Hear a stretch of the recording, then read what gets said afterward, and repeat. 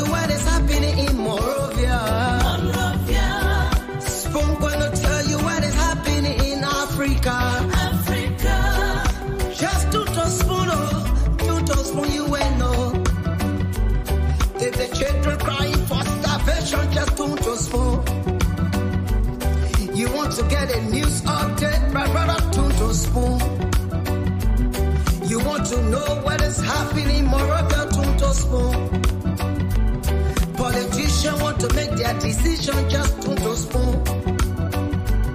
You want to know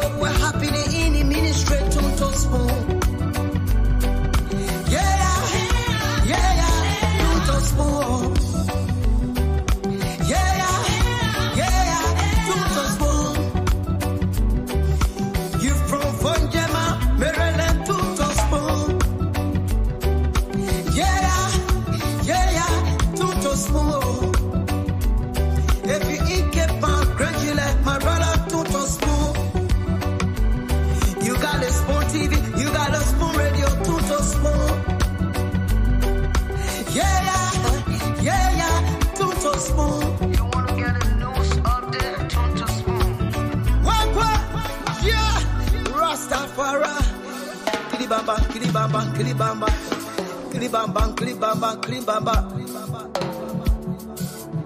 Watagwa nisipajubati leo, nisipajubati leo. Reseku, reseku. Para, para, para, para. Sabado.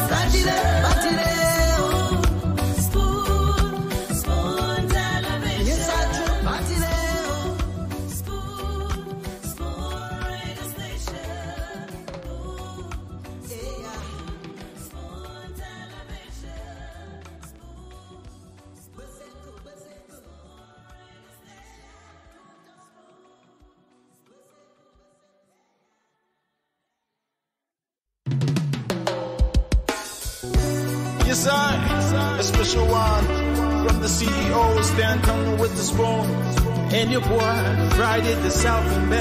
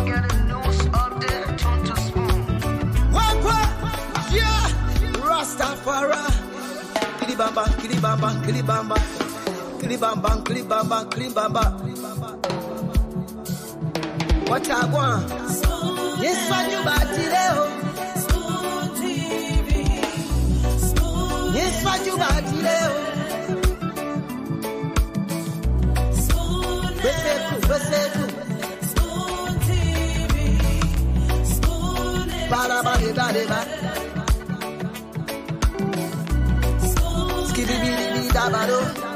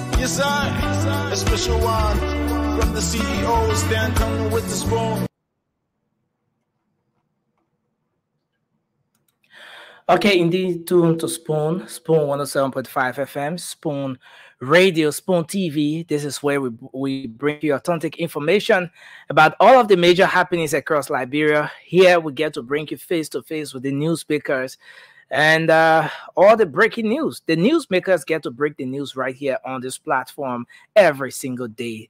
This place has turned out to be where Liberians from across the world gather every single day to get the news.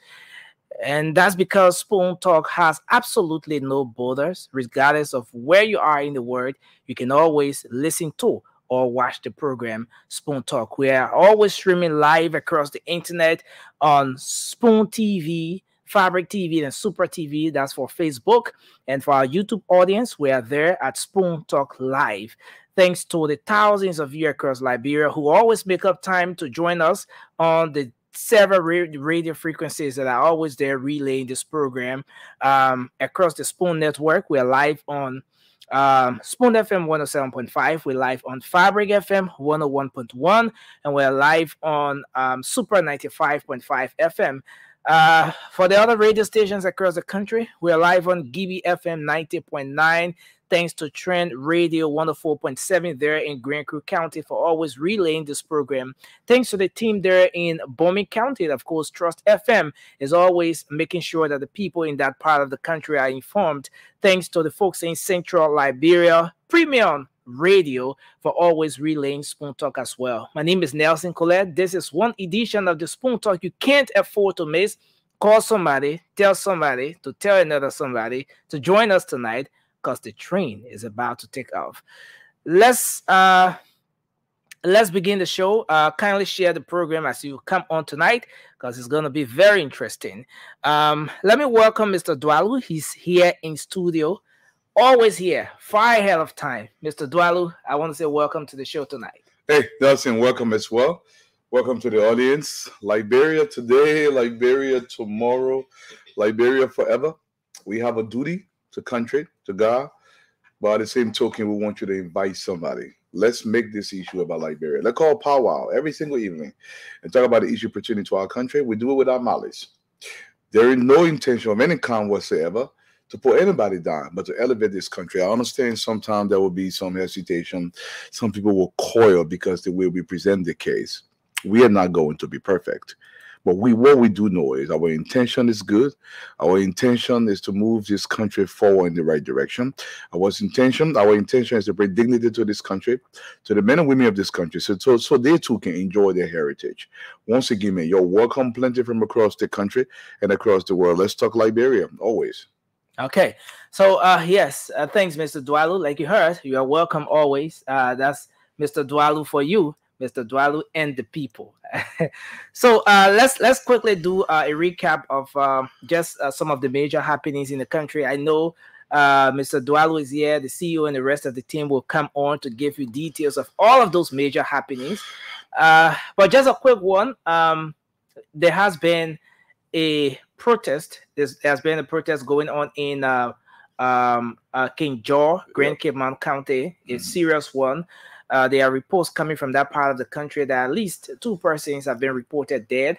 Uh, the folks there have been protesting uh, for some of the benefits uh, or, or some of these immunities they're they're supposed to enjoy or benefit or get as residents of that county from the Mineral Development Agreement, the MDA. There has been series of reasons for which the folks have been protesting. There have been images, footages uh, um, circulating on the social media, audio, you know, coming from different parts of the place with respect to the ongoing protest.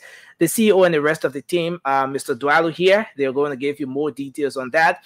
I understand um, the government is concerned about that.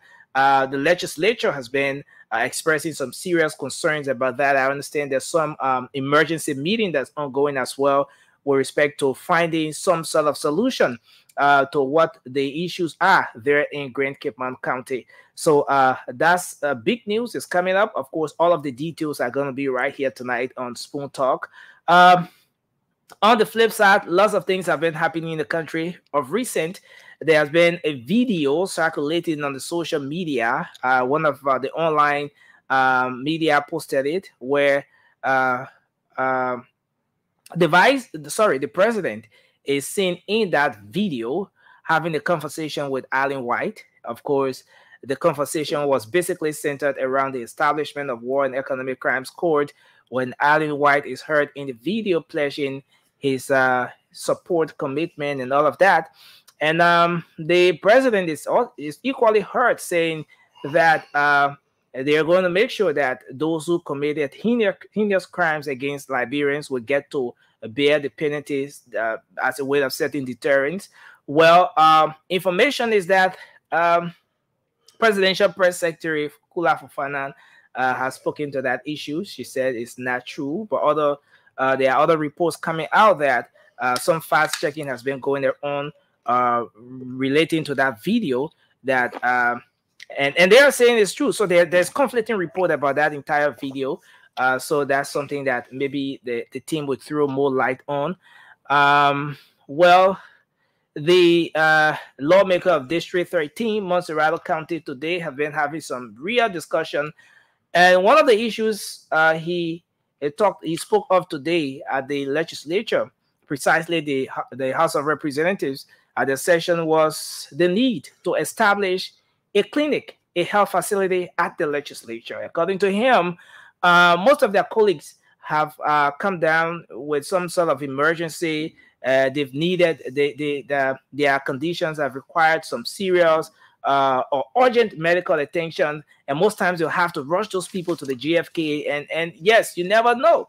Uh, he cited uh, one instance with uh, Senator Varney Sherman of Grand Cape Mount County when he you know collapsed and he had to be rushed at the JFK. So he has stressed the need for health facility at the uh, legislature so as to address issues uh, that lawmakers are faced with, especially the emergency situations, so that those issues can be addressed. Well, how, how we, we we look forward to seeing how that goes. Well, there are uh, conflicting views. There are different um, uh, views that folks have expressed since that uh, issue was uh, put forward and a lot of other issues happening. Uh, former senator of Lofa County, Senator Steve Zargo, Mr. Zargo, has been designated to serve at the LIS, the Liberia Immigration Service. Um, he went for confirmation hearing, and he has been assuring his former colleagues. I remember he was a senator. He's been assuring the Senate senators today that uh, when confirmed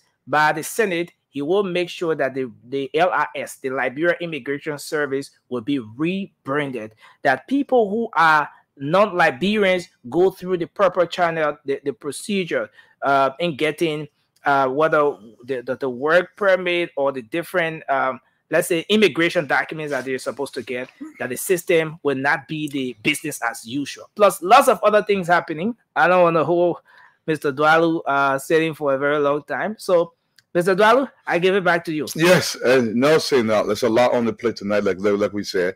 Try and share the show. Come in, let's talk Liberia. But before we do that, let's recognize some of our people.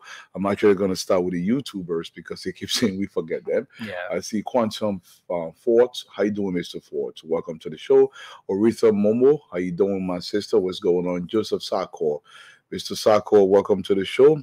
And, and, you know, you guys share the show, Precious Satia, Alexander Waba, welcome to the show with Thompson, Ayo Freeman, uh, Edward Bolton, Matthew Dennis, Henry Flempore, Mr. Flempore, welcome to the show. I see Myers Montego, welcome Queen, welcome. I see Emily Formula, I see Amos Carr, Jerry Zemio, welcome to the show. I see Joshua Momolu, Mr. Momolu, welcome to the show.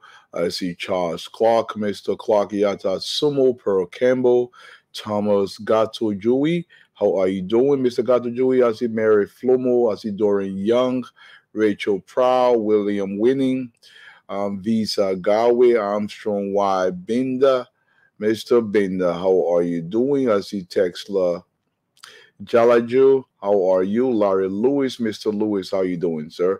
I see Mary Finayima, Kalu uh, Esther Zuo, Madam Zuo, how are you doing? Faith Amaris Yates, how are you? Stasi Scott, Rainy Sando, welcome to the show. Wherever you're watching from from across the globe, but most especially here in Liberia, we want to welcome you from across the, the, the country. Be it Zoe Drew in my beloved Grand Bassa County, uh, whether you're calling, whether you're watching from Ganta, Nimba County, Voinjama, Kakata, across this country. It is about Liberia. Edward Kessley, Mr. Kessley, welcome to the show. Over here, I see Deccan D. Davis. Madam Davis, how are you doing? Lawrence Gay, uh, Theophilus Yuma Power. I see Phoebe Warity, Fatu Amen, Luther Nupa, how are you doing? Abu B. Kamara, Dominic Doyen, uh, Daniel Sampson, Henry Masale, everybody, man. Let's come and talk about Liberia. There's a lot to talk about. We will continue to push this issue. But last night, if you allow me two seconds, and uh, see, I want to talk about this issue very briefly. Hmm. I was going through the thread. There's a tendency of mine. Whenever I leave the show, I tend to go back and watch the show all over if I can, if I do have the time, to make sure I get it right, to make sure I do whatever I'm doing to do it right. And as I was going through the thread, and there was a comment that said, Dwalu is full of it. He wants 100,000 jobs in Liberia. I have to say he's never created a single job. My message on the Spoon Network is to bring hope. It's to hopefully put forth a vision, and that vision with the intention to change the conditions in this country. I don't have a magic wand that I'm going to wave and things are going to change. Every society, there were men and women in that society with a vision. That vision was meant to inspire people, inspire our leadership, so they can put forth a policy that's going to transform this country. Now, the comment went on to say 100,000 jobs is, is, is impossible to be done in Liberia. Let me say this to you. We have approximately 2.7 million Liberians that are of working age. Let me repeat approximately 2.7 million Liberians that are of working age. Of those, it's less than 5%. Less than 3% is 100,000. If we cannot create 100,000 jobs in this country and you think it's a far fetched idea, I don't know what you think of, of a vision. The vision of the great uh, companies you see across the globe, they did not start with the expectation that they will have thousands, tens of thousands, or hundreds of thousands of employees. All of us flock to Facebook and we we write things on Facebook. I believe Facebook has close to, if I'm not mistaken, maybe 2.5 or 3 billion subscriber into Facebook initially. Mark Zuckerberg, it was something he did in his college dorm. My vision for Liberia has to begin somewhere. The, the, the intent that we do have because I sincerely believe this is more than possible because I know we are more than capable of having that vision realized here in Liberia. It has to start from somewhere. You're not going to create 100,000 jobs in one day, but you have to start somewhere. It starts with Sis Kalu having a hair braiding store that is being funded through the Liberian Diaspora Corporation or through an entity that is promoting private entrepreneurship across this country that is promoting Liberian enterprise. This is a vision, uh, a vision that is focused on our small farmers, how we can take their goods to market across this across across the globe.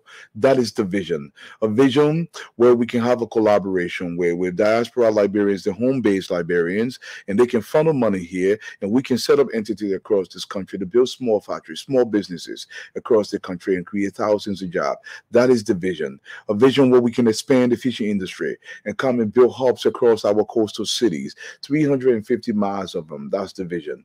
That vision, you may think is too far fetched. You may think it's impossible. Let me tell you something. If we do not think big for Liberia, like Ellen Johnson Sirleaf said, if your dreams do not scare you, they're not big enough. We have to make our dream big for Liberia because Liberia is mightier than you will ever imagine. My question to you is what is your vision for this country? Don't take Dwalu's vision implore another vision that we can follow. But let that vision transform our country. Let that vision transform our country. I don't have the solutions. But if I prefer a solution, no solution is going to come perfect. It's going to be tweaked along the way. There will be adjustment. Let's make this adjustment together. I don't want you to just nitpick. I want you to present an alternative for my country, for your country, so we can change the condition of this country. That is what I'm. That is what I care about so we can change this condition and bring dignity and honor to the Liberian family. This is what I dream about every single day because I know it's possible. You may think I'm saying this because I just want to say this. For the last five years, this is all I talk about. I have countless videos when I ran my Sunday show on the drive with me and Josh Lobo on, on the closing argument here on Spoon Network. I've promoted this issue because I believe the viability of our country has to start from Liberians themselves. And we must push the issue to the private enterprise, an enterprise that's going to truly transform this country. It is possible, young man. Don't doubt this. I don't want you to have any doubt. Because if you doubt, we cannot make it. I don't just want you to critique. I want you to proffer another solution that is possible, plausible in this Liberia. Because if we do that, we can transform Cestos City into a bustling metropolis. We can turn the likes of Ganta into the envy of the region. This is my dream. And we can make a place of Voinjama where we all want to go. And the great Cestos River can be something we access. There's a dream here, folks, and it's possible. Don't doubt this. Dr. Francine, welcome to the show. Dwalu and Nelson, your hello Hello. today. Yes. Uh, good evening, Dr. Richardson. That's good. Uh, it's good to see you again. Yes, it's good to be here. Dwalu, excellent message. Um, I would love for someone to come and join you and create and talk about creating jobs. Don't just take Dwalu's suggestion, like he said. Proffer your own suggestion. I think the more great ideas we can have, we can energize the private sector and create more jobs. It's not about criticism. We don't have time for that. Liberia is way back. We are behind. We need every idea, and the more that we have, the better we can decipher and, and put the best one forward. So, Yeah. Doc, I agree with you. You have your voice, your ideas, your time, your thought process. People don't realize the energy it takes hmm. We got no idea. all of ideas. You know, daughter, I used to think when I was first started working professionally, I would come in, I'll be tired. And I'd be like, I don't understand why I'm tired. I'm not pushing nothing. I'm not, you know, Trini. anything heavy. But it's like even today, you go into meetings, you have to think, you have to understand how to put sentences together because you, you're talking professionally to people.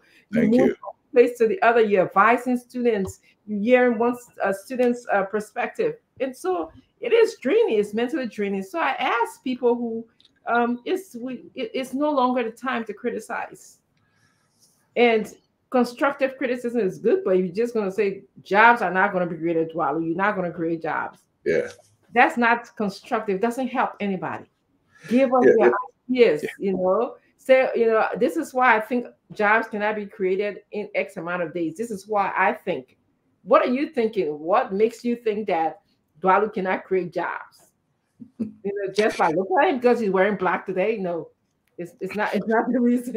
It's not. It's actually my little T-shirt, Dr. Francine. And, and, and Dr. Francine, you're right. What people don't realize is before you come on the show, you will spend on average two, three hours a day reading just to come here and make sense. Now, I, I keep reminding you, Tom, when Dr. Francine says something about a subject, it is impossible to cover every single angle on that subject.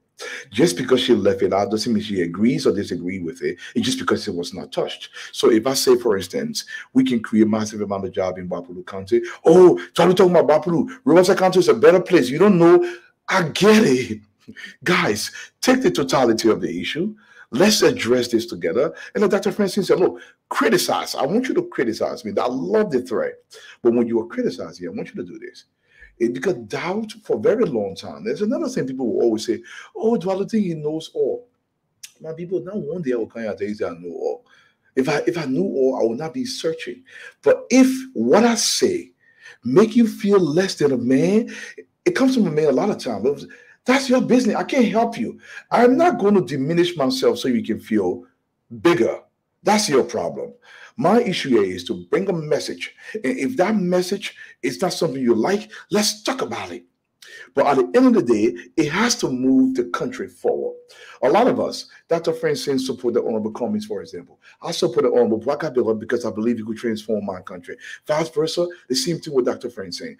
If Honorable Boakai, President Boakai now, is not going in the direction, when I say something, it is not criticism against him, it's a criticism of an action that is taken that I Love believe is for counter- Liberia.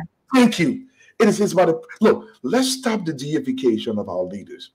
It doesn't mean you go after them, but if they make a decision that is wrong and we don't say anything about it, the country suffers. Yes. And, and- Oh. and- and- and we have to get out of this rut where, but while you supported the man, now you don't start critiquing. Look, if people are shooting people in Kinjor under this administration, and there is no justifiable reason for that, I don't want that for my country.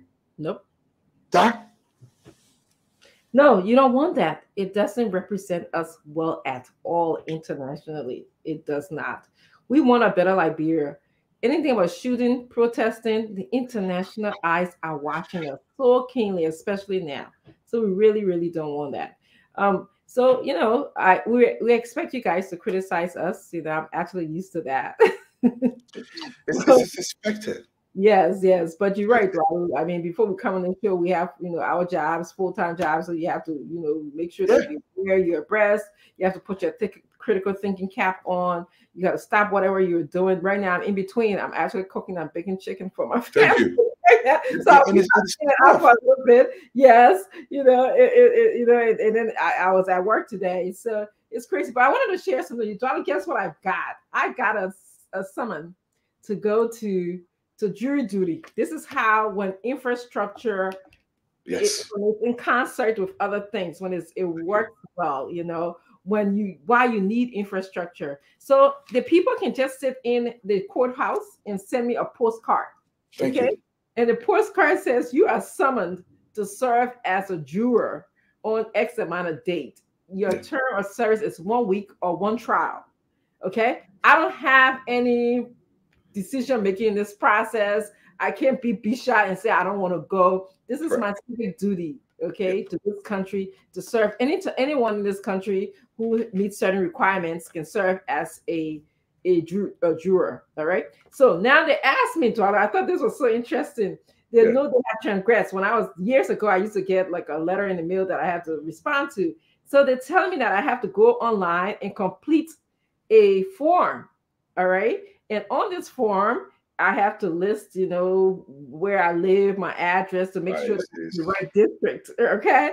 And then they send me an email confirming. I mean, actually, it's an email and a text message. Can you see technology working? It? the infrastructure, the importance of energy, electricity. If these people didn't have this in this country, there's no way they'll be able to do these processes. Like the court process wouldn't be able to work efficient and effectively, not perfectly, efficient and effectively. All right. What So, and so now they're saying, okay, I responded, they responded to me. They gave me a number that I have to call the night before I go to serve jury duty um, to make sure that the case is still on, to make sure that I meet the qualification. Because what they base on how I answer, they're going Yeah. to make sure that I'm not biased, that I can go to trial, that I, you know, I'm I'm, I'm of sound mind, you know, Yeah. my peer, that they're Yeah. gonna they're gonna put me on the right case. So this little post notes, I'm keeping it because the number is on it. The night before, which happens to be a Sunday, the case, the, the date that I'm scheduled is a Monday, I have to call in. And I have Yeah. to tell them, you know, they're gonna tell me through a voicemail, come in, you are needed, or no, you are not needed. We'll schedule you for the next year. Hopefully that's the message I want to hear because because because actually when you go to this is your civic duty you get paid i get paid six dollars which is Correct. not yeah the government pays you they will send me a check Correct.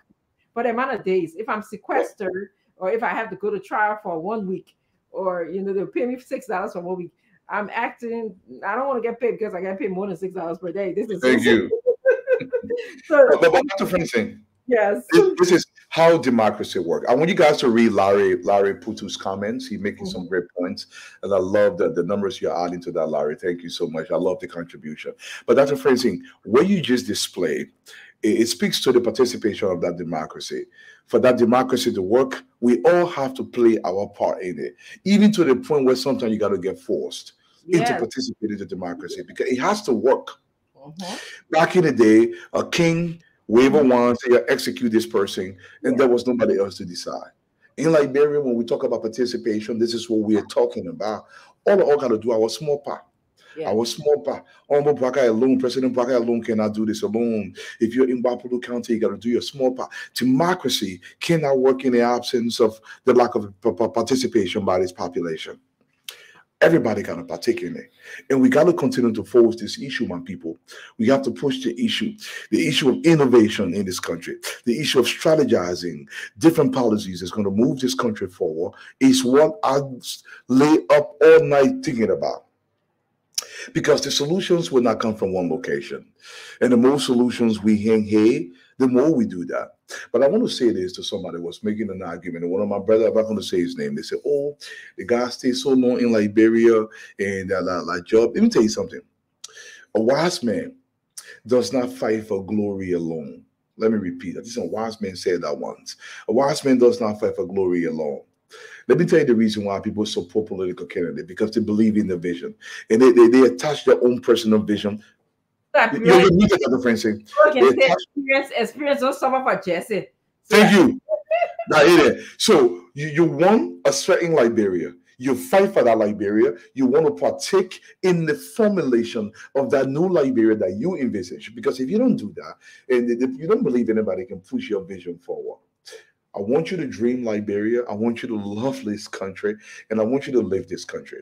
And the way we can truly do this is empowering Liberians to compete on an equal footing with foreigners in our own country. This is what I want and surpass them. Let me tell you something. There is nowhere else that you can go on this earth when the citizens of that country are subordinated to foreigners that come to the country. Our only country is Liberia. My vision, how do we change that around? Through economic empowerment, forceful economic empowerment. This is the only way. This is the only way it's been done everywhere else in the world. We have to think innovatively, on that around. Because if we don't do that, we can't change this place for us and our children. Doc? Yeah, and I, I wanted to, you know, talk about the progression. You know, like I always say, countries like human beings were not born with say what's born in your mouth. It's a progression. You know, Yeah. when I first started getting notification for jury duty, there was no text messaging. There was no email for me to to get. It was maybe a letter that came in the mail. I had to respond by sending a letter back. But you see, the people's service have progressed. They have innovative ideas. They have asked for new people, new thinking, uh, moving with the time. And this is where we want. This is how you know your country is progressing when people are moving with the time. And so this is this is uh, something that we need to talk about. We'll come here we'll talk about that. Um, exposure give you a lot of ideas. Yep. Um, interaction with other people, not necessarily you don't have to be exposed by leaving Liberia, but interaction, talking to Dwalu, listening to Spoon, you know, reading books, attending different events. Like I saw the new library was just open, learning center was just open. It exposes you, okay? Um, and, and so when it exposes you, your your your your thought process should be, how can I give back to my country? That's why we're here. This is why I've been here. A lot of people say, "Oh, Dr. Richardson, why? This is why I've been here for three years." You know, Dwala, I was just thinking, you know, um, Don Lemon got paid billions of dollars, I believe, for his recent lawsuit, actually a million, million of dollars for his recent lawsuit. But CNN is still going on, right? There was legality involved. Every every single day. Exactly. but- but the media, the Yeah. media shifts their, their thinking, even it shifts everything societally. Look, socially, the media is massive. You know, I used to laugh at people say, Twala, why would you go on Spoon? I'm like, oh my God, how can you not understand the reach of this? Exactly. How? Dr. Francine, there's not a single corner that I go in Liberia, people don't know me. I, I, I'd be shocked. I and, and and for me, you know, yes, you're right. And for me, who love privacy is is very it's, it's, It's- Oh, Johnny, but man, let me get you some beer. I said, but man, I don't drink. Okay, but man, the, the fish on me. And, I love that because people appreciate what you do. Yes. Yes, it doesn't mean everybody's going to agree with you, but if we're going to move this country in front, hey, my people, People. eh, the info I'm talking about, y'all will get very meal because this is not something that I just started talking about almost over 15 years ago. And people don't know this. I actually went back to school and got a master's degree in innovation strategy because I was thinking about Liberia. How do I transform this country? Everything is So yes, I can have a concentration in innovation and strategy because the country has to change in a way where, look, Dr. Francine, the opportunities here are so limitless. It's so numerous to the point where you don't have to do much to transform this country. No. When you say it, say, "Oh, you don't understand the country." Let me tell you, the country is not hard to decipher. Come here.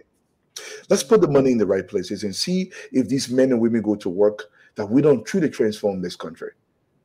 And, and Come so example, uh, uh, a a common example is Rwanda. Rwanda was transformed in like 10, 15 20 years. years. Yes. Okay. It's a middle income country. Exactly. So, and imagine with the global smallness, the global un- unity that we have these days. Okay, before you can say, okay, before the industrialization, people had to get on uh, a boat and travel for 30 days to hit the United States. Now, all of us can go through these different uh, devices. So you can transform, you can move so quickly if you put your political willpower and your mindset and your resources to, to that transformation. But if you don't do that, you know, everybody just in their own slumber or everybody in their own greed, you know, everybody wants that what's in it for me. It's it's gonna be hard. Well, somebody texted me about you, Dr. Francine. They were like, I was listening to Spoon last night, and Dr. Francine said, if somebody's in a position, if they're not producing, they shouldn't be there. So I responded, I said, So what, what what's wrong with that? Uh, but in, Liberia, people job, you can't take people job from there just because I'm like, how do you counter this? How do you counter this? So you want to sit down in the child protective office of the, the Ministry of Gender while little children are being raped. There is no matrix to determine how you curb this rape. How what's your strategies to counter this rape? But you just be taking free paycheck. Nope. No Yeah. corporate entity will keep you. Nowhere in the world. But when you talk here, they say you hate the person. There's absolutely it has nothing to do with hate, my people. Move our country forward. Thank That's you. what- That's all I ask. Country forward. That's all I ask. And if that ask angers you, you're normal. But I'll keep asking you because there's no other way around it. Like bring out more info. Just info small. We're not here for a long time, man. People look. Somebody say, wait, Edward, are you in Labro? I say in Labro. This week don't say my full money yet. Mm. don't say my full money. But guess what? Actually, next week, actually next weekend, I'll actually be in Southern Africa. So I will be out of. Be Oh, you see that? Yo. You see? I will be in Southern Africa next weekend. And you know, and center the wealth will be with me. So you won't be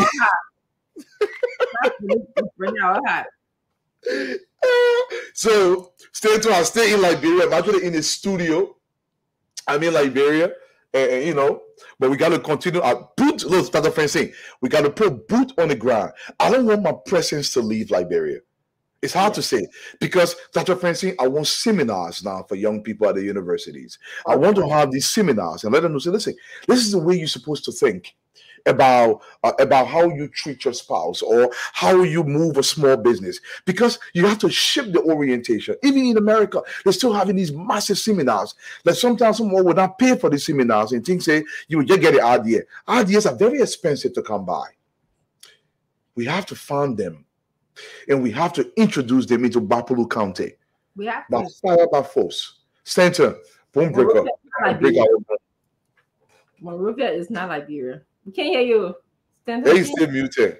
Okay. No, I won't. I, I'm grateful that we're having a wonderful show. It's good to see you. And now you're going to get my sister involved. Uh, I have a, a lot of different information concerning you in Liberia. Oh. They- they- some are good and some are bad. But we were bringing Nelson. Come back, Nelson. We're bringing the good. We're bringing the good because you know you, you men of when when you you you you you so passionate when you like me when you talk about Liberia like I want to share tears. Yeah, That's what I see in you, Eduardo. Apart from the joke, we can laugh Yeah. and there. You I agree. you love your country so badly, and you wish well for your country, and Mm-hmm. you know, and um, I don't know whether it's early to be disappointed, No, I think it's early. but uh, but I want Liberians to hear us. It is not about an individual. It is not about a politician. It's about Liberia that we all will fight for continuously. And that's how I see you. Job or no job, you will fight. You know, because you work so hard and you earn your living, you and your family. And we are grateful to God for you guys. I hope we can have a, more, more Liberians in that direction than for us to play politics. I, I I'm happy that we're going to have the former ambassador, the former Senator John Ballout Jr. He will be coming. But this situation about Grand Cape Mount, what is happening to our people? What is happening to the country? What is happening when you fight for the change? And we're going to get into it, but Dwalu. Mm. This thing been boring. This Grand Mhm. Cape Mount issue, Western Cluster issue. Mhm. Now I received a whole document from uh, the citizen of Gbarpolu County. They're about to hit the street. I received a document from some folks in Monrovia talking about LEC. They're about to protest. Dwalu, if you say protest a good thing, why will you why you want to wait for protest if you can try to solve the people problem now? Why you want to wait for protest? Why why you can just set a committee like I, I heard set in a committee. I thank God for for Nati Koffa. He set up a committee. You know, I'm back and forth texting the senator of one of the senator of uh, Grand Grand Cape Mount, Dabah Dabah Varpilah. You know, she's on her way. She was there. She said, Stanton, I'm on my way. It's like another hour away. She's on the battlefront. But I mean, what's the plan? So then let me can I come in? I daughter, daughter, you, you need to. I, I want to shed tears because our country, man, our our country, the country called Liberia, we love to see things tip over before we be proactive. Mhm. You know, mm-hmm. uh, but talk to me, Eduardo. Let- And, and, and, and Stanton gonna kill me for this. Sorry for Carter. It's been a while, Mama. I didn't move y'all coming by my Jew. But let me say this, Stanton. We we we we we, we center everything in the counties, in all the counties around the senators and representatives and around the government officials.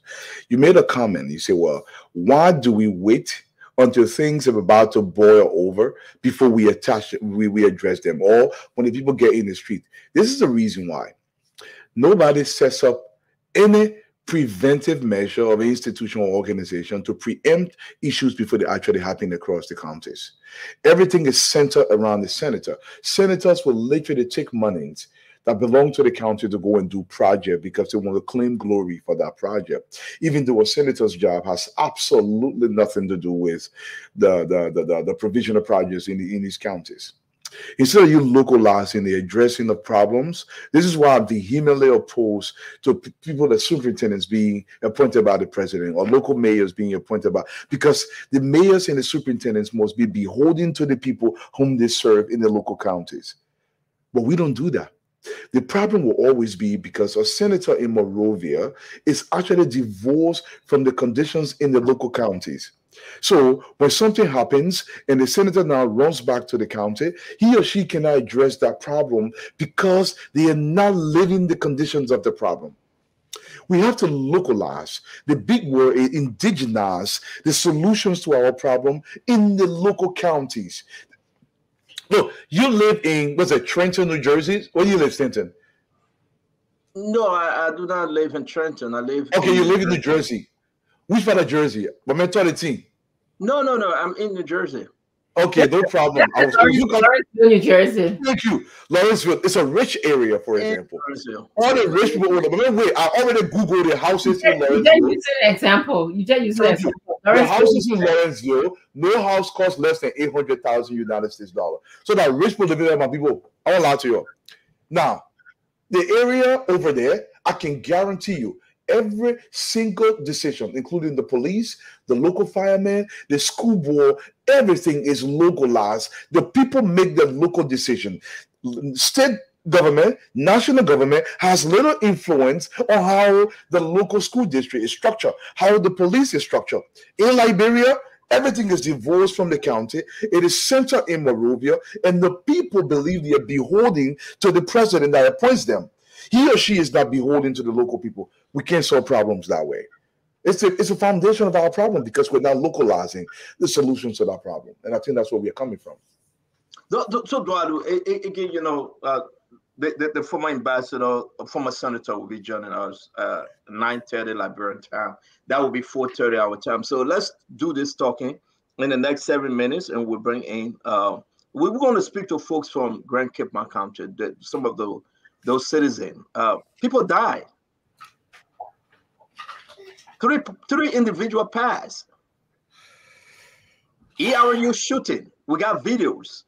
What in the world? People are wounded. Under the rescue authority, under the rescue train, under the rescue team. It's rescue time. Yeah. Say what you want to say. It's rescue time. On rescue clock.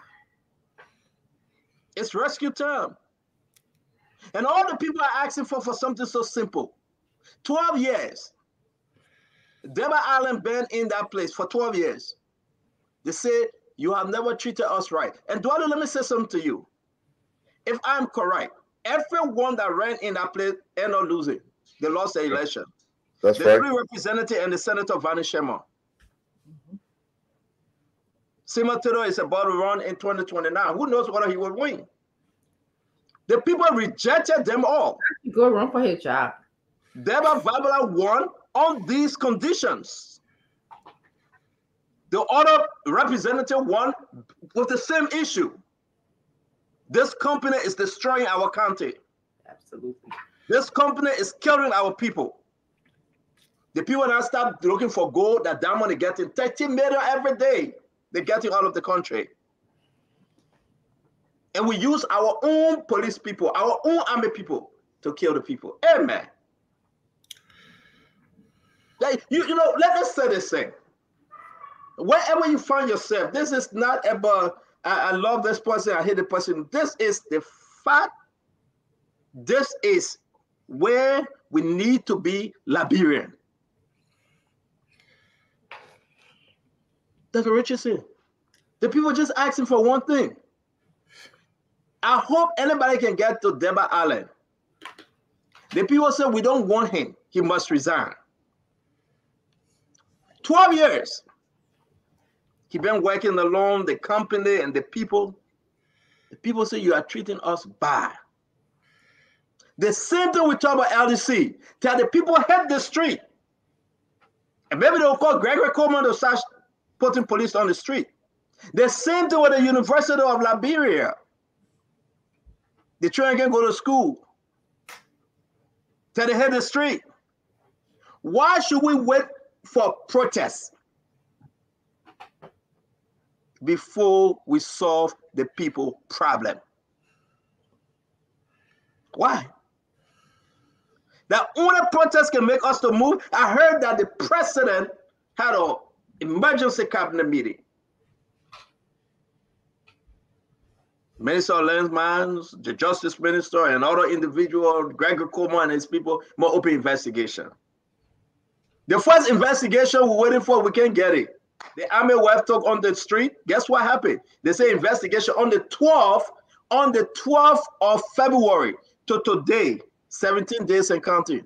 We got a report for that investigation yet. How about you need a party investigation? The first investigation, How about in Nakara? the inaugural 650,000 investigation on Miata family. We see nothing yet. Mm, okay. Are we going to go with the draw where investigation over and over? Is this the new pattern? Hmm. Uh, if the people serious that they will call for the investigation and they will tell the Liberian people what's happening. Investigation on Miata family that caused the president to faint, caused people to die. We don't have no result of Miata family investigation. Investigation on the army's wife hitting the street. The president said in two weeks. In two weeks. And we play what the president said. We play it. He said in two weeks. Been 17 days. When see report yet? Investigation will look into LEC why there's the country is so dark. Nothing. Hmm. Open NSA audit, open CBL audit, nothing. Report that we look into the tenant position to see whether it's legitimate. We're still waiting. Report that yes, indeed, we're going to open another investigation in Grand Cape Mount Vlad. We're going right back to Mount Ellie and Joe. We are time. So where are we, our fellow Liberians? Let's speak truth to power.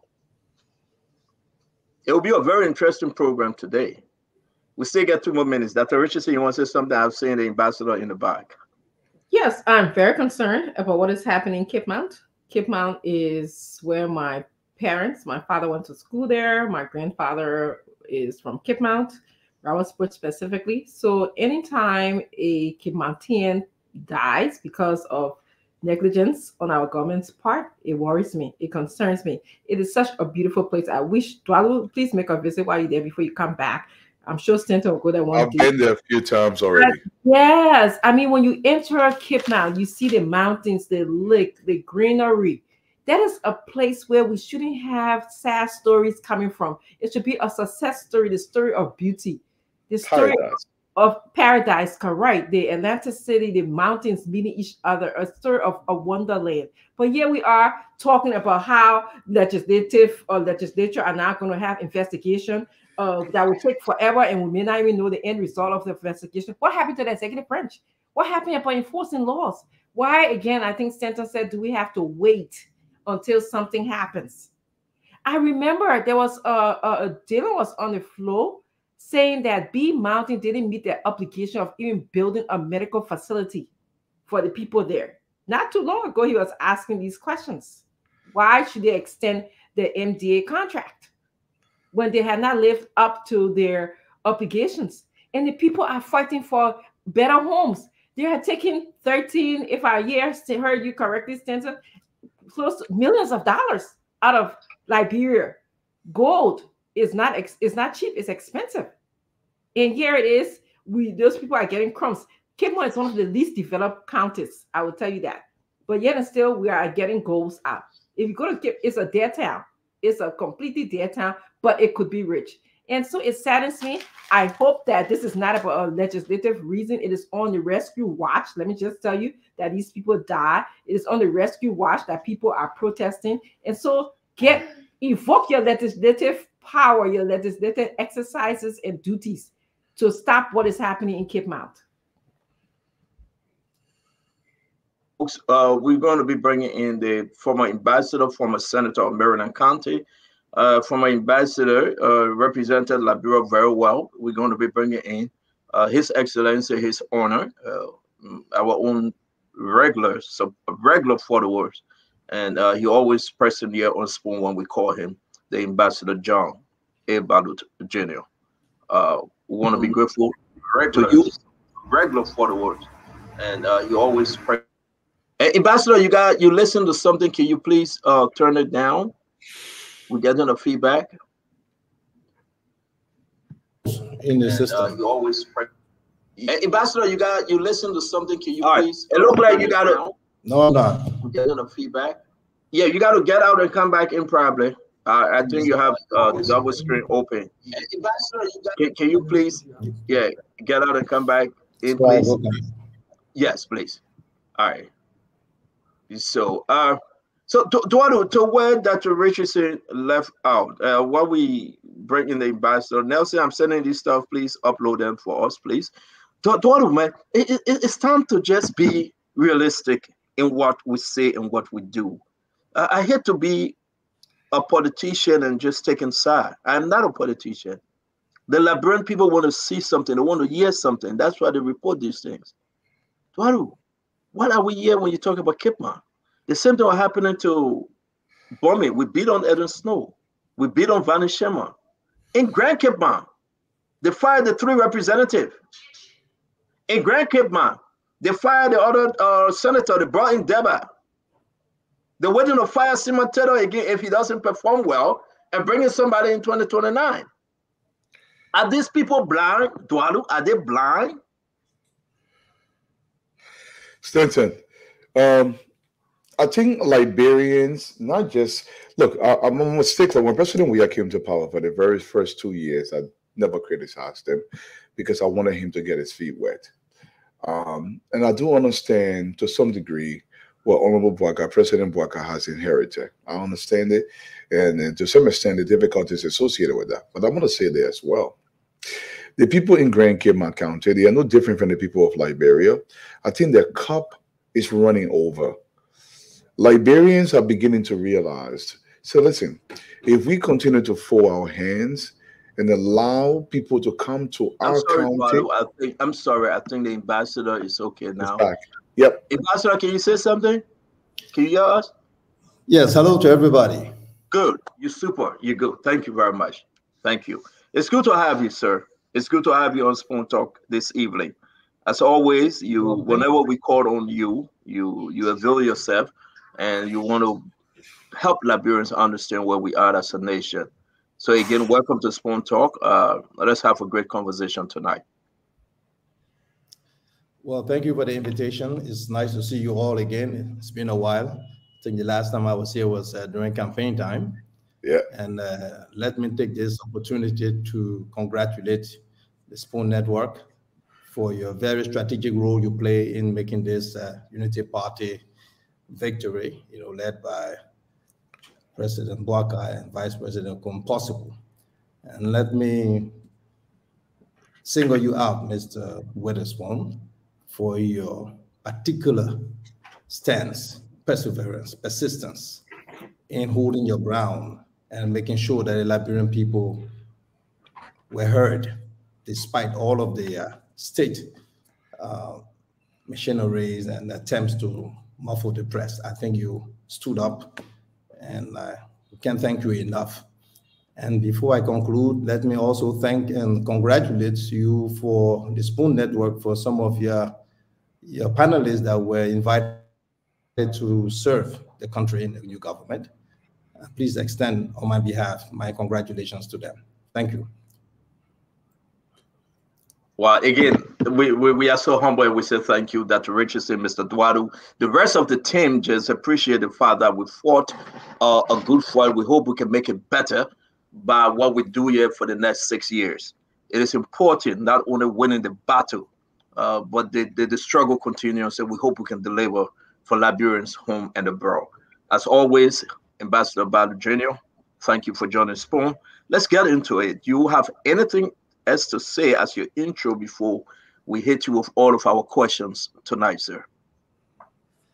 Yes, I mean, before we go into a long laundry list, permit me to just start my introduction with something dear to my heart that we've been working on in recent times. Um, you know, we have an organization called We the People, and we've started this new administration running, working on the issue of illicit drugs in this country. I mean, for me, there's a lot of issues in the country. Illicit drugs remain paramount. So we've started working with that. We convened meetings with our network of anti-drug uh, campaigners and organizations. We've had a series of meetings. We've now compiled um, a list of recommendations to the government. We're having a meeting planned for tomorrow to meet with uh, the DEA new leadership led by um, Director Kromah. And so this is something that um, we have to fight. I know you're all passionate about politics. I know we're all passionate because at the end of the day, everything boils down to politics.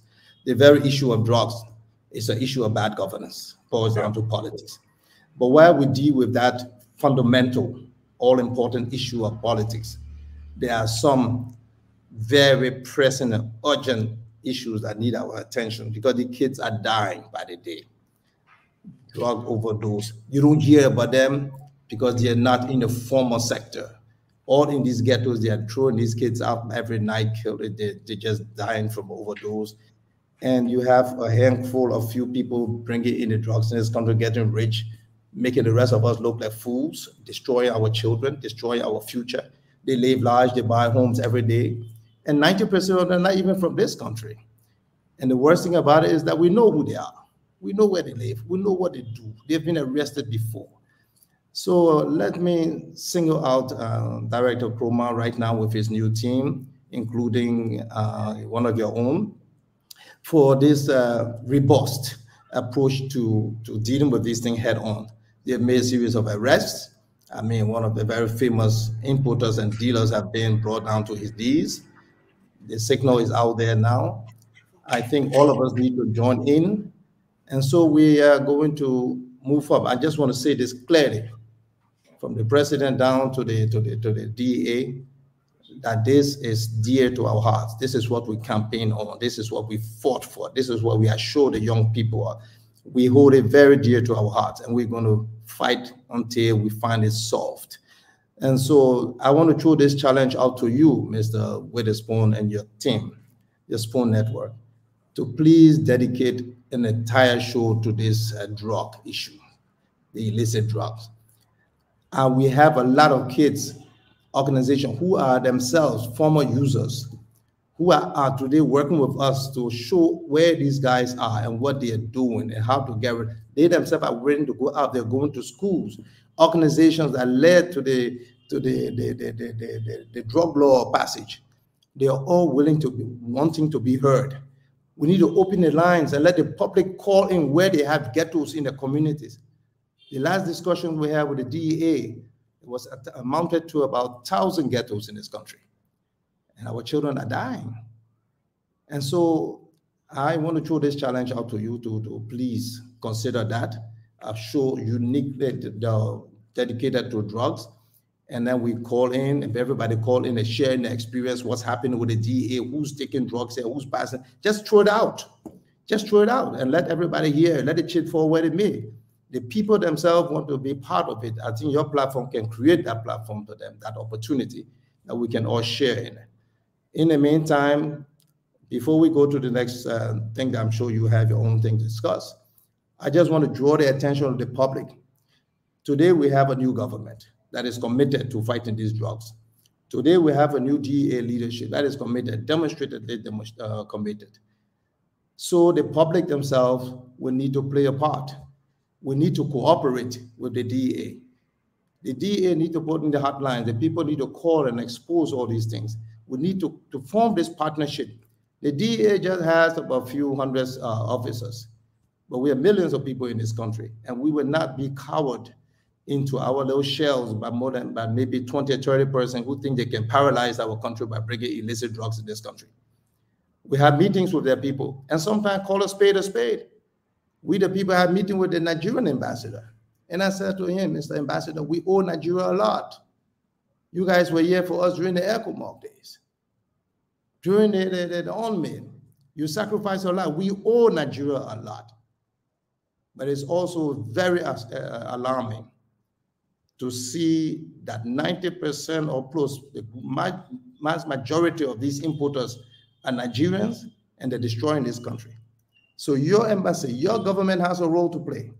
You don't want to create a kind of a xenophobic environment here that people are now starting to attack Nigerians. That's not what we want. But we want to protect our own, and we will protect our own. And if we start to go after certain people, it shouldn't look like we're witch hunting, but it has to be brought to an end. So we, in that, he was very polite, very understanding. He only asked that we, you know, deal with this thing well, and we, we cooperated with him. Today, he has offered, because I asked him if the DEA of Nigeria can help our DEA, considering that they know their people, they know how they operate.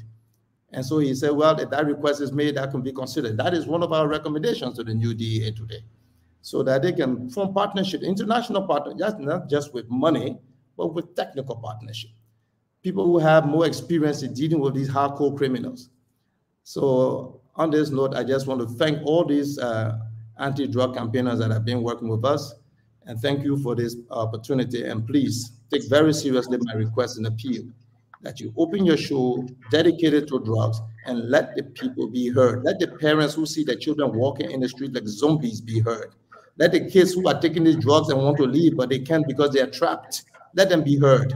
Let those who are part of this thing and managed to escape, let them tell their stories of how many of their colleagues have died and they've seen them dying before them and they couldn't do anything about it. Let these rehab centers come in. Let the whole situation be brought to light. That's the only way we can deal with it. It has to be holistically dealt with. And because you are so strategically placed in this country as the most widespread and, mostly listened to and most uh, uh, progressive conglomerate of news entities, I think you have a God-given role to play. And I just want to assign this. Well, thank you for this, and I think we can move on to the next level. Thank you very much, Ambassador. I spoke with uh, uh, my dear friend A.B. Kromah and myself had a long conversation today. Uh, that's why I'm wondering whether he, he he spoke to you concerning our own conversation. He, he I mean, he's very very determined to fight to the end. Uh, the issue of a budget, we understand that 26 million plus almost in the budget. I know he have not received a dime from the government yet uh, because there was no budget out there. So we'll wait and see the issue of our partners around the world willing to help. These are the things on his mind. Thank God we can announce that his deputies went for confirmation of Fadika and the other gentlemen. And by God's grace, they will be confirmed. And he's trying to put these things together the building, the offices, the manpower across the border. I mean, it's a lot on his plate. So you being involved is great for our country. And I think everything you just said, that's what he told me. And he's asking every Liberians, home and abroad, please allow us to raise some money between 100 to 250,000 to enable us to start a fight, not only with the government, because the government is broke right now. So we had a mm-hmm. long conversation. I cannot say it all, but I think he's passionate. And just what you said, exactly what he told me. And I think we should work in that direction to help our country. You know, talking about the rehab center, the DeLong Rehab Center, that which was built by Minister of Youth and Sport, if they do have any, and even more to come, you know, folks like Dr. Richardson and other mental health experts that want to go to Liberia and get involved in helping to rehabilitate our brothers and sisters that on drugs. You know, that those are some of the things AB and myself discussed today. So thank you for sharing it, and we will avail ourselves and build the network to help any which way. And so let me just add, in addition to all that we've said, you know, right now he's going after um, these dealers, these importers, because he's trying to cut the source. But again, I'm sure uh, uh, Dr. Richardson might probably tell you that people who are dependent on these things, you cut the source without dealing with them, you have another social problem. And so, like yesterday, we need to start raiding these ghettos, getting these kids from these ghettos, and putting them into rehab.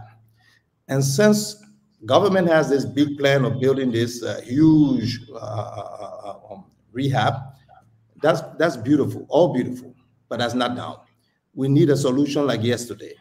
So some of our recommendations is like to form a partnership right now, call a meeting with the churches, okay, the private sector, those find out how many existing uh, rehab centers there are right now and let the government subsidize them. Let's put in budget and start to feed these guys directly into these networks these existing rehab. Right now you have about 20 rehab in the country that people don't know of and they're just barely struggling on their own. They need to be supported like yesterday with budgetary support and let them start to absorb the kids off the street while we go after them. And the big big institutions like the catholic church that has schools that we all want to, hospitals that we all want to. They have the experience of organizing this kind of a social uh, infrastructure uh, program. So let the Catholic Church, let's partner with them. Let's deal with the Don Bosco. Let's deal with the Catholic Church. Let's ask them if they can handle a rehab. Let's outsource the whole rehabilitation issue to the private sector. That way government can readily monitor it. Let's deal with the Methodist Church. Let's deal with the Episcopal Church. Let's deal with all of these things, the, the Islamic groupings. There were all of these religious groupings that already have or that could very well fit in the gap. I think we need to start thinking outside the box. Government can do it. We need to outsource them. It needs to raid the ghettos, take the suppliers out, take these uh, users out, and send these users directly to the rehab. And this rehab will have to be the existing rehab you have to work with what you have until you can get what you want. Time is not on our side. We have an opportunity today with a responsible government, meaning well, well-meaning government that has the intention of solving this problem. I think time shouldn't be our limitation. We should be creative enough to find a solution right now even as we plan for the future. So with the budget that he's spoken of, with the budget that they need, yes, government itself with the limitations cannot solve it all, but government has to take the first step. And we will try to take the first step in, in like, like this government is doing. The private sector, the international um, donors who want to come in will be very much welcome. But if we don't get them the tools, if we don't get them the requirements, they won't perform miracles. Fighting drugs is a very tough issue.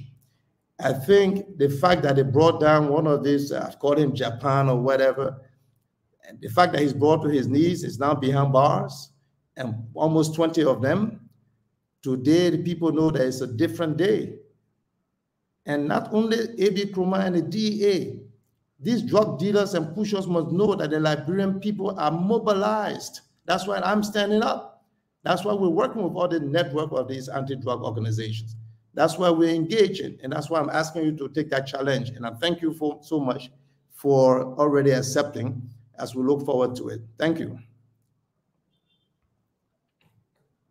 Thank you very much, Ambassador. Again, welcome to the show. We want to say thank you for joining us. Let's get into the other issue concerning today, those trending issues. Ambassador John Ballout Jr., you fought a good fight, like we said. Let me ask you the condition right now from Grand Cape Mount. You've been following the news. We can go up, we can show you the videos, people dying, uh, our own people killing our own people, to be blunt. Uh, they argument in different chat rooms. Well, gave us time. Ambassador, with this our government, why are we where we are when you're talking about Grand Mount and the current protest that led to three deaths, so many injured? Well, what's happening in Grand Cape Mount is pretty much what happens on these plantations. Like, for example, in my own place, Maryland, we used to hear the CRC, CRC, and uh, workers' strikes. You know, mining areas concessions like plantations, be it or palm or rubber or whatever agricultural project, they are people based, they are land based. They have a lot of social components in work in their operation. And human beings are social beings. They have to be carefully managed within an investment area where they have amassed the land of the people, the tribal lands of the people, the tribal people are displaced, and these kind of things. You know, you would not have that kind of problem in Cape Mount about Orange. Orange probably has a, a, station there, maybe with three, four persons working there because they're dealing with high tech. You would not have that with the MTN. We never had that kind of issue with Maryland, with MTN or Orange. They're high tech, they fire with their signals and they just have the antenna. But with the issues like the CRC, the MOPP, that villages have been displaced, that land, thousands of acres of land, of the people land. And so they feel entitled and they feel and correctly so, they deserve a certain respect and consideration. Now, problems like this boil down to leadership. And I said it in my time, and I will say it today. The company shouldn't have to be dealing with demonstrations and strikes. These are investors who come to invest in the country. If there are issues the government should be proactive enough to go in there and resolve these issues that they have with the local workers, the population, and the tribal people. Where the government fails to play their part, that's where the people take the law into their hands and the investors are there to do business. They don't have the security force to fight to protect. They're not what they're there for. So it boils down when government has failed to take action. And this is about leadership. Unfortunately, in this case, um, whatever that has accumulated today didn't start a month ago. So it, it's really not the lack of leadership that's demonstrated on this side. It is accumulated effect of neglect by government in the past of not addressing the issues of the concerns of the people. And when you see a new government like this, they take this opportunity, they seize this opportunity to deal with it because they feel that they can be they can have redress now. And so that's what they're doing. And don't forget, we're just from the elections. The other half of the people that lost the election are trying to make it difficult for you. They will not play easy. Plantation politics, like concession politics, politics is a very important part in the operations there. They have people who spark it to make the place ungovernable, to put, the, to put pressure on government. So government has to be proactive. They have to go in there, take measures. And once this is resolved, you now have to insert a certain up, uh, uh, uh protocol. If the citizens have problems, the workers have problems, there's a place to seek redress. And from this, get to government, government has to solve it. Because if they don't solve it, the people will solve it the way they know best. And when they start to act, the concessions are going out of work for three, four, five days. And this thing costs millions of dollars for people operation. And if you, you have concessions of investors constantly trying to deal with strike actions, this is not the best attraction for, for further investment in the country. So everything boils down to the failure of government to, to, to, to get involved and solve these problems. And so the George Weah CDC government definitely failed in this regard. And so today we're having to deal with the mess that they created. But it doesn't have to be that way. The Unity Party government now with Joseph Boakai can be very proactive, very assertive, go in there. They will be given an opportunity because they were not heard before. They didn't intervene before. But once the people trust you now and allow you to intervene, take that real strong measures in calling a spade a spade and let the citizens of these people feel the respect they deserve and the rights that they should be granted. Again, these concessions are multi-million dollar concessions. They all have the government behind them. Mind you, problem I have with most of these concessions, and I'm not speaking with Bea Mountain. I don't know the, the, the direct situation here. I'm just speaking general terms. What they do not allow in the country, they try to do it here sometimes. And we shouldn't allow that. We should protect our people. Government, first and foremost, is to protect the people, even as you mediate this situation. So the people should be assured that government is there to protect their interests and let the, the, the, the, government mediate and hear from both sides and try to resolve it. I'm sure there's a solution. Where there's a will, there is a way. Oh, I will ask my second question. We're bringing Eduardo, Dr. Richardson, uh, Glennie, and then uh, when the rest of the team join us, uh, then they will ask their question. I understand that you will not go into deep with this government because since the 22nd, we bought at least 27 days to go since President Boakai put his hand up. But I want to take it back since November 17, 18, when President, the outgoing President George Manneh conceded. Leadership started then for Joseph Nyuma Boakai. Though is one president at the time, but you had an incoming president that we all know that was setting up his cabinet, setting up his government. We have the transitional period. People talk about different clusters. And up to now, what we know, the clusters report, they have not been delivered or read to the president yet because he's very, very busy with appointments.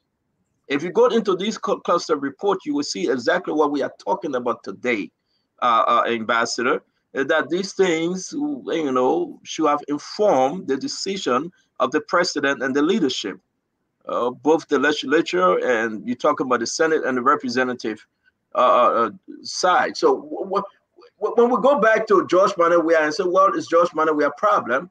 Uh, don't you think that's the reason why they removed George Manneh for us to solve this problem? Case in point, let me show you something real quick. Uh, then we can go into it. Let me play this video uh, viewer description is advised. Please, I beg you guys. Uh, it's up to you if you want to watch. To be very simple. Uh, if we reach anywhere that is so bad, we'll just take it off. But folks, watch this video.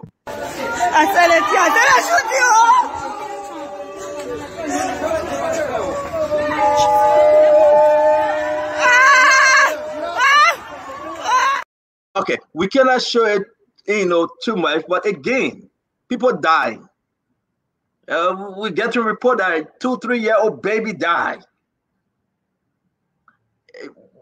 We understand that for this same reason, the people of Grand Cape Mount removed the three representative, brought a new representative. Remove one of the senator that was on the that was on the ballot. Brought in Dabah. Waiting to remove the next senator if possible if he doesn't perform well. The president is informed. The people overwhelmingly voted for President Boakai. You were there, you were fighting, you were not stranger to this thing. Ambassador, with 27 days, man, you think we forgot the people of Grand Cape, man? You think we have turned our back on them? We couldn't prevent these things from happening? No, uh, no, I don't think you forgot Cape Mount. You see, again, like you said, we had a, a long period, I mean, a couple of months now to you know, put our act together. For some reason, things have stalled, and that has caused some embarrassment because you didn't have the full government, you know, to have hands-on to address these issues. But be as it may, it has happened today. Um, the reaction to that, again, I can't speak with absolute certainty because I don't have all the facts before me. But to have some people die during this thing is is something that we all have to regret and nobody can can justify it. I mean, there there has to be a way to first start meeting with the leadership of these people and then approach to solving this problem. But like I, like I said, it complicated, it went out of hand, things happened. My sympathy to the people of Cape Mount. I know this thing. I've seen it in Maryland over and over. And when I said that it is the accumulated effect of neglect of government, especially the past government, since we are just into this government, I'm not trying to shift blame. I'm the person who never shift blame. I don't. I take off from where we are and we move forward. You're here now, you solve the problem. I never shift blame. During my time, it was our unity party government, and we failed to mediate effectively in these issues. People had to take the law into their hands. And when the government doesn't interfere and uh, intervene properly, politicians take advantage of this. And that's why we call plantation politics. They play with it and they come and showcase that they're there. We have a case in Maryland. Someone who was masquerading, oh, the government has to go, this, this uh, uh, CRC has to go, it has to go. When the CDC came to power that he was part of, never spoke one day against it. All of the people complains, they remain mute. Even to the point they had the highest, one of the highest officers, never spoke one day. It's all politics. Government has to be proactive. We, Unity Party government, Ellen Joseph Sirleaf government, my time, I complained that they were not proactive in listening to the requests and complaints of the people, the workers, the, the, the villagers. The companies are not there to solve these problems. It's government that need to solve these problems. Workers need to lay their complaint, and government needs to go in there and solve the problem and protect the citizens, protect the workers, and protect the investors. If they don't do that and it reaches an explosion point, then the people will take the law in their hands. And when that happens, this is what you see. So this is lessons learned. This government will have to be proactive and assertive. They will have to move in when the citizens complain, when the workers complain, when the company complain. People, the government will have to move in and solve it. If you don't solve it, you can expect a whole lot more of these things to happen throughout the country. Allow me to ask my last question, and Dwalu can come in. Uh, it's very important for me to do this. Uh, you're talking about government being proactive. You almost said walk the same walk. We talk the same talk. I saw you in Maryland in the mud. You were walking, you got stuck. I saw you, you had to go through Coast to come by way, uh, you know, through the border to enter into your own country because of bad roads. I, we, we, we know who you are. Mm-hmm. We know how you're fighting for the people of Liberia, but let's just call spade a spade. They have now opened another investigation that, well, we are sending team, we this government will investigate. The last investigation, you talk about being proactive, and when I hold my government responsible, that listen, folks, let's listen to what the president said, and I will ask you my question. The issue raised by the armed forces wives affect all sectors of our population throughout the country. We inherited these problems as we have been in office for barely 21 days only. The problems take on graver connotations when it comes to the military. The men and women in arms put their lives on line to defend uh, and protect us. We must be extra sensitive to their plight. The Army is our collective national pride, and we must preserve its dignity. I have therefore appointed a special independent investigator to probe into these grievances and report to me within two weeks. My question to you, Ambassador the first investigation is but 17 days and counting. The Liberian people still waiting for the comprehensive report. My, my listen, let me fair with our fellow Liberians. We understand the government just took over, but 17 days. The president gave them two weeks. The issue you can go around the country. Another investigation will open again. You, think it's about time that these investigation, every time the president speak, every time you have a meeting like today, open another investigation called emergency cabinet meeting.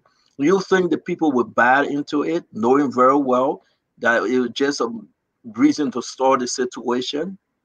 You think the people should bat into it, ambassador, knowing very well this thing will just hit rock bottom and there will be nothing coming out of it?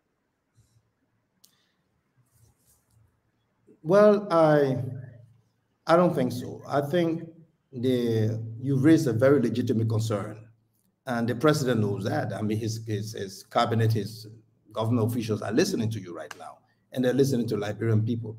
They are answerable to the people. You know, today is not like yesterday. This is the age of social media. This is the age today that you have an explosion of media network. This is the age of Stanton Witherspoon and his, his group. It's not like before. It can be business as usual.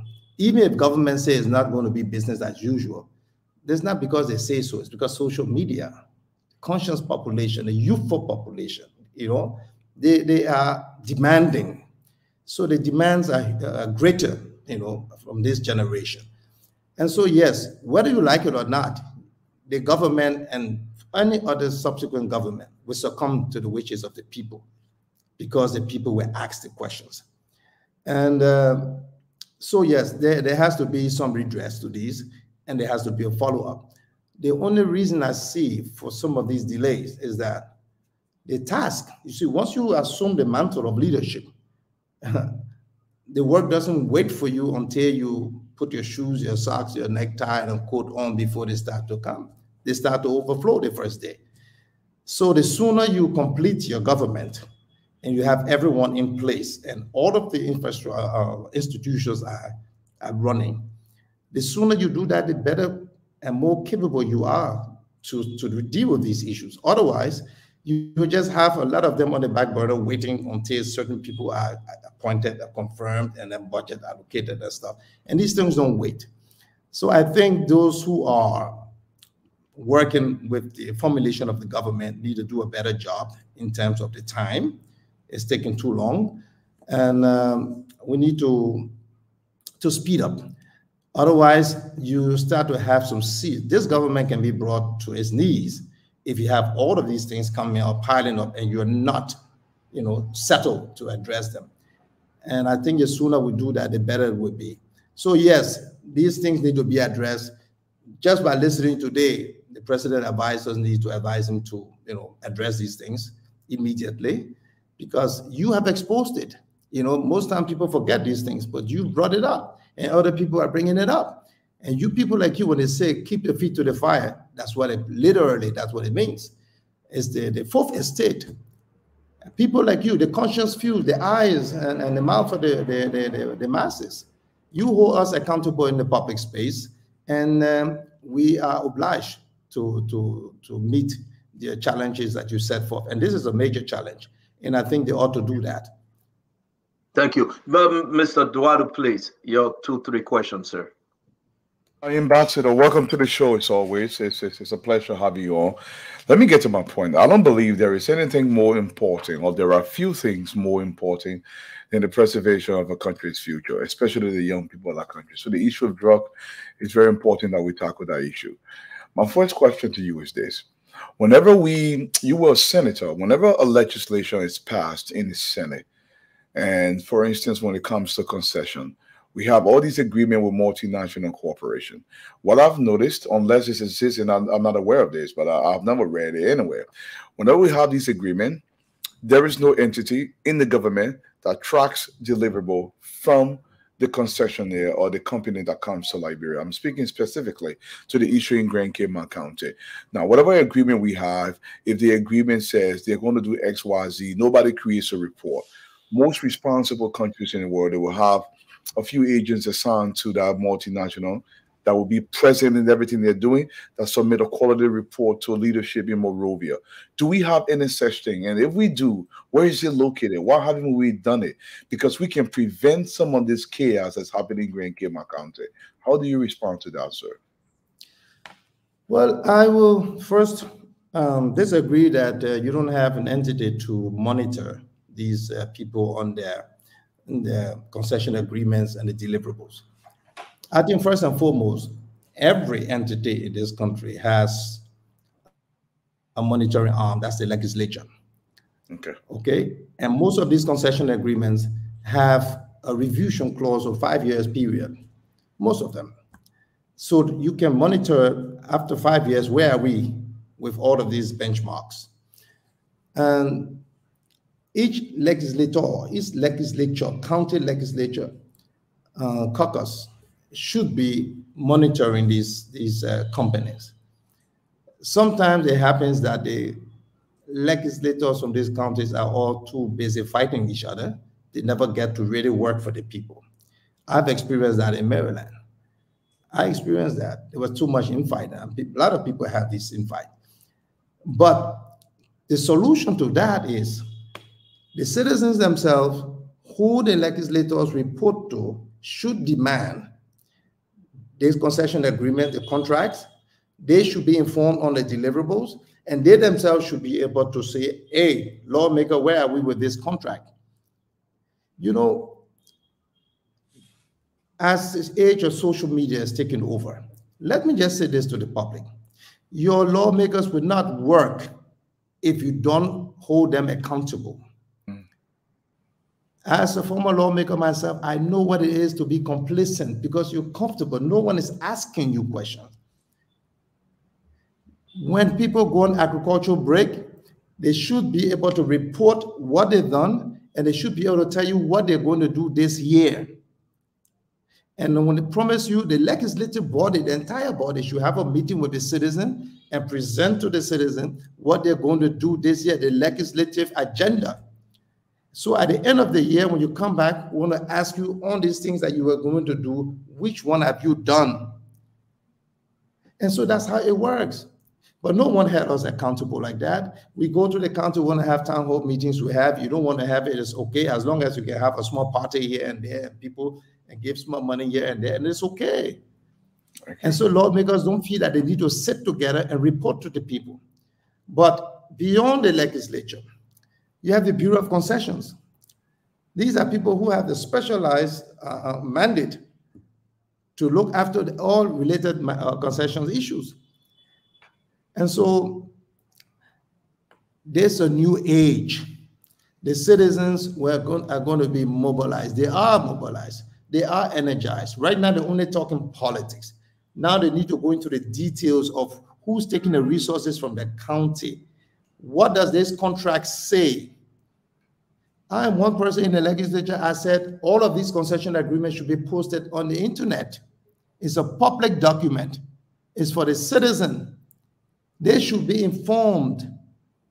When I was in the Senate, when we were trying to give out the CRC rubber plantation, I printed the concession agreement. I made four copies. I gave them to the mayor of Pleebo and I asked him to paste it on the wall of Pleebo. I gave to the tribal people and the youth and have everyone to have a copy. And I told them to read it, and I was and I went back to find out from them what was their feedback.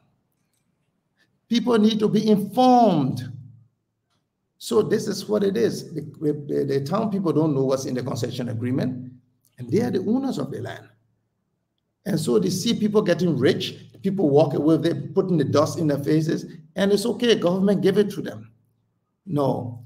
There's a new day and things need to change. The more conscientized our people are, the more accountable we will be held. And the more accountable we will be held, the more performant we will be. I, I, I agree with you, Senator. Um, uh, Fatima Sarleef, welcome to the show, Mama. I agree with you um, to some extent, but I'm going to say this. It is true we do have these agencies set up. They should be regulating these operations, especially these concessions. But I know they are not regulated there because we can see the implementation. But let me ask my second question. And this actually comes from one of the, the, the listener here, which is Bill Carson. I believe the DEA is cash strapped. They don't have the money to run the operation. AB Kromah came, and Director Kromah came into the studio and mentioned that. Do you think it's a great idea? And I believe it's a great idea to confiscate some of the properties of these drug dealers if it's proven through the court of law, auction them off, and use the money to fight drugs in this country? Absolutely. I think that's even in the drug law. But that's the way to go. Okay. You confiscate everything and you lock them up. You know?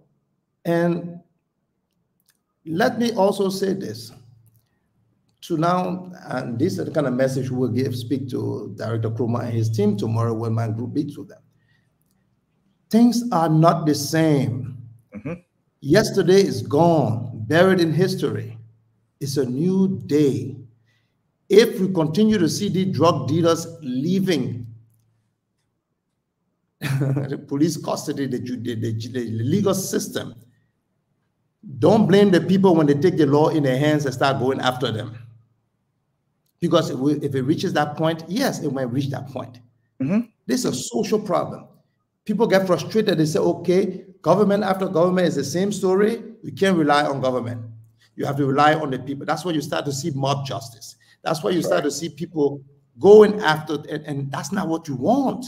Correct. This happens in other countries, by the way, if you don't know. Let it not happen here. You're given a responsibility, you're given a task. We have to ensure that those mothers who see their children walking like zombies and disappear from the home and hear that they are dead and buried and they didn't know where they are, parents who see their children around like that, families broken, kids who see their friends dying like that, people who were smart, university graduates who are now eating from the streets.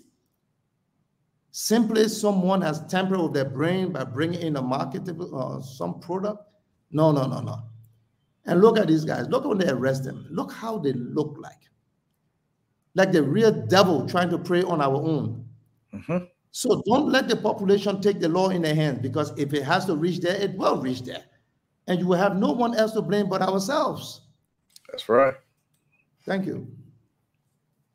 Well, Thank thank you. you very much, uh, Mr. Duado. Thank you again. We'll also be uh, bringing in uh, Senator Francis Dupo to add to this conversation for tonight. This is a big show today.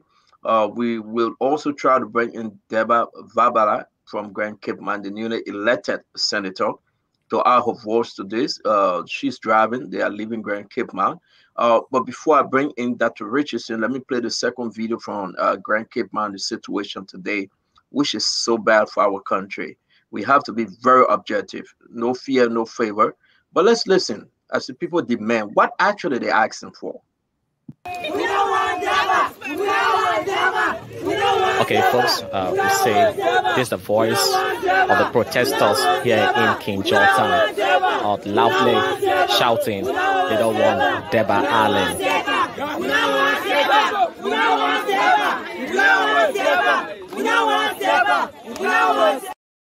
Okay, so eh, as you see, we don't want Deba. Okay, they are talking about Deba Allen, this gentleman. Uh, Dr. Richardson, please take over. I have to answer the senator very quick, please. I think it was my turn to ask uh, Senator Ballout, Ambassador Ballout, I'm sorry, a question. So, Ambassador, my question to you is uh, some of our security members were sent to Cape Mount and uh, to secure, you know, the riot or protest that was going on. As I listen to you, you seem to have a good understanding of social complex problems when you have humans working in a mining system there's bound to be these kind of uh, riots there's bound to be uh, unhappiness uh, you know, as compared to working to a smaller system, you know, like you have like, you know, Orange or what they have electronics, you know, and they have just an office of four men. How is it that this government didn't seem to be prepared for this protest? Do you have any thoughts about that? Like why why is it that we have to go result to shooting? I, am sorry to interrupt you, Dr. Richardson, and uh, to our guest, Ambassador Ballout. I have the uh, Senator, uh, Deborah Varpilah, on, yeah. on the phone. She's driving. They're all leaving Grand Cape now. So allow us to hear from her, and we'll continue with uh, uh, uh, former Senator John Ballout. Uh, Senator Varpilah, welcome to Spoon Talk. Thank you very much, and good evening to all of you. Thank you. The conversation today, as you know, we are here. Our guest for today is Ambassador John Ballout Jr. and the rest of the team. Uh, we will be speaking to Francis Dopo and other folks from Grand Cape Mount. We are showing uh, videos. We are we have pictures. Very bad. People died today. I mean, that's your county now. One of the two senators you are. What's going on? Can you update the nation tonight, ma'am? Thank you. Yes, it has been a really hectic two days for us in Cape Mount, and everything has to do with the operation of the Bea Mountain in Cape Mount, in King George, and the Matambo corridor. Beginning two days ago in the Matambo area, the people started a protest, but before then, about three weeks ago, they called also a community meeting in, in Bangoma, a town called Bangoma, that is supposed to be relocated to allow Bea Mountain to mine in the original town. They have several issues. Among them was their relocation site, which they consider very small area, 60 acre that wouldn't allow them space enough to do their farming and to also have graveyard and all of that. So we decided to intervene in that as a caucus. We had several meetings. We had meeting with the Bea Mountain representative. And we came to a point where the people said they didn't want the new place.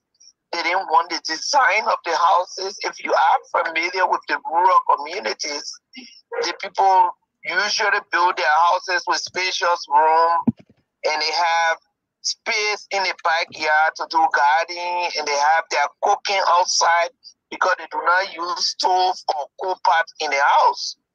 But the new structures that they are constructing for them, which they said the community endorsed the design, the bathroom spacing a small, the kitchen very tight, small porches. So they complain about those. When we had a discussion and the company representative said this was what was agreed, so they had difficulty in relocating it. So we're still in that negotiation with them, but we agreed at the first discussion that they were going to stop the construction work where it was until we conclude the negotiation with the company and the community people. However, they continuously call on us as leaders that regardless of what we arrive at that day, in spite of the decision, they were still building these, these, these houses and that they didn't want them, they didn't want to live in them. And we kept holding them down until we can have a discussion. On on day before yesterday, we got a report that there was a protest there.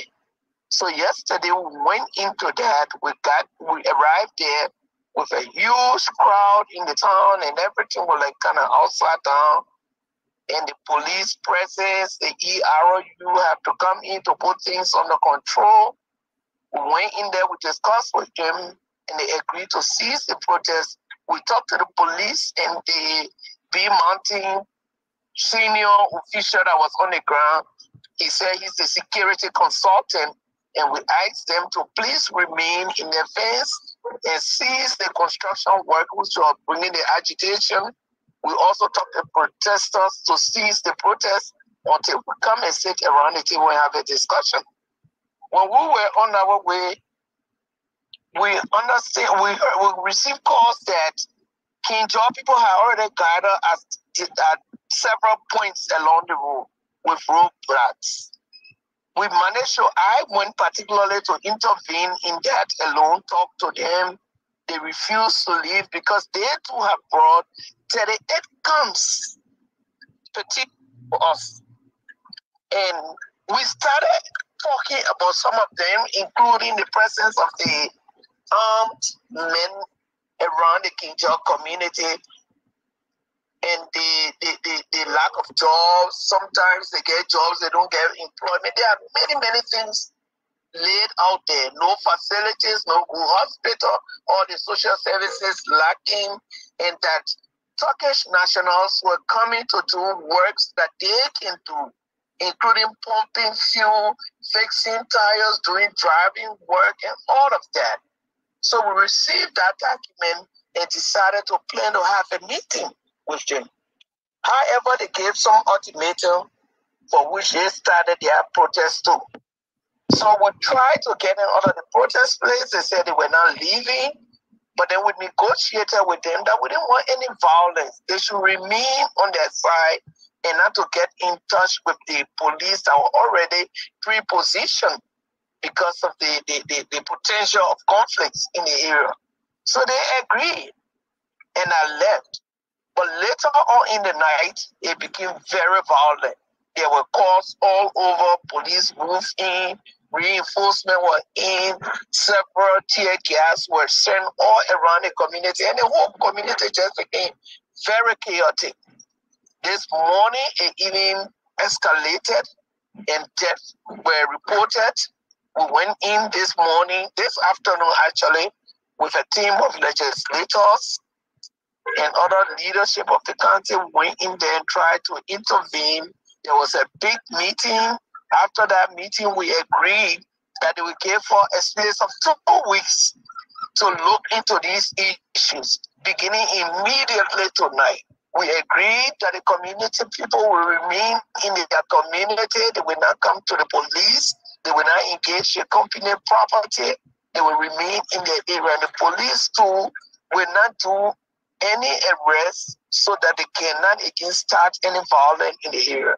So those things were agreed upon tonight.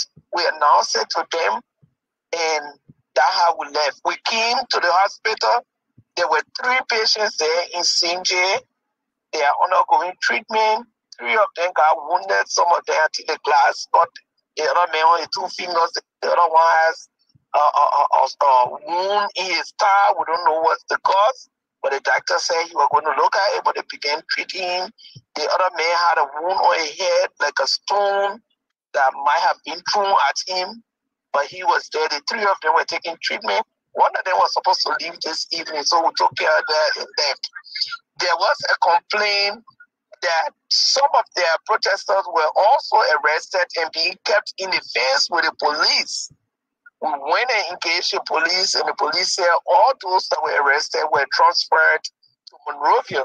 And there were wounded individuals, including the police and civilians. All of them have been transferred to JFK. So we agreed tonight that upon arrival, we're going to go to accepting those, those, that came either at the police station in zone 6 or those that were sent to the hospital. We just left zone 6 and we identified the six persons that came from King George. They are there along with about 17 persons from Bangoma in. So zone 6 is crowded with Kipantinians who were involved in the protest. Tomorrow we intend to move to JFK Hospital to identify those that got wounded and are admitted there. We were able to see one dead body in the town hall, and then we arranged that our body be brought to Monrovia to a funeral home while we do the investigation, get to get to the family and sit and arrange for funerals. So so far so good. There is calm tonight in King There is also calm in Bangoma. But there's a need that we as leaders move quickly along with the company and all of the connected agencies to look to this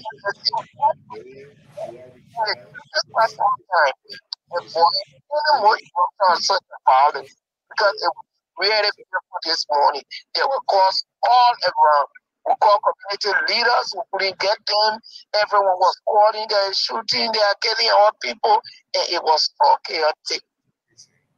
Senator, Senator, thank you very much. As you know, we are here. Our guest is the former Senator John Ballout Jr. But allow us to ask question, and I think uh, Senator Ballout will make a comment. I know you are in the vehicle driving you into Monrovia, but please allow us, man. My first question: Can you confirm the amount of the, the, the number of deaths? How many people died so far?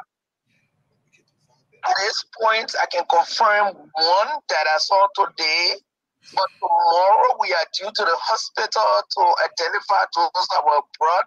The police could not speak to whether they are still alive or they are dead because they were brought as wounded people to JFK.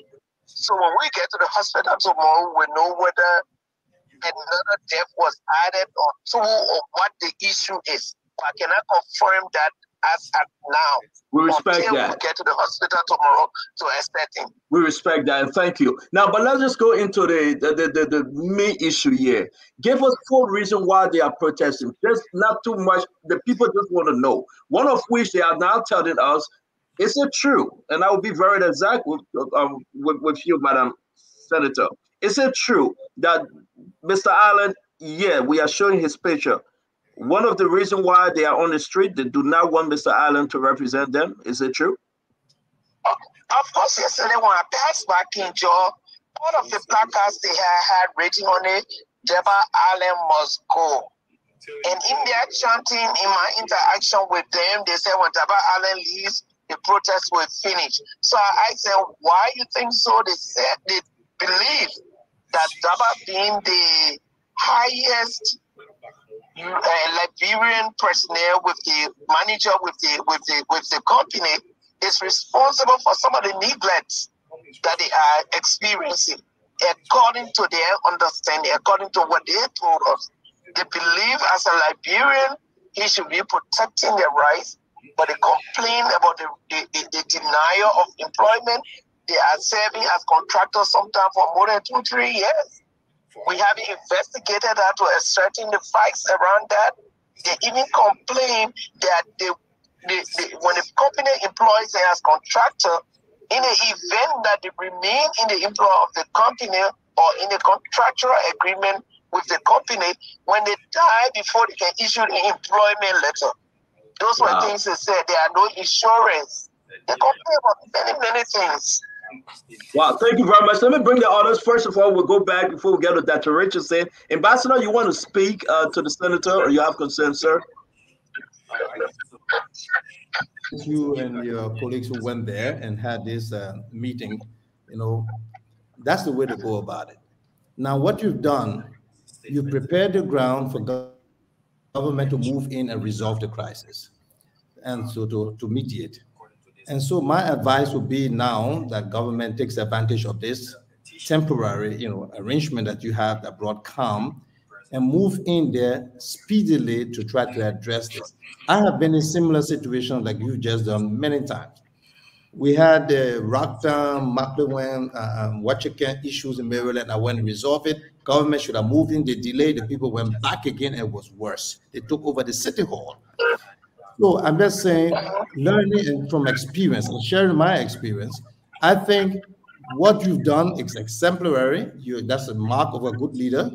Now, government needs to move in. You need to insist that the government, with this tax force now, this is, I must also admit that uh, that the tax force that the government has set up with these ministers involved, moving in is pretty much timely and it's in the right direction. Let them seize this opportunity and start working first thing tomorrow and keep the population informed on the progress made. Sometimes when these people are quiet, granted, you think it's forgotten. And people don't hear from the people in the villages are different from the people in the city. They trust you, they want to be informed, they want to know that they're not forgotten. If you give them any reason to not trust you, to regain that trust is difficult. So I think right now it's good. I mean, I'll congratulate the senator and the leaders who moved in. And the demands these people are making, typical demands for all concession areas. Jobs, jobs that they can do, others are bringing people from outside, better incentives, better conditions. These things are like that. And sometimes when we look into these concession agreements and look into the way these people operate, there are a lot of room for improvement. Now, we encourage government look there to see how there can be an improvement on the livelihood of the citizens, because after all, they are the ones we are here for. Thank you. Uh, thank you, Ambassador Dr. Richardson, Mr. Eduardo Conagre. Thank you very much. Let me quickly say that one thing we did in order for them to be informed from the very get go is to if we invited five, I think Yes, ma'am. Senator? the police, whom the police, yes, how I'm here. Yeah, go ahead, man, please. Hello? Yes, ma'am, go ahead. Okay. So we invited we invited the protest the, the protest leaders about four of them to come to Monrovia tomorrow and go to the police station to make sure that the six persons that they were insisting that the police are in custody are in Monrovia at the prison, which we have just confirmed. So they will be here tomorrow. They will also be here to go and identify the two persons that are at the hospital at the JFK. So those are things that we arrange. We'll be working with them. The team that went was very magnanimous, and I mean, everybody was involved. Everybody was committed. The team from the lower house joining the senators. We all work with them to make sure that they understood exactly where we stood, and we advise them against violence because if we escalate to, into anything that we even heard them as they have already done today, by losing some of their compatriots. Thank you. Let's bring in Dr. Richardson Dwalu. I, I know you are very busy, your phone calls coming in, but please allow us to ask at least one question each, man. Dr. Richardson? Yeah, uh, Senator Varpilah, my senator from Cape Mount, I want to tell you thank you so much for your intervention, although the crisis is still unfolding. Um, my question to you is based on your preliminary assessment of the situation, do you think that the people are right to call for the resignation of Deborah Allen? Uh, based on everything that I've seen, he seems to have violated, uh, uh, you know, the rights of the people. And if you are going to call for his resignation, I agree with uh, Ambassador Ballout that it should be clear cut. It should be a letter writ, uh, written to the executives. Uh, it should be a public announcement. It shouldn't be something that's in a secret because I know as a legislator, you have to investigate things. You got to call for legislature, legislature investigations. You don't have that kind of time. It's an urgent situation. So, what do you think? Do you think that people are right to call for uh, just preliminary assessment? I know you can't. You're a politician. You can't come in and tell me say, "Oh, yes, I agree" or not. But your preliminary assessment is Deborah Allen acting uh, in the right frame of mind for the people? Well, like I said, this require a deeper understanding of the issues. Even though Deborah Allen name is ahead of all of the all of what is going on currently, but there's a need for the government, including ourselves, to understand the MDA. What are the things in there protected for Liberian workers, but for even the communities? We need to understand those things. We need to understand the relationship with Deborah Allen to this company whether it's, it's, it's, it's a relationship or an employment relationship that the government has a voice over that we can just say, okay, government, please record Deborah Allen, or whether you are employed privately or whether his role, he is actually delivering his, the role for which he was he was employed. That part I haven't understood it very well, and I think the investigation over the next few days or weeks will provide that information to us because Deborah Allen, as an employee of the company, should not unilaterally be taking decision denying our people of their rights. If that is the case, the company itself should know that they operate in a country to make profit. And we also have the minerals, we have the minerals so that when you operate and mine our minerals, we should have a benefit through the jobs, through social services, do whatever that will be left here so that tomorrow, when the minerals are depleted, the people can look back and say, We had minerals here.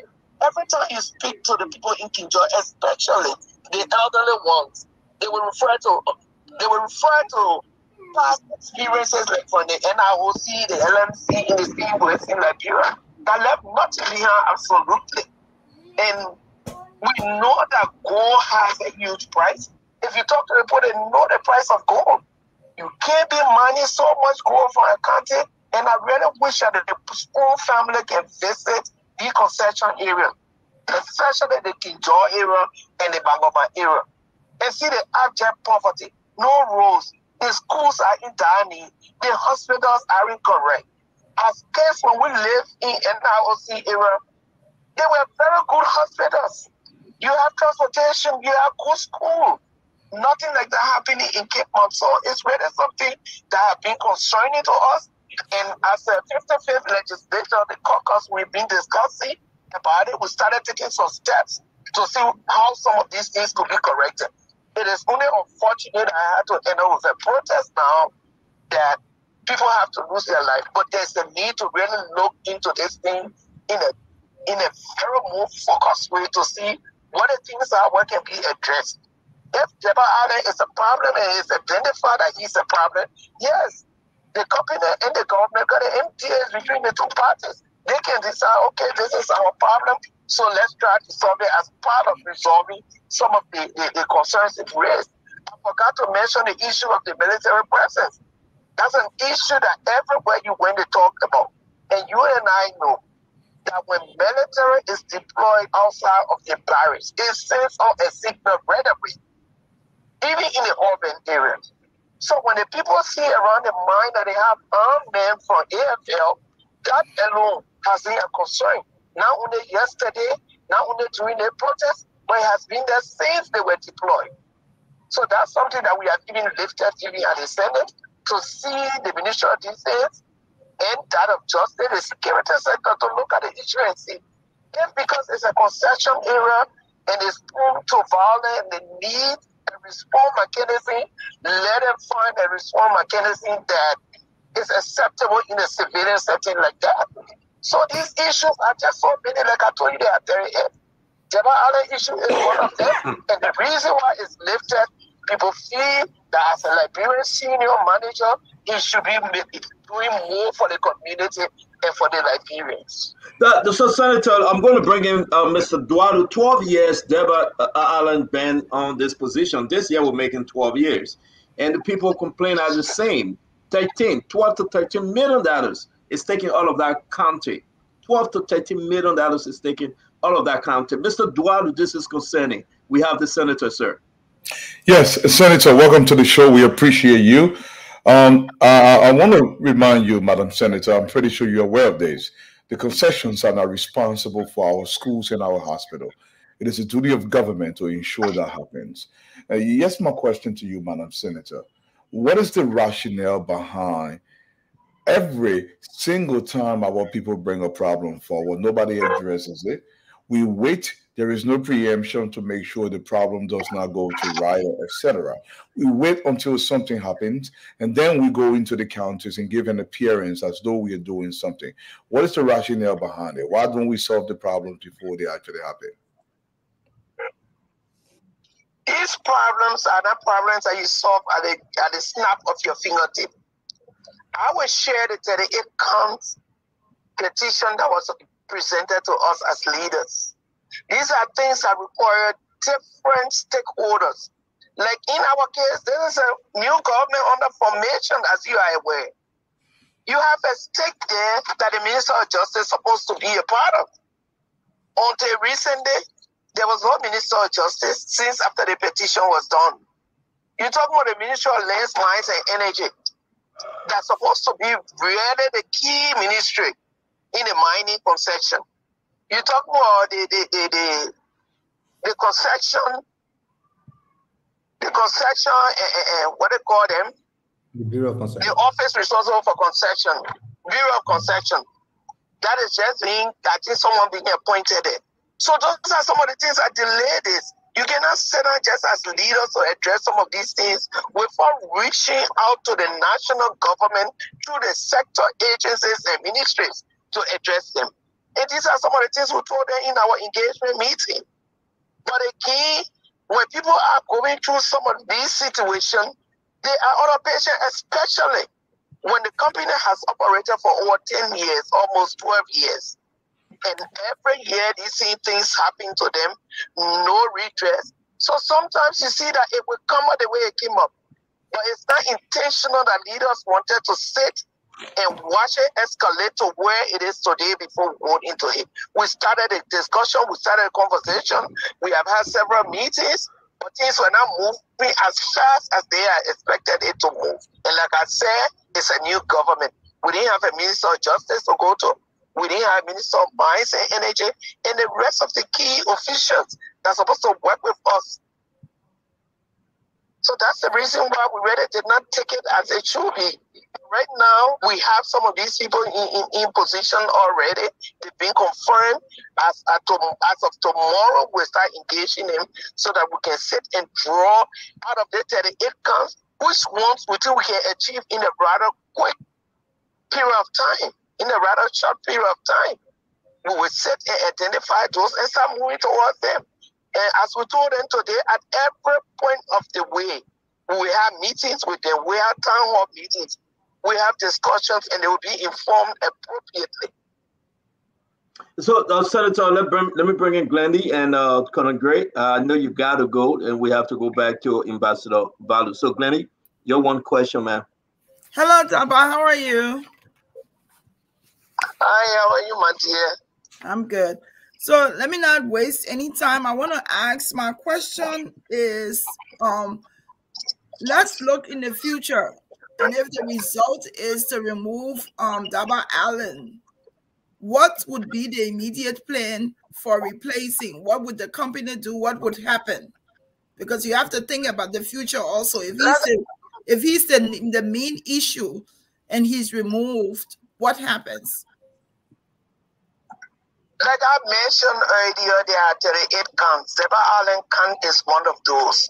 It, it needs to be determined through discussion with a company, whether it's in a company company's sole purview to, to appoint someone to that position, or whether they share that right or responsibility with the government, then we'll understand that.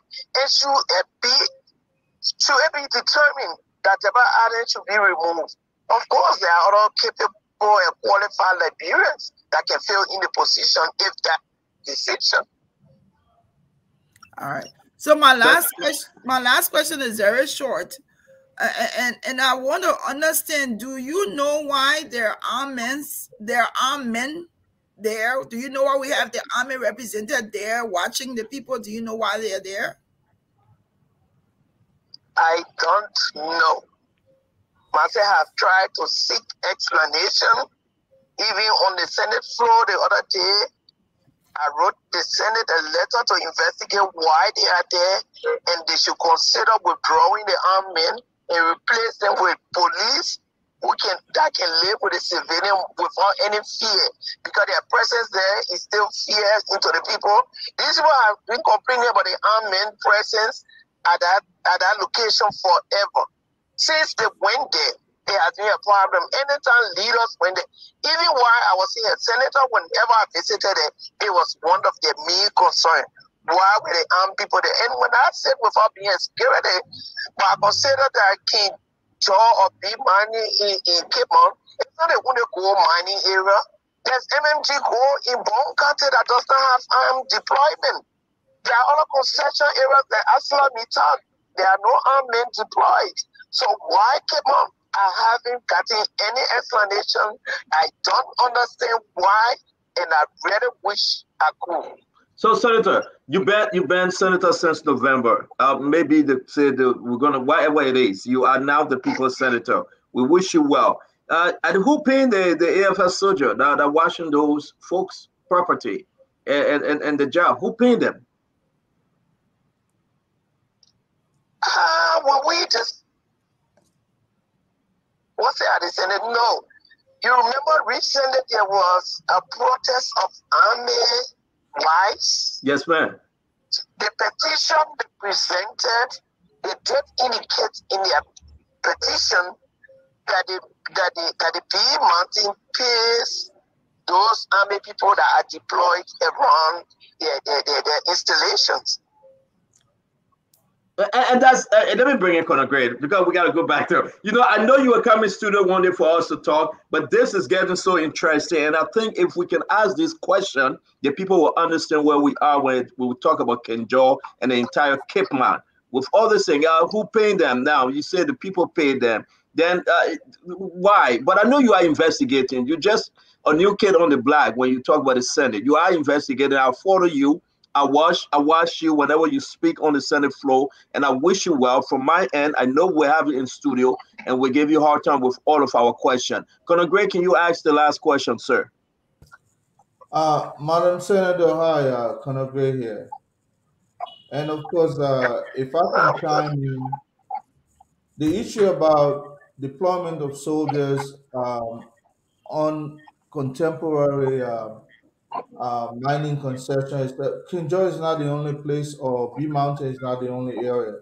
One of the reasons why the leadership were rejected so vehemently, the leadership of the AFL, was because of these kinds of uh, on unnecessary um, actions that were that were being carried out by the former leadership, and the people are determined. And those uh, issues were raised up, as you said rightly, uh, in some of their petition. Look around, do an investigation. There are so many of these kinds of operations set up by uh, the former defense minister and his uh, chief of staff. But that's not the issue. I continue to hear you kicking the can down the road. Um, I would have um, established as a senator, matter of fact, that would have formed part of my campaign um, exercise that I was going to um, take care of some of these concessions uh, and concessioneering um, problem. We we need to be proactive. Didn't sound like uh, we were proactive at this. Uh, Ambassador Ballout spoke well. We were not proactive, and it seems as though we're still finding ways to say we will engage. It, it should be Mountain is not the only um only concession that that that, that, that with this problem. There's so many other other concessions within the Western cluster in that area that ha- that with, with similar problem. But we will wait, as my brother Dwalu said, something has to happen before we can act. We are reactive as opposed to proactive. And I'm not hearing sounding proactive at all. You're sounding more reactive. Have you had any um, any um, stakeholder meeting for which um, some of these issues would be addressed? I know you spoke of that. Yes, as I said three weeks ago, we met in a town hall meeting in Bangoban where the relocation issue is, where the protests began. We were there and we decided to elevate the meeting to Monrovia. A representation of the community came to Monrovia and we met with a representation of the company. But we did not arrive at an agreement and we're still mm-hmm. trying to consult and discuss and have meetings even the day the protest started in, in, in the Bagoma, the leadership of the town was in Monrovia meeting with, with, with, with legislators from the county. So we have been engaging them. But probably, like I mentioned earlier, we're not at the pace that the people expected. Again, we have to know that this is not a one-man thing. It has a whole lot of stakeholders, connecting agencies that are supposed to be involved there's a legal document between the government and the company, the MDA. So it's not as something that is just a little arrangement between two persons that you can just go and resolve it. So, so you have to go so far, and then you have to consult, and then you have to make sure that you remain on the right path legality to it. It's a national agreement. It represents Liberia. So if you say we're not proactive, I would say we started it as a new law because we started as a new, the 55th legislator, we started engaging them. The caucus was completely involved. All five of us from Cape Mount. But the people ran out of patience because they have been there. It's a backlog. It's not only today. For those who have followed Cape Mount and Bea Mountain, there have been several protests. It's been protests even before our time. So because of this bad law, people must have grown all of patience. And they thought as new law, because or new new uh, uh, 55th legislator, we could just solve it over one week period. But I think from the onset of our leadership, from the time we took over, we've been having consultation with the lower house, the upper house, and looking at the big mountain issue to see how we can resolve it during our tenure. And we are determined to do that collectively. Thank you very much, Senator. I know you'll come in studio. I know, listen, we will have you. It's more than we think. A lot of folks are watching, they are listening to you all over in the country. We appreciate your time. Drive home safe, be safe, and we'll talk to you again. Thank you, ma'am. Thank you so much for having me. Good Yes. night. Good night, man. Uh, so there, there you have it, Ambassador. We're going to come back to you. And uh, I know Colonel Gray. Uh, before, bring the Ambassador in, Colonel Gray. Everything you have heard, bring in the Ambassador. Okay. Uh, Well, let me uh, throw uh, this in before Colonel Gray comes in. Let's just conclude on this. Uh, let's speak a little bit about the Army's presence there. Yes, sir. I mean, this is completely an abuse of the Army. Okay, the Army is used for external threats. Police are used for internal arrangements, unless in the case of state of emergency declared by the head of state, the president. Now, right now, you are having a series of complaints over the over the years, compiling up to the point that now there are 38 counts. And your solution is to have Bea Mountain give some big person in the government money so that they can arrange the military to protect them. And the military is there as an intimidating tactics, suppressing the people so that they are looking at it, oppressing. That those are oppressive tactics. So your complaints are there, but you have the military now, and we do anything will deal with you. This is a complete abuse of uh, lack of um, uh, abuse of the military and, and bad governance. I So these are the kind of- more, Ambassador. kind of tactics that they employ over the past. If you heard over the over a few years ago, people spoke of the military being used to mine in Grand Kru, the equipment of the military and all of that stuff. These things are wrong, and people take money from these big concessionaires who amass millions and billions of dollars, and then they sit down here and give somebody money that will protect them without addressing the issues of the people. So this is completely wrong, and uh, I hope you follow up on the the first thing the legislature has to do right now, or the president, is to make sure the military gets out of there and replaced by police. And, and that's my question, Ambassador. I'm sorry to interrupt you. That's what frustrating a lot of people. When you tell me, say, we're 27 days into this government, if the president can pick up the phone, Senator, and say, listen, AFL withdraw. Dabah Varpilah can make that request. She's a sitting senator, one of the sitting uh, uh, senator over there. We agree. People are saying that they have some of the equipment, the military equipment. What's so important to that spot that people are protecting these guys? That's what I'm asking. Who paying them? Mm-hmm. Liberians want to know how much they're getting from the company. How much AFL receive or have they been receiving from this company, Ambassador Biden, that they are still killing our fellow Liberians. That's So even illegal call- for them to to- pay to- the AFL. to call a meeting yet, to call a meeting yet, uh, pick up the phone. Now you get justice minister. Now you have the acting defense minister, but she was the deputy chief of staff. She is fully aware of this arrangement. That's why when the president called for an investigation I saw the demand of the army wives, we are counting the days, 17 days and counting, because something, something is smelling and we need to know what's smelling. But again, Ambassador, thank you. Uh, let, us have a good show. We'll be bringing in the rest of the guys for us to talk on this issue. Colonel Gray, your question. Welcome to the show, I said, though. Let's do the round of question. Let's hit Ambassador Ballout so high on national issue. Whenever he come on the show, I love to just beat him with question because we want to get into the, the, the deeper part of his mindset. Colonel Gray.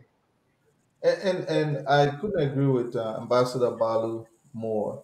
Uh, these are some of the the psychological uh, you know situations that led us to war, where the army wa- was um, deployed in, in various parts and carry on illegal uh, activity, including mining concessions. Uh, they were heavily present at uh, at Wiswa and other areas where mining were being conducted. And the same thing, fast forward um, in, in 2024, we're still having this experience. And and I want to I want to think that the army could use other soft targets to exercise, you know, peacetime activity. There is hunger in the country. Why not elevate an agriculture battalion and let the army spearhead that? Why not take the road construction that we so badly need from market to farm road and elevate an engineering battalion or unit? Let the army be helping with that, as opposed Medical, to uh, as opposed to going to go kick people, uh, you know, behind somewhere when they they're, they're legally involved in uh in, in protest. I mean, concessions should be able to cater to the locals. They have community re, uh, re, reenactment or re-engagement um, um, act where concessions come in. They help the life of the people. That's that's just part of it, you know. Uh, but Ambassador Ballout, uh, I'm not too impressed with um, the Minister of State for Presidential Affairs. I think uh, he's hurting the government so early. What's your opinion about that? I'm talking about Ambassador Grigsby. I don't like the way he's, he's, he's, uh, you know, progressing. I think uh, there are too many personal um, in, in initiative that he's pushing as as as the Minister of State. What's your opinion about that? Well, I don't want to go into details that I don't have before me. However, I feel obliged, uh, maybe in response to what you're saying, especially with the formulation of the government and those appointed. I think it's time that we start to hear names of people from the Southeast. You know, I think it's getting embarrassing that uh, we are receiving calls every day uh, Senator, what's going on? What's going on? We're not hearing names from the southeast. We're not hearing. Yeah, there are a few names called, but the scale by which the others are being called, I mean, it's like ten to one, probably twenty to one. So you see, my my thing is, people like us, throughout the campaign, we spoke to our people, me and many others, and they listened to us and followed those numbers that we were able to gather. And so they still look up to us for direction and uh, what's happening to, to us. So I think it's about time, um, in all frankness and all uh, fairness, that the guys from the southeast are mentioned in the government also, that their, names are coming up. I know there is an inner circle with the nomination process, and president has the right to work with who he feels comfortable with, that's his prerogative and within the structural arrangement that exists around the presidency. But like I said, my my own take when it comes to this is I think it's time that you help us to make our face look good before our people, and let's hear some names from the southeast. I mean, we, we don't want to see, I mean, what uh, the last government was doing, having the ratio 20 to 1 in favor of Grand Kru and South Easterners and against people from there. That's why we fought it. That's why we from the Southeast went against it. We don't want to have a reverse role on that situation. So I think without I mean, saying much, except you have more specifics on what you want to speak about, in terms of the formulation of the government, I just think it's about time we start to hear names from the Southeast. That's all. You know, before I push the Thank you. can, uh, before I push the gavel over, uh, Ambassador, um, what we are hearing in terms of intelligence is that the president will make certain appointments, and these appointments are, are surcharged, they are changed at um, just before announcement. And these are credible reports we're getting. And, and that, that initiative of, of surcharging the, the appointment is, is spearheaded by Ambassador Grigsby. So, uh, because if you look at some of the individuals, they have personal ties to him. So that's the, the, the range in which I was asking that question. But I'll, I'll, I'll let somebody else. Uh, We're gonna allow the, we're gonna allow Ambassador about to speak on it uh, before we move on. No, I mean, you see, it's like you have an elephant meat. You caught an elephant, and you caught it. You killed the elephant. So you're in a town, and you think you're going to, you know, butcher the elephant and, and, and manage it. No, it's going to get rotten. You have to call the entire town to help you butcher the elephant. So there has to be a more structural approach towards this this all delegate exercise. And one institution that plays a pivotal role, very strategic role, is the Unity Party itself. So I think a structural arrangement that incorporates the party in the leadership role of that vetting process and things like that would have sped up the process, you know, in a faster way. And some of the problems we have is because we still haven't completed the government yet. Because the process is going kind of slow because it's just a select few who's trying to overly handle everything. Uh, the president is overwhelmed. Um, I can understand his, his line. I had a meeting with him. I saw uh, how overwhelmed he was. I mean, one or two persons cannot have this exercise in their control. It has to be in normal political practices. The political party, the unity party, has to be in the driver's seat with surrounding, supporting uh, uh members to help in the vetting process so as to speed it up because it's a huge task. A few hand, a handful of persons can do that. So I think it's time to revisit the strategy and have it more inclusive, especially with the party playing a very important role. Yeah, you, you see, Dr. Richardson, can you come in? I, I don't want to, I'm not ready. I, I know my take on this one, but Dr. Richardson, please, Glendy and, and then Isaac. Ambassador, I had a visceral reaction when I heard Senator Varpilah say that the people were asking for housing transfer to this other place to be halt, halted. Uh, but somebody overruled and said that they should go ahead and transfer the people over to a housing situation that wasn't consistent to what they were used to. You know, the backyard, because room space, um, and I, I, am wondering, do you think that there's a sense of indecisiveness in leadership for the people who are supposed to make the decision for the people of Cape Mount? Well, again, this the Cape Mountain is. It's a typical concession plantation thing. It's a typical thing. It's, I mean, you just change Bea Mountain, you put CRC, you have the same story.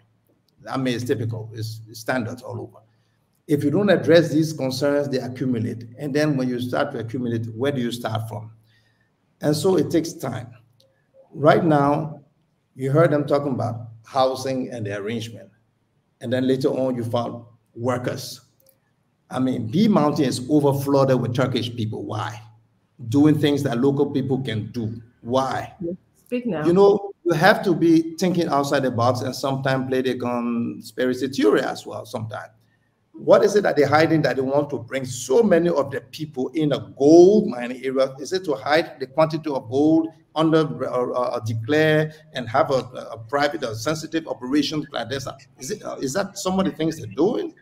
That you have people to do petty jobs that Liberians can do? We should not have even reached to that level. So there's a lot of things. It's a holistic approach in dealing with it. The first step, hey, settle with people and uh, tell them we agree with what we, we understand your case, we're going to deal with it, we'll take step by step. And as long as you're communicating, they will follow you.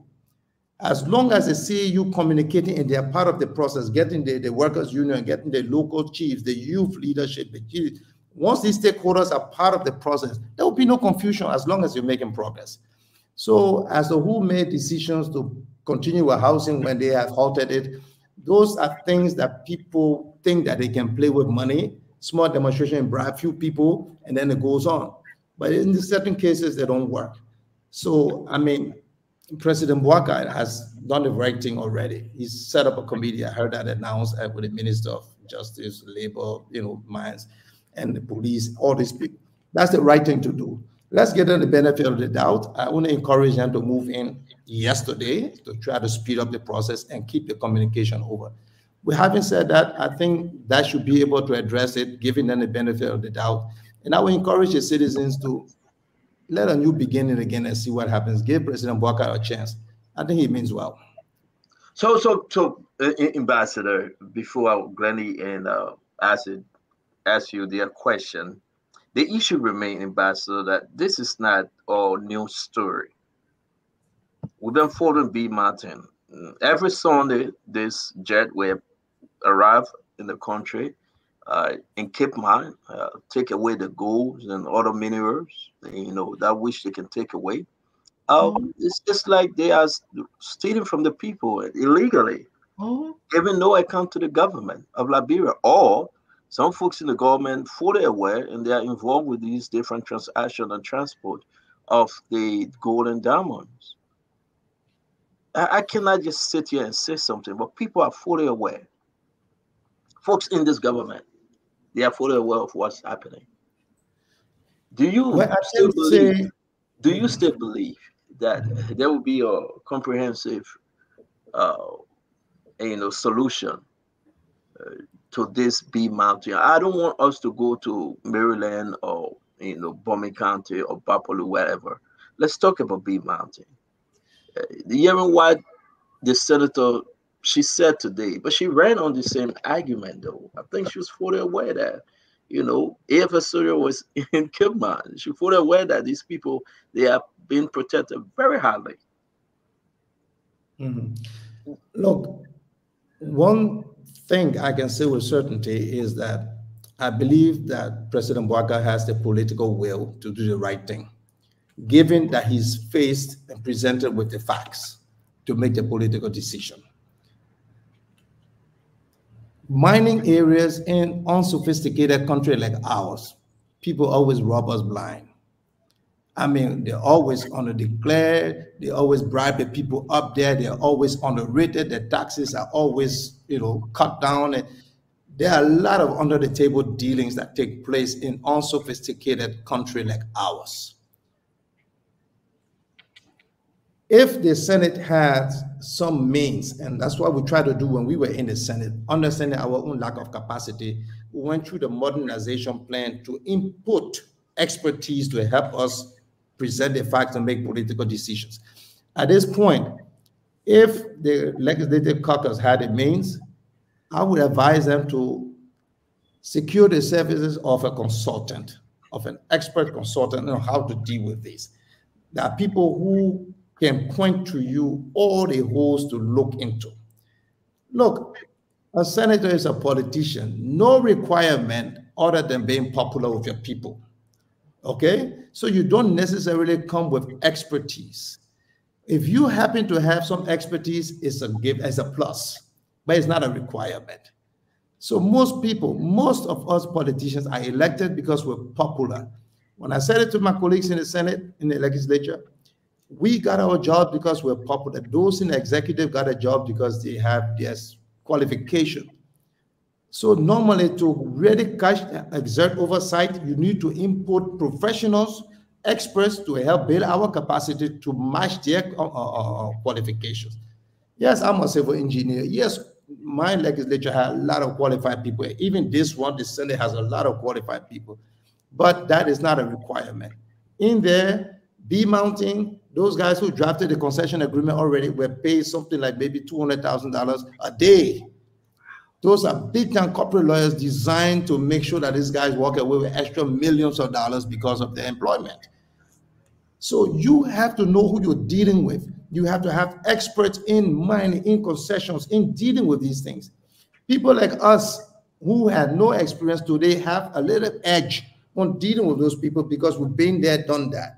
She is a very willing leader, willing to do the thing without prior experience in dealing with this kind of situation.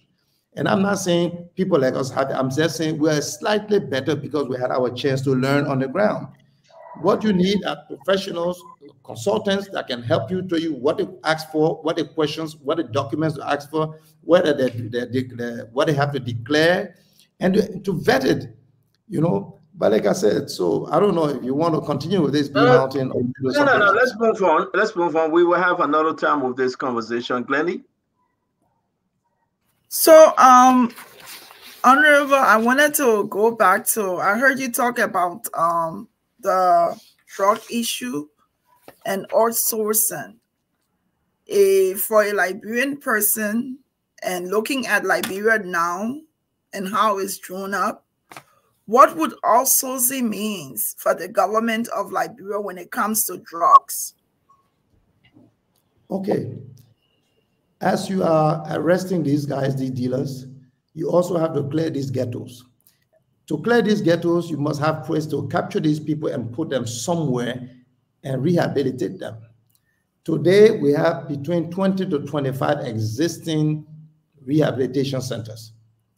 Without support, underfunded, they are just barely doing things. Some of those are back church yard, some of them are compound, some of them are fenced in, some are not. But they are successfully dealing with these issues. What we need to do, solutions like yesterday, put in the budget some budgetary support to these people, help build a capacity. Those are doing where they don't have a fence, put a fence while we're building government multi-million dollar gigantic rehabilitation center. You need a solution today and you need it yesterday. So, I mean, that's the fast way. And there are some very big institutions, like I said, the Catholic Church. The Catholic Church has the, the, the administrative capacity to handle these things because they've done it a million times, like men say in Liberia. The Methodist Church, like the Catholic Church, they have hospitals, they have schools, they have clinics. The Episcopal Church have hospitals, they have schools, they have clinics. I mean, these are people who have been there. They are willing to work. Let's have meetings with them and ask them if they too can take charge of these rehabilitation centers.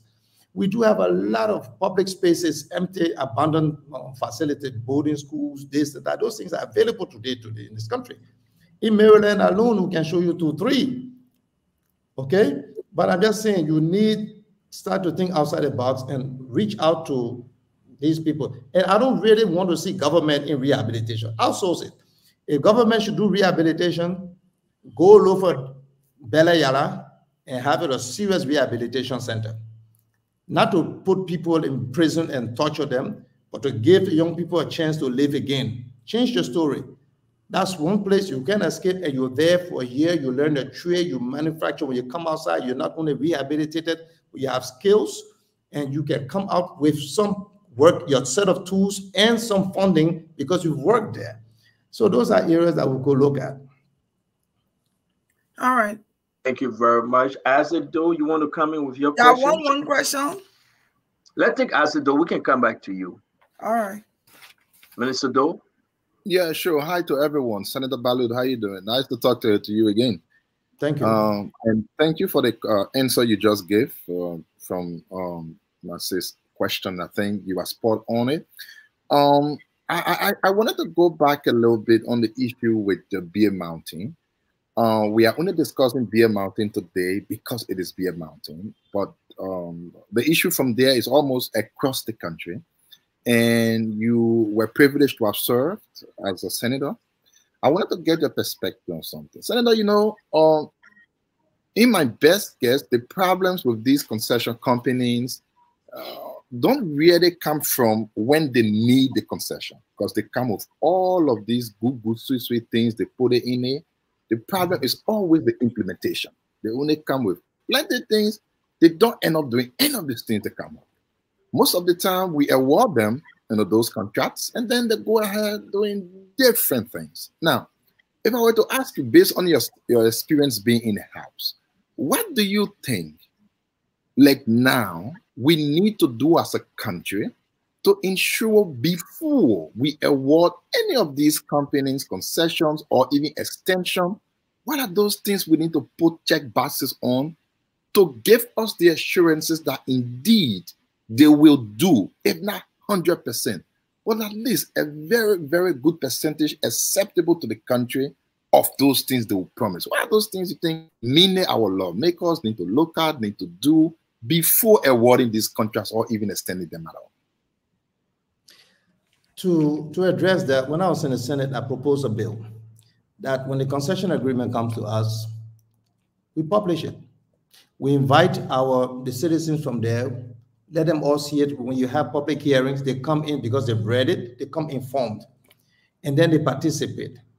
Because every county has its fair share of professional lawyers, accountants, and people who love their county who want to make sure that the best thing goes to the county. So you get them chance. Most times when we have these public hearings, people come there, they don't know what's in the concession agreement. They don't come prepared. So they don't know what they're going to ask or you know defend. You're not going to read a, a two, three hundred page document and prepare by, like I said, two hundred thousand dollars a day con, uh, for consultant lawyers. So those are things that happen. But then again, to answer you precisely, it is always a good thing to have, starting from now, if we can. Each of these concession agreement must lay out all of the plans that they have, what they hope to achieve in year one, year two, year three, year four. So then we can monitor year one, the achievements in terms of the deliverables. If not, then we hold them accountable right there. We don't wait for five years and say, look, five years, you say, well, all this thing, 10 years now, nothing happened. No, year one. So we need to go into this thing. Lessons learned. I mean, no one is an expert here. We all learn on the ground. Okay.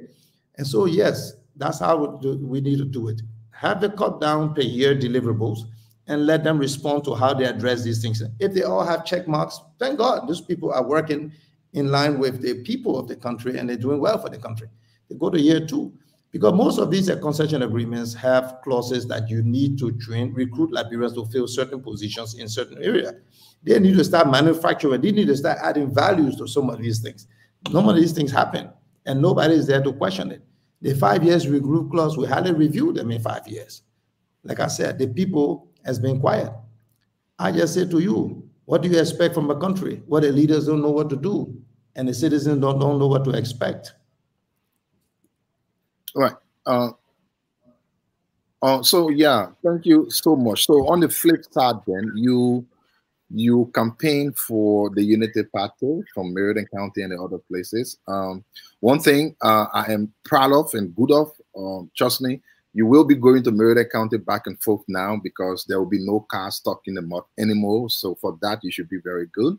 Uh, but before that, though, I know you spoke about the issue of appointments, the expectation from the from our people in the southeast. But outside of that, I know you are a politician, but I would hope you answer this according to how the people's expectations are back in the county. Uh, we know it's like one month, just a little over one month, going to the second month now, or even around there. Um, since the coming in of the government from Maryland County, not from the whole country, you have been talking to your people. What have they been expressing to you? I mean, in terms of their expectation as of now and what they have seen so far, what have they been saying? What have your people been telling you? Well, so far they've been congratulating me for the role played. They've been thanking us for changing the government, bringing the system. They've been heralding us for bringing a new day. Then they're just now asking us please continue to fight so that we're not forgotten. You understand? But right now, expectations are high. People are happy. People are in a jovial mood. People are optimistic. They're happy for this change. They believe that something serious has happened. The entire country is breathing better today, all over the country. I mean, the stress, the apprehensions of irresponsible government uh, hanging over you, reckless behavior, those things are gone now people are happy that they have a very sound, um, civilized environment that we're in. So they're very excited. They keep uh, congratulating, they keep calling. And of course, everyone is looking forward to see who's going to be the superintendent, who's going to hold the commissioner, who's uh, there's the excitement now about the formulation of government and next steps. I think what I just called about, um, because I don't want us to reach to the point that, I, I, like I said, is getting embarrassing when you're getting calls from not just Maryland, but from Sinoe, from Grand Gedeh, from River Gee, from all over. People who've heard us, people who've seen us, people who've talked to. And so they're asking us because, hey, we owe it to them. If we don't speak on their behalf, who will? We were the ones in the front of this thing. We spoke to them. We talked them. We told them, listen, this might be one of our own, but this is the wrong one of our own. You know, we need to put the country first and get the thing right. So at this point, if we don't speak for them, if we don't raise the issue, who will? And so that's what I'm doing. I'm taking advantage of this. I've been raising the issue with people closer to the president. We raise the issue in the inner circles, those who help to formulate it. And I'm sure they're listening. It's just about time. I know they will call people from the southeast. you got to call people from the southeast. Like just saying, as we're calling names now, I think it's time is drag a little bit too long. It's getting embarrassing. That's all. But the people are excited back home. Ambassador, Ambassador, let's do this second round. And uh, yeah, I mean, you still have folks from the southeast, though, right? Yeah. In the government. Sylvester Grigsby, Sylvester Grigsby is from the southeast.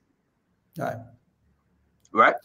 Don't get me wrong. I said there have been one or two, right? Okay. Right now the scale is like 20 to 1. I mean, okay. we need to narrow it a little bit. Correct. So my, my thing to you, I Well, where are you? Are you are you content so far? 27 days into this government? What I think we drag a little bit in formulating the government. And like I said, because I think in my own mind, it has been, you know, in a smaller group trying to control the process.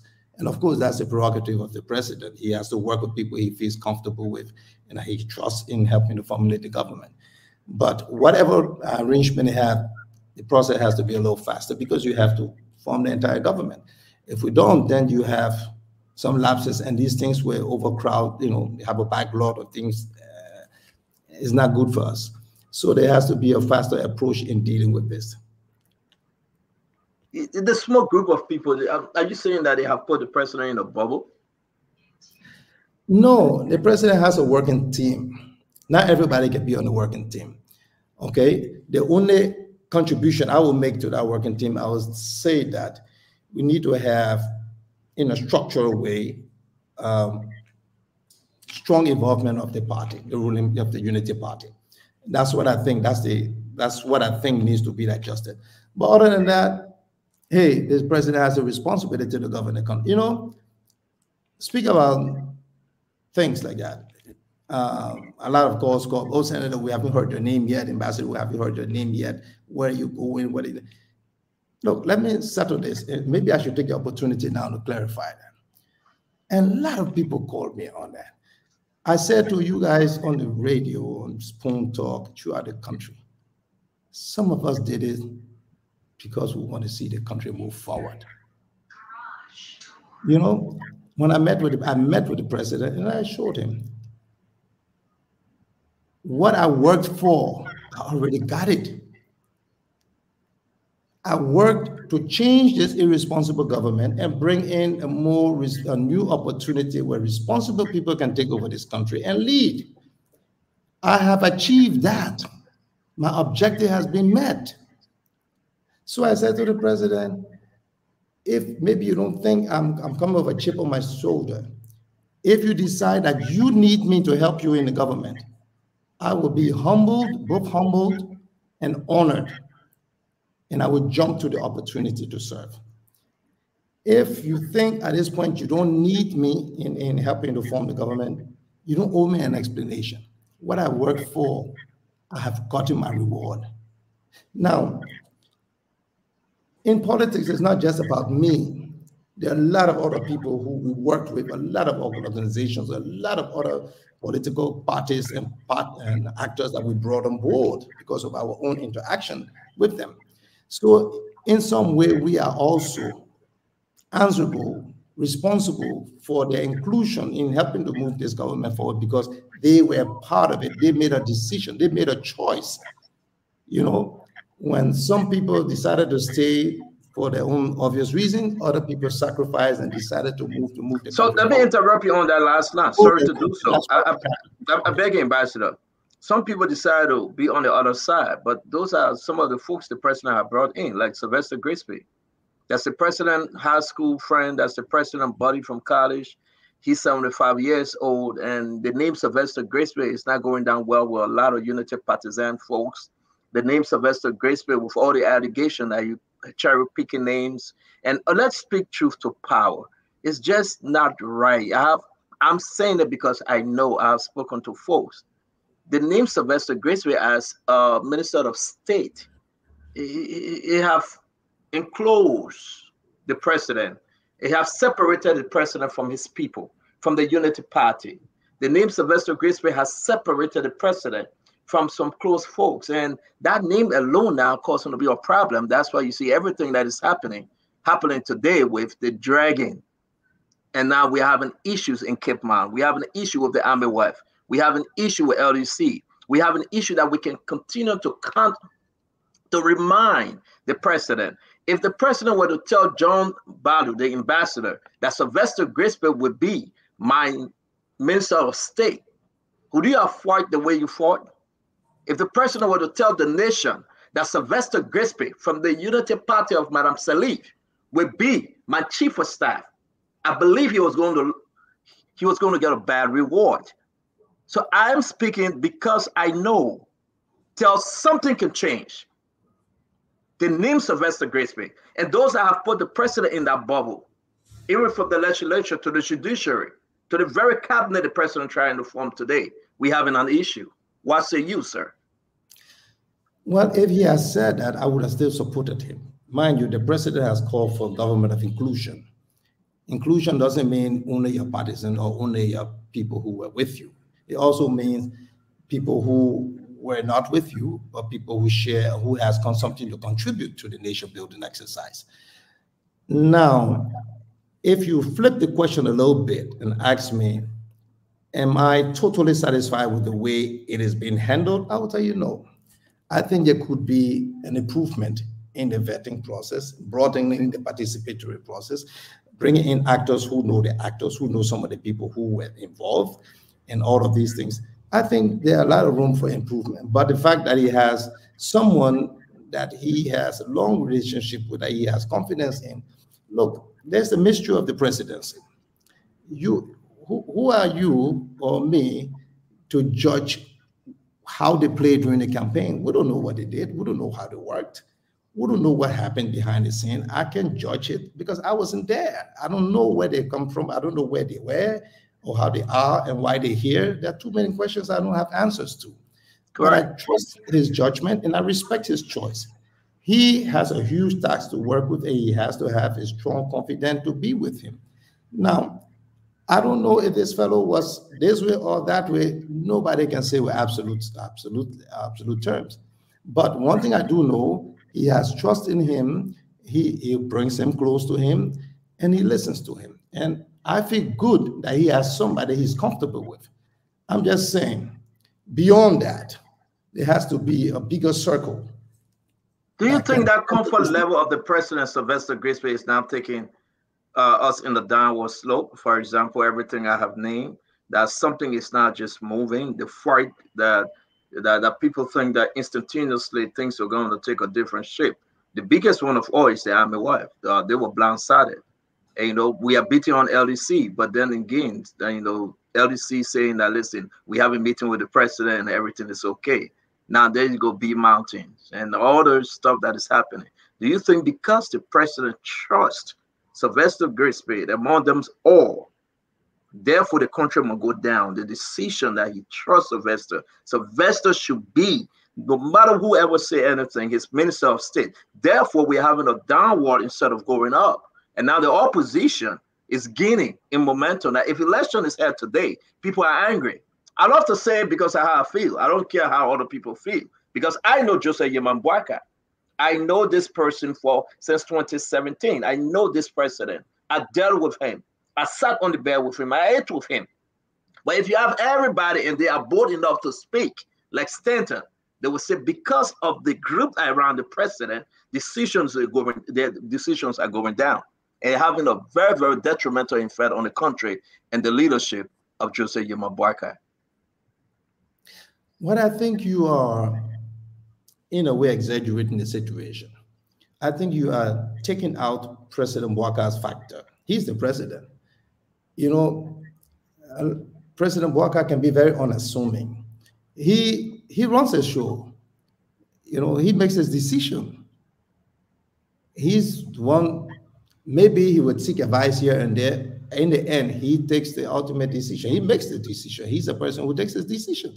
So he's the president in charge of the government. And so far, those who have been appointed to government, I mean, since I don't know everybody, I can say 90% seem to be by far better than the previous government.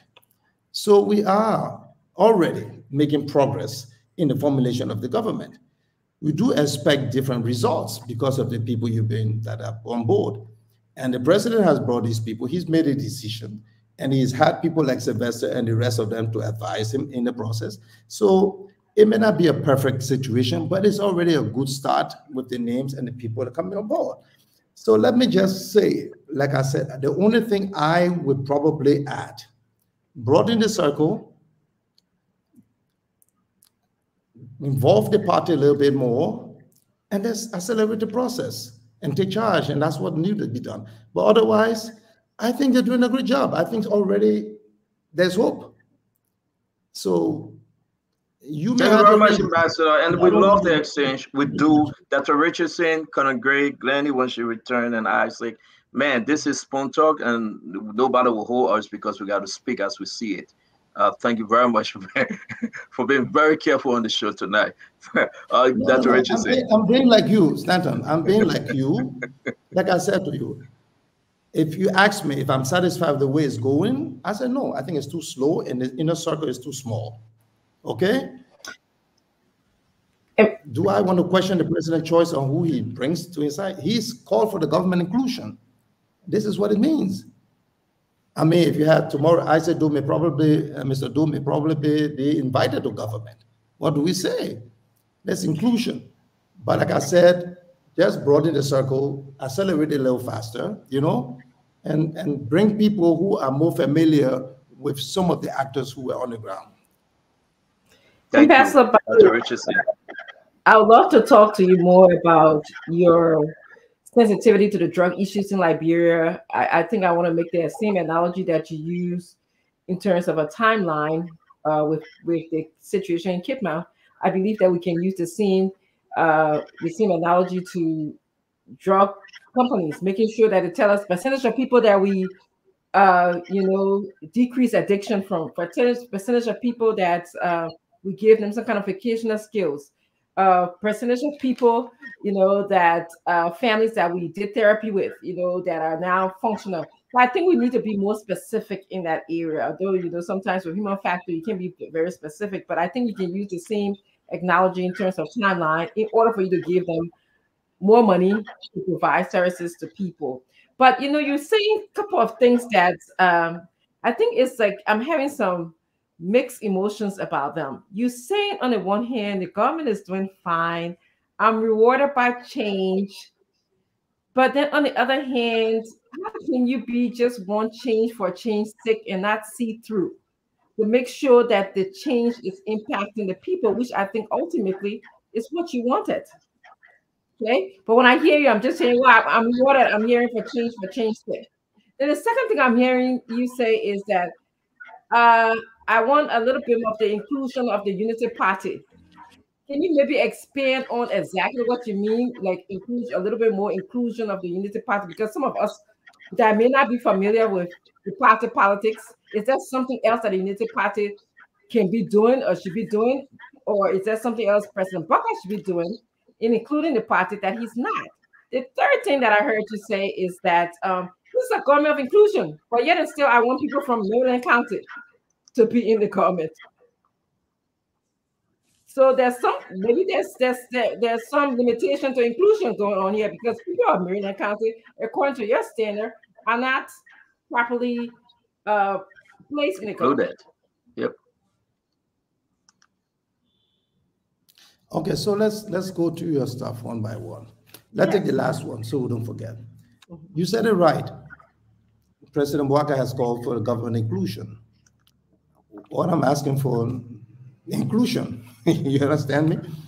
We have, and I know, and don't get me wrong, I say I know they're gonna call names from the southeast. I know we're gonna have our fair share.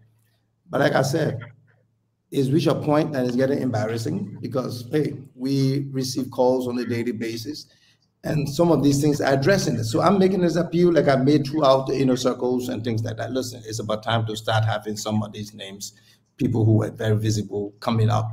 You understand that? Coming up from the southeast. And this we owe it to the people of the southeast.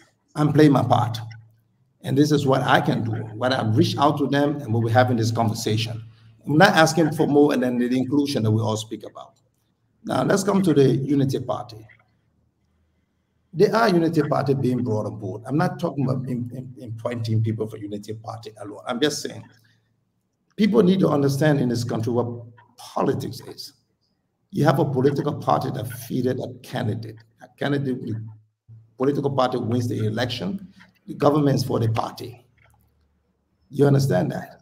So the party has a very important role to play in working with the standard bearer to deliver on campaign promises in a way that we benefit from the legacy accrued from our good performance, and we can use that as our political capital and win the next election.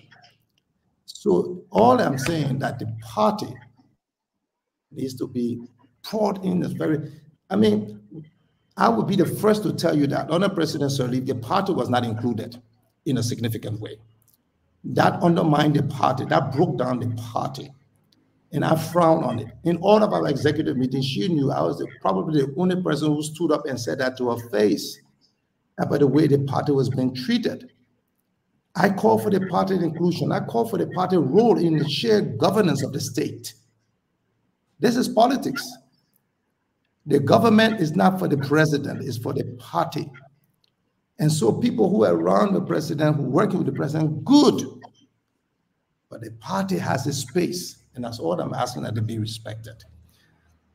Now you talk about whatever what other issue you raised again. I'm sorry, I I was, just I was, yeah, I was, I was, I guess my, my final thought is like you were saying that I'm rewarded. Change is here. This is what I wanted to do. I wanted to change the, the, the government. But I found that kind of interesting that you are not even, or at least the implication of change. Like I want change to impact the people. I just don't want a new government, a, a government that maybe mm, that, that doesn't involve the party, a government that may not be as inclusive as including the people of Maryland. I, I I want more. But you didn't. I'm not hearing you say that. You just say, "Well, I'm happy with change." But then on the other hand, Again, no, no, no, no. I think it would be unfair if you just take that and try to run with it. You know, when I met with the president, mm. we fought for a change, and we're under obligation to help to deliver on the change. We're under obligation to do that, to help in the process, to deliver. Of course, there are some positions that I would love to have occupied, you understand, to help drive this change that we've spoken about. But it doesn't have to be me, it can be other people. And I had a conversation with the president on some of these. And of course, some of these positions were already out. Like I said, I'm just offering myself, okay? But please just understand that what I fought for, I already got it. And what I fought for, let's understand it, was a renewed opportunity by which you can have capable people, civilized people, normal people in government, responsible people to take the helm of government and lead, provide leadership. And so far, we have achieved that. We fought for the situation where people like President Boakai, Vice President Koung, and others of like minds can come together and deliver. Today, we see that. We have that. Like I said to you, I don't know all of the people appointed to government, but I can safely say 80, 90% of them already meet my approval. I think they're competent people, they're good, and they can deliver on the good.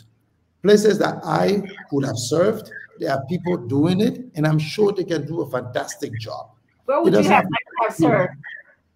So, having said that, and I said to him, if you think you need me, and let me make this clear, you know, most times we get it the other way around.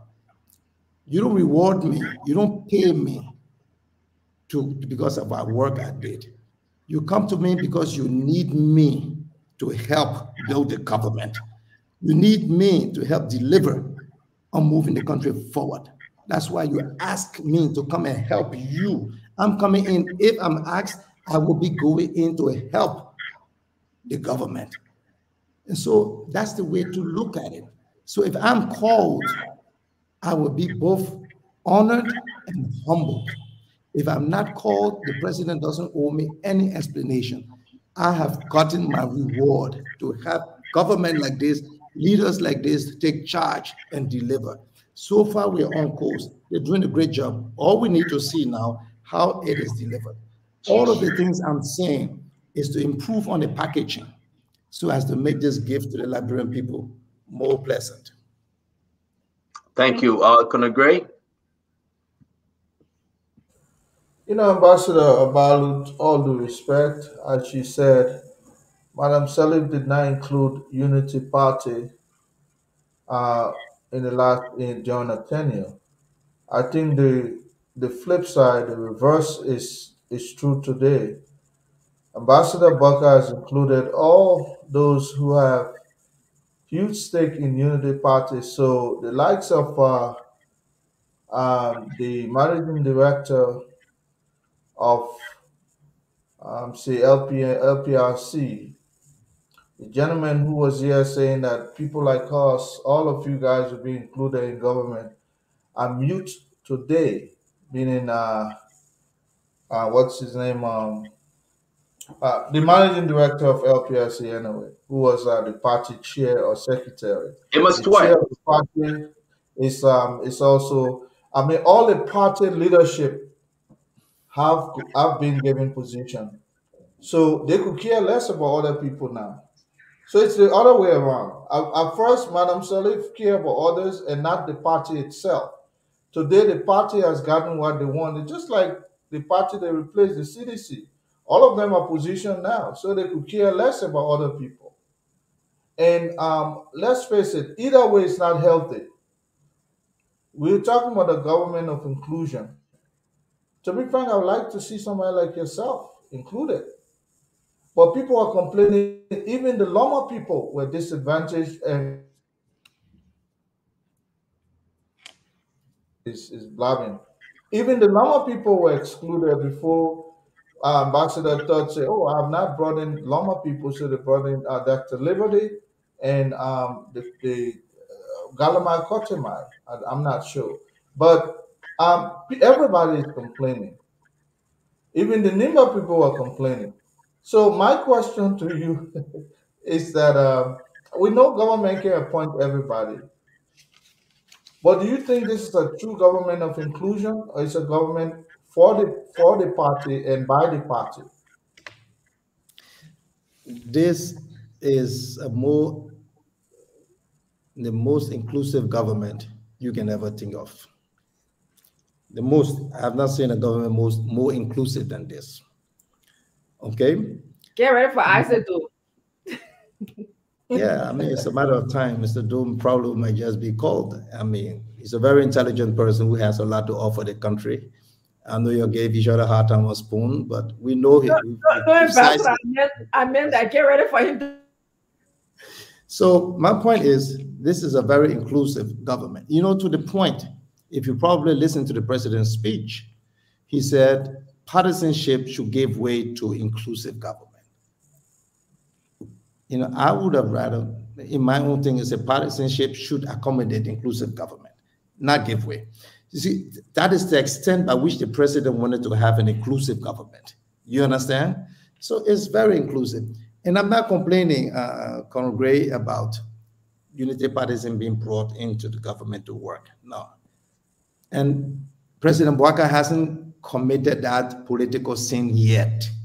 I'm just saying the political party, unity party, that's a unity party government. Under President Sirleaf, that party was not given a space to share in the governance of the state, not as ministers or that, as the policy share arm. As you know what I'm saying? Where you, you put in, you have a working uh, executive working, executive committee working on drugs, executive committee working on economy, executive committee working on how to deal with the LEC, executive committee dealing on many issues, job creations. That's the way the party works. The party found these things and submitted to the president for implementation using his cabinet. That is the way it works. And if we don't do that, if we don't institutionalize the governance of the state, then we're going to have a problem because the president needs the support and he needs the help. That's what I'm saying. So, But me- I- I- in recent times, you've spoken about the LEC, right? Yes. And, and other issues like that.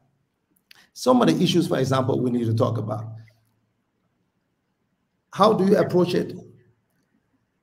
In my view, and I've listened to some of your views, and you, you, you some of you sounded the same thing. We need to outrightly privatize all of these state-owned enterprises. There's no amount of money European Union, U.S. government, Millennium uh, uh, Challenge can put in that will save LEC or Water and Sewer or LIBTELCO or RIA or any of these entities. We need to outrightly privatize them. Because when you privatize them, you give them to people whose business it is to make money, and they will bring on board themselves, they will put in the system, they'll bring their smart system, and they will provide service because that's the only way they can make money. So part of the discussions, and like I said, these are some of the things we have been working sessions on it to find a way forward, and that's it. That's the way we need to go. So people need to understand that all of the thing, How do you refer to it, Stanton, Tapata or something? I mean, we will go up and down, and stay boiled down to the fact that government should not be in the business of running entities, money-making businesses. We privatize it. These people pay money, our dividends. We exert oversight over them, and we monitor them on how they deliver. That's my opinion on that.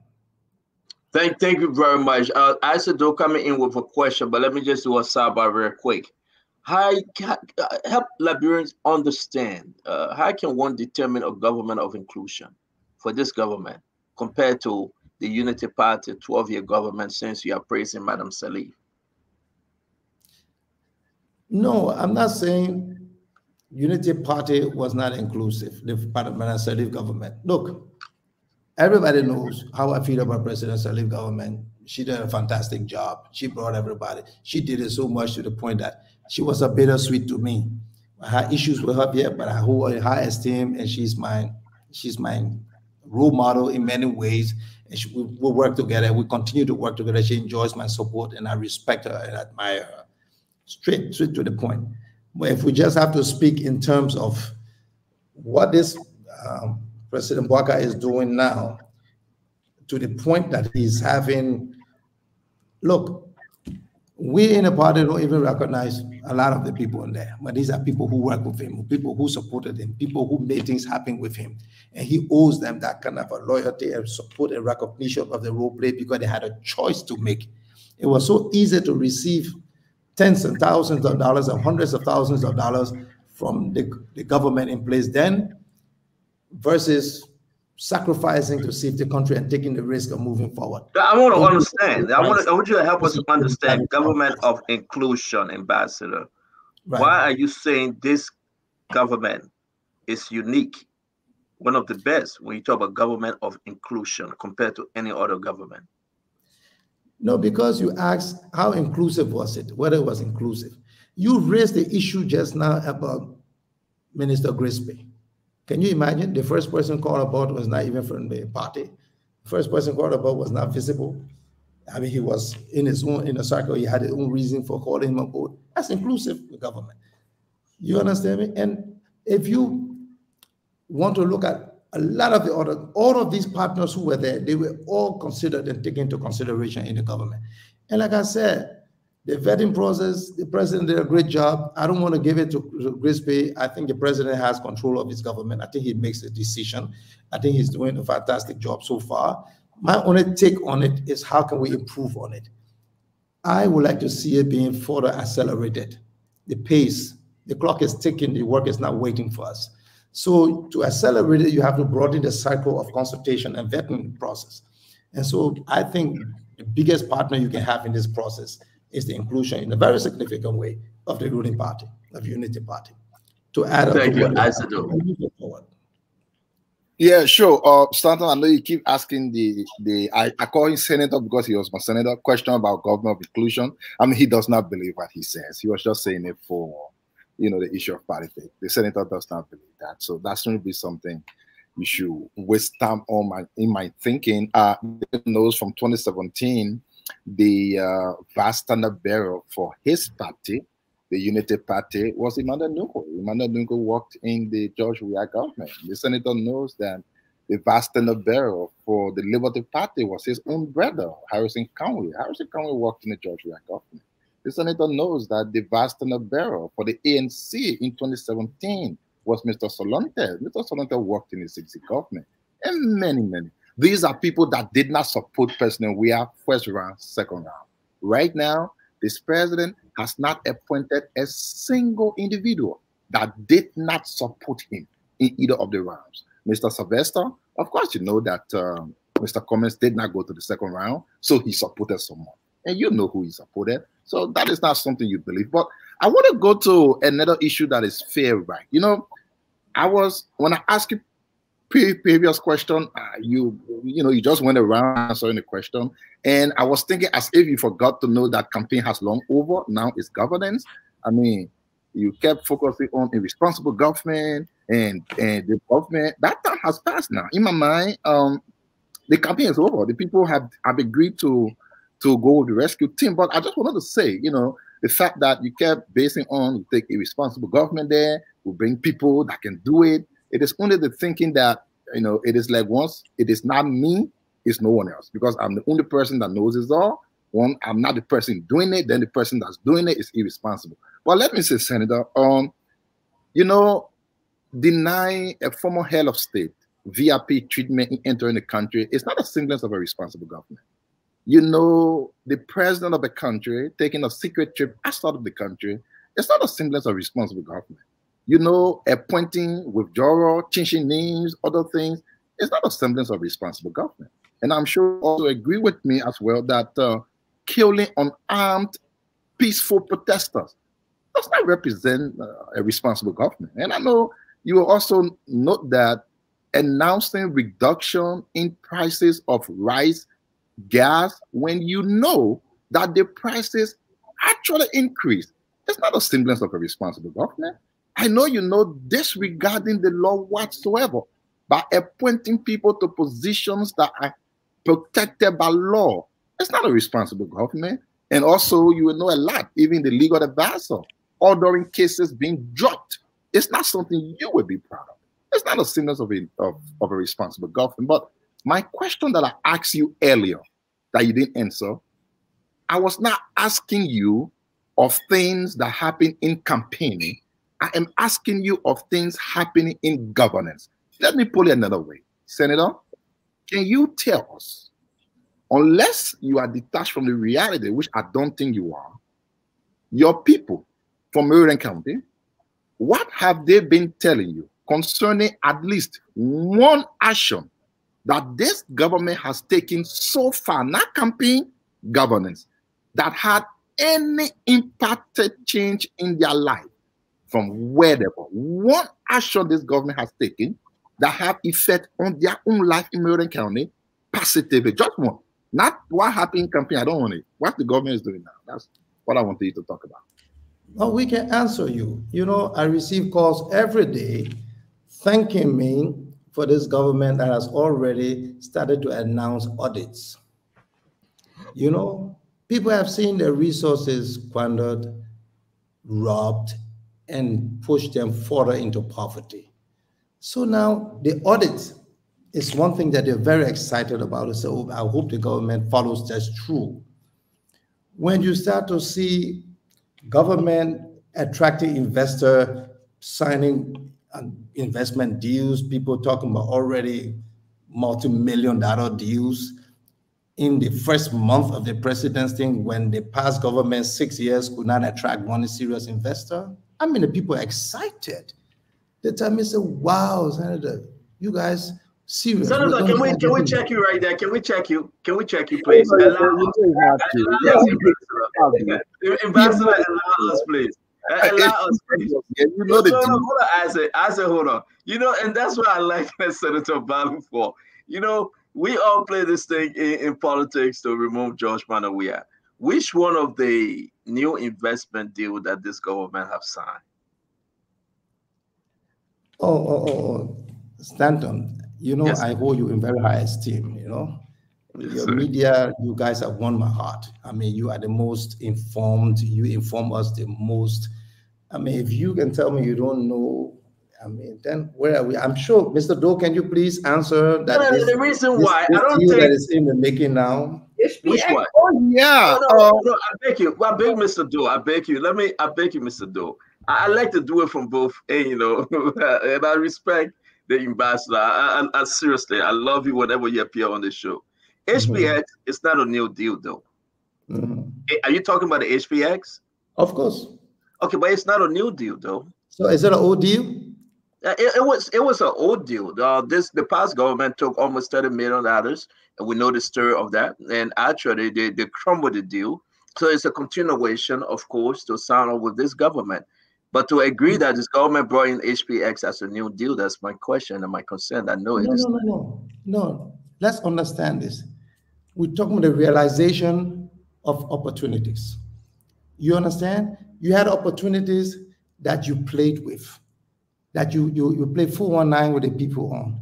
Normally, these guys will pack their bags and leave and take you to court in their host country because most of these things they have linked up to the international courts. Correct. These guys decided, no, we will not leave. We have somebody here that they who has a word that we can rely on. We have a government that has a credibility that we can count on, we can bank on. So they were inspired to come in and further this deal. So I'm just saying to you, that's confidence. It comes with the, the trademark, the product you have, the product Joseph Boakai, Unity Party, this government, this rescue team, night versus day, good versus bad. They've seen it. So, I mean, you interrupted. I would have gone on. with I'm kind of sorry. I'm sorry, Bob. I just gone on. Don't ask me to, to answer the question. Um, Sen- Sen- Sen- Senator, let me ask you, please. The HPX deal, you and I know, you know, beyond the scenes thing. Do you have an idea of how much this iron ore they will be taking from Guinea, for which they are having deals in Liberia? Do you have an idea at all how much that worth? Do you have an estimated idea? The iron ore that they will be actually taking to go sell, for which they won't have deal in Liberia. Do you have any idea how much how much it worth? How much the iron ore in? Have you done any little research about it?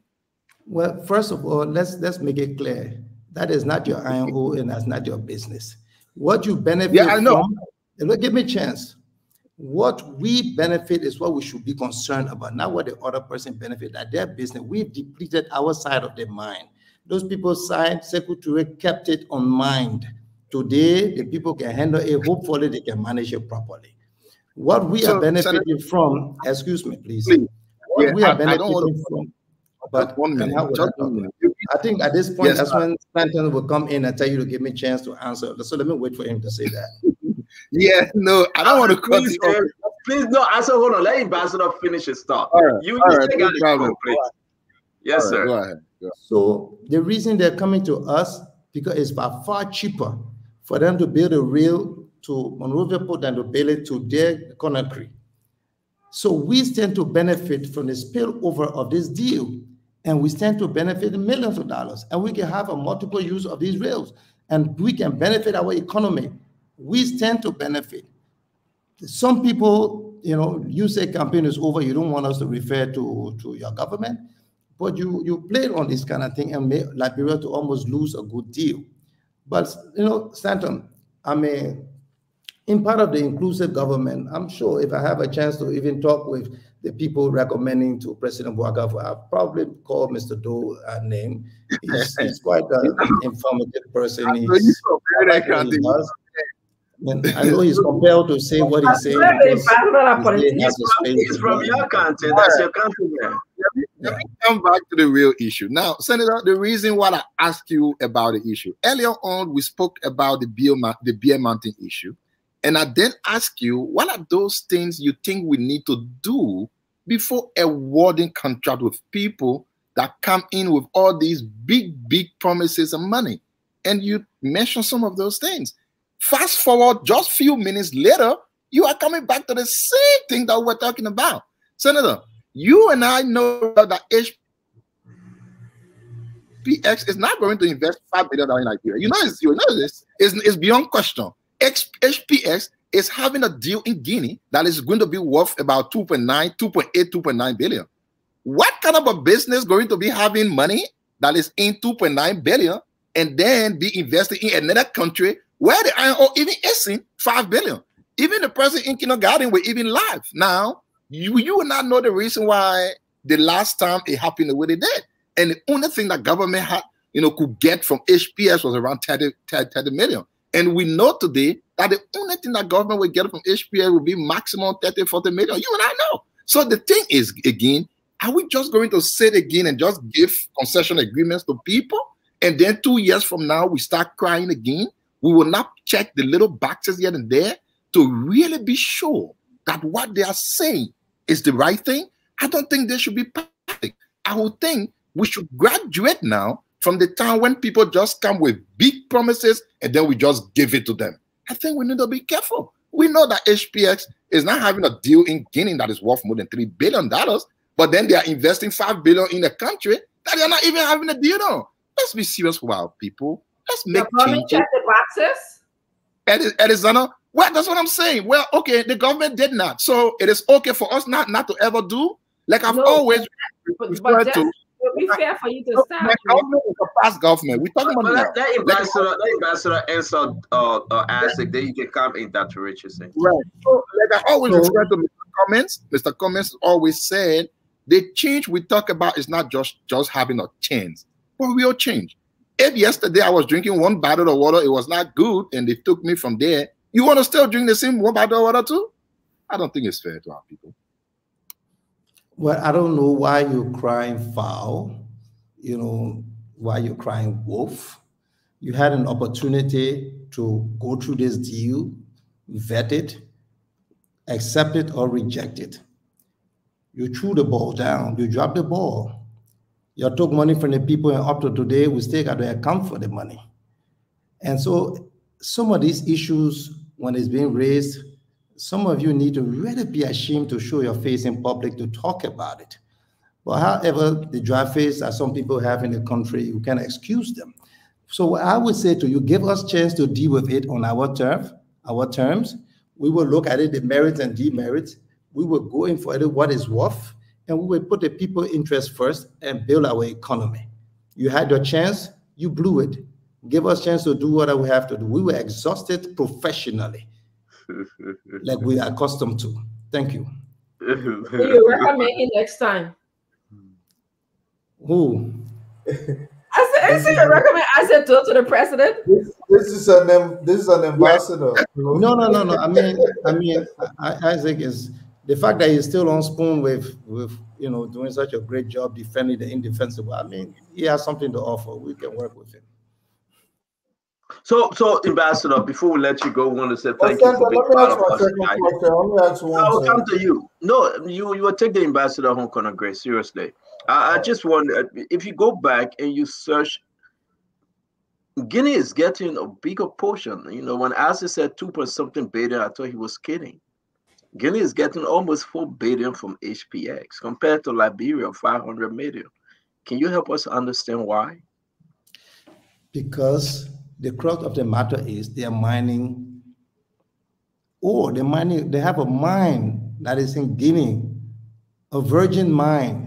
We have depleted ours from the side of our border. They're only using us as a conduit to export the, the, the, the- the minerals.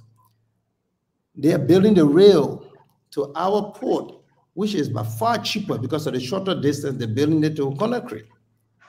And so with that, we have some profit sharing because they're transiting in our place. They're building the infrastructure that we can use. They're using our ports that will pay export charges. So we stand to benefit and accrue millions of dollars from this deal. And that's the economy. But if you look at if you look at everything, because it's a big broad uh, a diagram on the map, Guinea, Liberia, portion of you know, if you look at that map, uh, you find that the diagram they will still mine from Liberia some way somehow. Everything is not from Guinea and saying we are only asking you for the way to take our iron ore out of Africa. They still having some portion that they will be mining from. Am I correct? Because I'm looking at the diagram here. Well, I'm, I don't know the details of the concession yet and this agreement, but like I said, like I said to you, these guys are dealing with the mine in Guinea. That much I know. And this is not just today. People should bear in mind this discussion has been going on for years now because they had options. Cote d'Ivoire has been trying to get them to build the, the thing through Cote d'Ivoire. These guys have been marketing buying these things for a long time now. This deal is here before us. Even during um, President and these discussions have been in the air. So today we've managed to take decisions on them. because we had somebody who had the political will to deliver on certain things and keep and get the economy turning. You can't eat your cake and have it. Today, you have an opportunity by which we can partner, can share, profit share in the resources of Guinea just by transporting and building our infrastructure here at their expense. I think it's a good deal for Liberia. It is. It, it is. It is a good deal, and I will concur. And I will say to you, the, the issue is that once we are at the level to, to speak on the HPX, knowing very well, these are some of the things that put Senator on sanction today. Uh, take the $30 million, uh, he and George, we are and the rest of them, hit the $30 million and tell the people, say, go and something yourself. Now, the American government came down hard. And and Isaac can attest to it because Isaac know very well after they took the 30 million, they didn't do anything. They refused the folks and now Samatua went on sanctions. Samatua himself said it uh, on one of his uh, uh, uh, program. Conor Gray, I think, is a very step, but just to say it's a new deal, new deal for this for this new government. But it been around, like you said, and uh, because the government is responsible and thinking that they can deliver for Liberia, so it's a good thing. But Samatua, because of the HPX money that he stole, he and uh, and the rest of the government, then that's why he's on sanction. Uh, Conor Gray. Yeah, I think uh, this is a low hanging fruit. I I don't see why the late Israel government of Mr. Weah could not pick that fruit and and share it among everyone. It's a low hanging fruit. Uh, but let me before I ask you my question on the same issue of the port, let me um, bring to Isaac's uh, attention that Ambassador Solante resigned from the ANC with the hope of becoming U.S. Uh, U, Liberian ambassador to the UN. He joined the CDC but never realized that dream. He languished in the CDC, was never given a job, unless Mr. Isaac Doe is ready to tell us what job uh, Mr. Solonta got prior to the end of that government. I'll wait for, for when when he closes, maybe you can address that issue. But to you back, uh, Ambassador uh, uh, uh, uh, Ballout, our national port, let's go back to our neighbors. They are thriving because they've made importation of goods and services within their ports, their various ports, so easy. We have made ours so cumbersome. We used to be the star of Liberia because of, of the of the region, because people refer to our port as free port. Today it's, all but free. It's not free at all. Let's make it. And and if you you're talking about people coming to uh, install a railway, you know, access to our port, it sounds like something very great that will help, you know, exportation of goods and services even better for us. But are you satisfied with the with our port currently the way it's structured, or if you, or, or we should we should go back to uh, where we were? No, hold on, hold on. The ambassador is in darkness. I don't know whether you can hear us. Is that LEC just left? I think so. he left the ambassador in darkness. Wow. Let's see if we get the ambassador back. Maybe I think can tell us how Ambassador Solonte became uh, uh was hired by. I want to Huh? want to give quick. I, I, ambassador, can you hear us? I don't think so. Isaac. Back for LEC. Yeah, the internet went off too. Isaac though. But Isaac, you get internet. Why you not answering, my man? Can you hear us, man? You can be so relaxed on the show, man. Minister Doe. There you go. All right. So, so Nelson, come let's wrap this thing up. Ambassador uh went off. We hope to have him again. But let me say this though. So tomorrow, Francis Dopo, uh, Senator Francis Dopo will be our guest tomorrow. On Monday, we'll be having the uh, newly uh, confirmed information minister, Jerry Pierre. He will be our guest on Monday. Jerry will be our guest on Monday. On Saturday, we're going to have Prophet Key on Saturday. Uh, I want to say as always, you join us. I want to play this Dillon tape. You know, sometimes we go back to these things to remind ourselves. They don't speak about this same Bea Mountain. You know, folks, it- it's not a joke, right? And people can just take their eyes off the ball. That's how I wanted for Ambassador I- I- Ambassador Ballout to listen to. But uh, the Liberians, mm, it- it- go back in history. People have been speaking about these things. Let's listen to Dillon. Has the company constructed? Question. The health facility? Medical health construct. The government will cost the company to construct it. In 10 years, has the company constructed?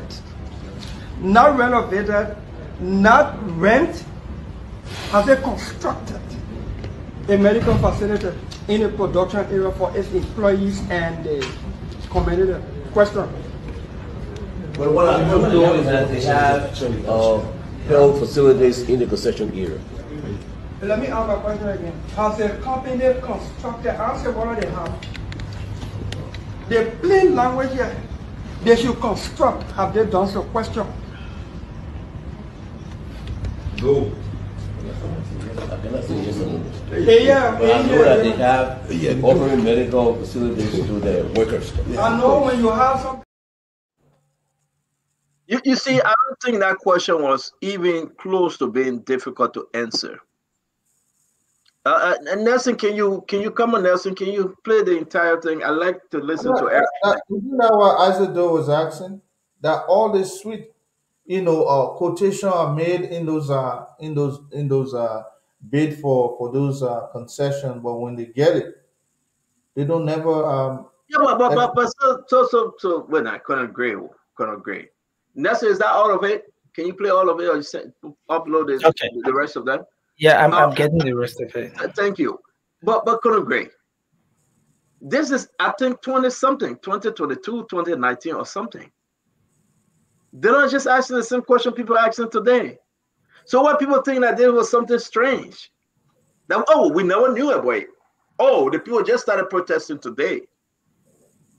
Uh, you know, we get we get ambassador back. Ambassador, uh, let's bring you back. Thank you again for coming. Sorry for the for the uh, money captain delay because that's that delay is on money captain. By the way, your dear friend money captain. Sorry for the money captain delay. Uh, uh, I, I want to play this Dillon clip, ambassador, to understand that they don't been speaking on this thing, not to just single him, but he an other senator though. But why people think that it should be a surprise? That oh, this thing just happened, we didn't know about it. Let, let listen to Dillon clip. And uh and I also want you in your important statement, if you can please, to speak to those that are planning to protest against LEC. Uh, because they seem to be so tired. You know, they have reached out to us and uh, the scheduling a date and time to go protest from the headquarters in West Point to Bushrod Island and all over, demanding the president intervention and this government intervention. I know you people listen to you, and I want you to add to my voice and say protest will not be the answer, especially at this time. And I hope that we can uh, ask them not to. But let me play this Dillon clip. Has the company constructed? Question. The health facility? Medical health construct. The government will cost the company to construct it. In 10 years, has the company constructed? Not renovated, not rent, has it constructed? A medical facility in a production medical health employees. The government will cost the company to construct it. In 10 years, has the company constructed? Not renovated, not rent, has it constructed? A medical facility in a production area for its employees and the community. Question. But what I do know is that they have uh, health facilities in the concession area. Let me ask my question again. Has the company constructed, answer what they have? The plain language here, they should construct. Have they done so? Question. No. I cannot say yes or no. Yeah, But I know yeah. that they have offering medical facilities to their workers. I know when you have something, I know the law, the plain language of the document, the agreement, it said they may construct. It said they shall. If they don't do it, they will be cost to do it. Have you caused them to do it since they didn't do it? I say, what are they renting one place? They should construct. Have they constructed? Period. I mean, question. You want to answer what it is? No, not for you. God, no. You're not representing them. No medical then. No, no, no. He's talking about a new facility like a, like a Mandatory 14 hospital. the, the two offer, I mean, the medical doctor who accompanied me when I went Turkey, um, thanks to him, you know, he's, he's performing a lot of medical Hold services. Minister. Yeah. Please. The question is as simple. It talks about compliance and performance. In 10 years, has Bea Mountain constructed a medical facility in keeping with the current agreement? We revert. We, we, we, we, we revert on our question. We value what they have. Thank you. Thank you, Nelson. Take it down. You know, thank you. Nelson, take it down. You know, that's what I wanted to meet to, to remind Dillon we revert. They don't love this one, we revert. So they just said to him, we revert. And up to now, Ambassador, they're still reverting. Because they did it. And Dillon question was on point. And I like what you said. Joey had an opportunity. So in your closing, Joey had an opportunity to bring in to Bea Mountain. He had an opportunity to bring in HPX. He had an opportunity to hold ArcelorMittal, Western Cluster, and all these different uh, uh, uh, companies. But guess what happened? They blew it out. From that day, I knew that Joel was never ever going to win election in Liberia because they couldn't answer the simple question. We want to say thank you for joining us, Ambassador John Ballout. Thank you always for accepting our invite. And uh, a beautiful show today from your end. Uh, as you leave us, I will ask you again, though LEC is a problem, we saw typical example, you went in the dark. Uh, but we still ask the Liberians, please do not hit the street to protest. I think solution will be here soon. What say you, sir? Thank you. Well, to deal with the LEC situation, you know, I just switched to generators now. And why it may affect the individual um, so uh, severely because of the heat and all of that and everyday life, can you you can imagine what it's doing to the businesses? I mean, we have I'm in the accommodation business. You find a small facility, you spend about six thousand dollars a month now on electricity bill. You know, because of fuel, because you can have LEC. LEC when it was there was half the cost. Now it's a fuel and all of that. So yes, if people are planning to demonstrate, it is their right to do so, and it is out of their own frustration they're finding a way to express it. That's part of the democratic process. But what is even more important than the fact that we know that they want to demonstrate, or the fact that they say they want to demonstrate, is the fact that we know they intend to demonstrate. So right now is the time to move in and engage them, to hear them, receive a petition from them, and work on it in a way that alle- really relieves their fears. Because at the end of the demonstration, they will be presenting a petition. Now is the time to engage them.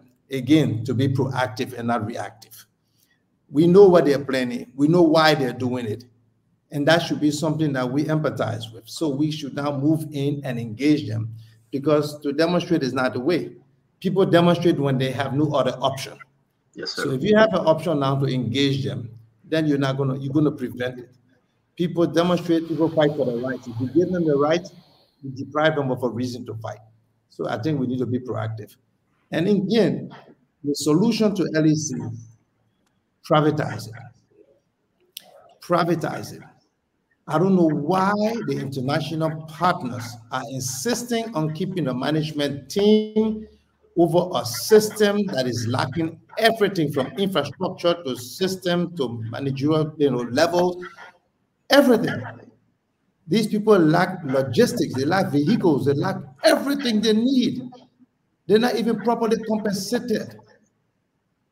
You have few expatriates, you have few people in the leadership that make unimaginable sums. For what? A bad product? So the best way out is for this government to revisit the whole arrangement and privatize it. There is a reason why even the biggest countries in the world, the greatest economies in the world resort to privatization. Get it off our hands. Let us focus on receiving, accruing our dividends and serve our people public services. Whether it is water and sewer, whether it's LEC, whether it's LIBTELCO, whether it's RRA, whether it's MTA, the Transit Authority, privatize all these things. All the government state-owned enterprises, privatize it, get our hands off it.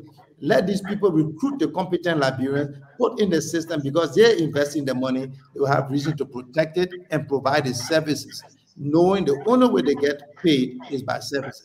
Right now, a lot of our state-owned enterprises have been subsidized in the budget process. Why should we do that when they should be contributing to the budget? So we need to privatize it. But like you said, in conclusion, I just want to thank you for the opportunity. Thank you. I always have a great. The National Port Authority issue I asked you. Sure, even that. They need to privatize the port authority.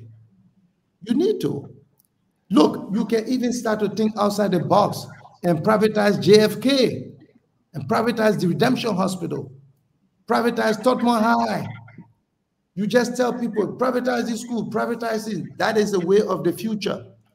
You set in these things, you tell the people the level at which they can go and not more. And when we want it subsidized, we will subsidize it to keep it at a minimum rate. But otherwise, all of these revenue generation entity should be put in the hands of experts, people who invest, and that's the way we will make more money by privatizing it. They will make money, we will make more money, they will have better service, it will supply our economy, we will attract investment, and we will encourage manufacturing, and as a result, export.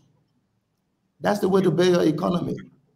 If we don't want to do it, we're just wasting time because eventually we're going to end up there, either today or tomorrow. But the only way out now in a society where we lack basic everything is to go for buy, privatize and give us time to secure ourselves. So I just want to thank you. I think uh, President Boakai government is doing a great job in, in nominating people.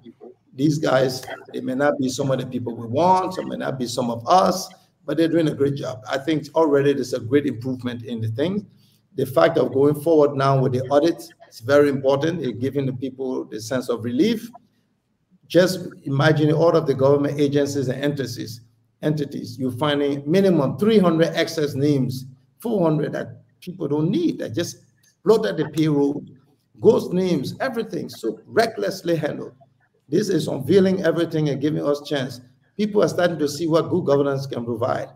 My only take on all of this is to broaden the, the, the, the scope of the vetting process, the inclusiveness, accelerate the process of completing the government because it's getting to be a burden on the few that have been appointed. It's important to have, in the same spirit of inclusiveness, let us start to hear some of the names on the Southeast. Like I said, it's getting embarrassing. We've been answering too many calls. We have to speak on behalf of the people we've spoken to. We owe them that much. And we went to them, we spoke to them, we owe them. At least they heard it. We've sent this message to the inner circles in the vetting process. They're going to call the names. We know they're going to call the names. We just say, don't wait it all the way to the end. Call it now. Let's attention in the country. What's And left? What's left? move- yes. And as we move forward, let us be optimistic. Let us deal with these crises. Give the government a chance. Those of you who have your grievances, before you go demonstrate, reach out and see what a responsible government would do. And of course, if they don't meet it, if they drag their feet, if the only way to get their attention is to demonstrate, and of course, then you have no other option. But until then, I want to thank you for the opportunity. May God bless us and save the state. Thank you. Thank you very much, Ambassador John A. Ballout Jr., as always. Thank you. Have a good night. Thank you. Yes, sir. Yes, sir. They, they you know a wonderful program today, Dr. Richardson. Uh, ooh, the ambassador spoke. I, I- you know, I miss Maxwell today because the ambassador spoke in Maxwell tone. You know, they don't they don't want to play it safe. You know, but we know what's up. And uh, I, I don't know. Dr. Richardson, Ed, and Isaac, wherever you think I will ever become, mm-hmm. there's something I, I, I, I cannot do. Where I ever say, okay, I, I, let me just be quiet. No. Color it, wouldn't, it wouldn't be you. I, I'm sorry, I gotta leave. Yeah. Yeah, I know, I know, but Dr. Richardson, do your closing answer. You tell, oh, I will just, I will be quiet because no matter who you are, what took place today, man, that's that's bad though. And what took place today, I think people can say, listen to what Dillon said. Just listen to Dillon clip. He has a basic, common question. Samatua and the rest of them couldn't answer and they said we'll revert. And that's what Dillon took that war from, revert. And- but, but it's bad for our country. And here we are today, people are dying. No hospital. After the beating, Dr. Richie said, People are dying. Man, talk to us, man. This ooh. Yeah, um, I'm I I have to leave, so I'll just give my close. So you leave me with Isaac do again. That's come. actually in good hands. Brother Isaac is, is good people. Um, you know, I and I, I will start with him. Isaac, I hear your point, and I agree with your point that just because something was wrong in the past, it doesn't mean that a government should continue the wrongdoing. But I think sometimes you neglect to speak about how that wrongdoing have implication for resetting. So because you only look at it like, oh, our government did something wrong before, so that doesn't mean that this government should continue to do the wrongdoing of our our our government. But I think it would be nice to itemize some of the ways that the wrongdoing of your, your government have contributed to the resetting of this government. So I just wanted to say that I agree with you. Um, I also want to just tell uh, Senator Varpilah, thank you very much for her speedy intervention. I know she's new on the job, and it's a uh, interesting way to start a job. Just you know, you got to hit the ground running. Uh, she's been working, as she said, but I want to tell her thank you so much uh, for intervening. And I, you know, I look forward to her coming out with some great uh, resolutions to assist the people in Cape Mount. I also want to extend my condolence to the people of Cape Mount, uh, especially those who lost a family member or several family members we don't know yet, or those who family members were injured.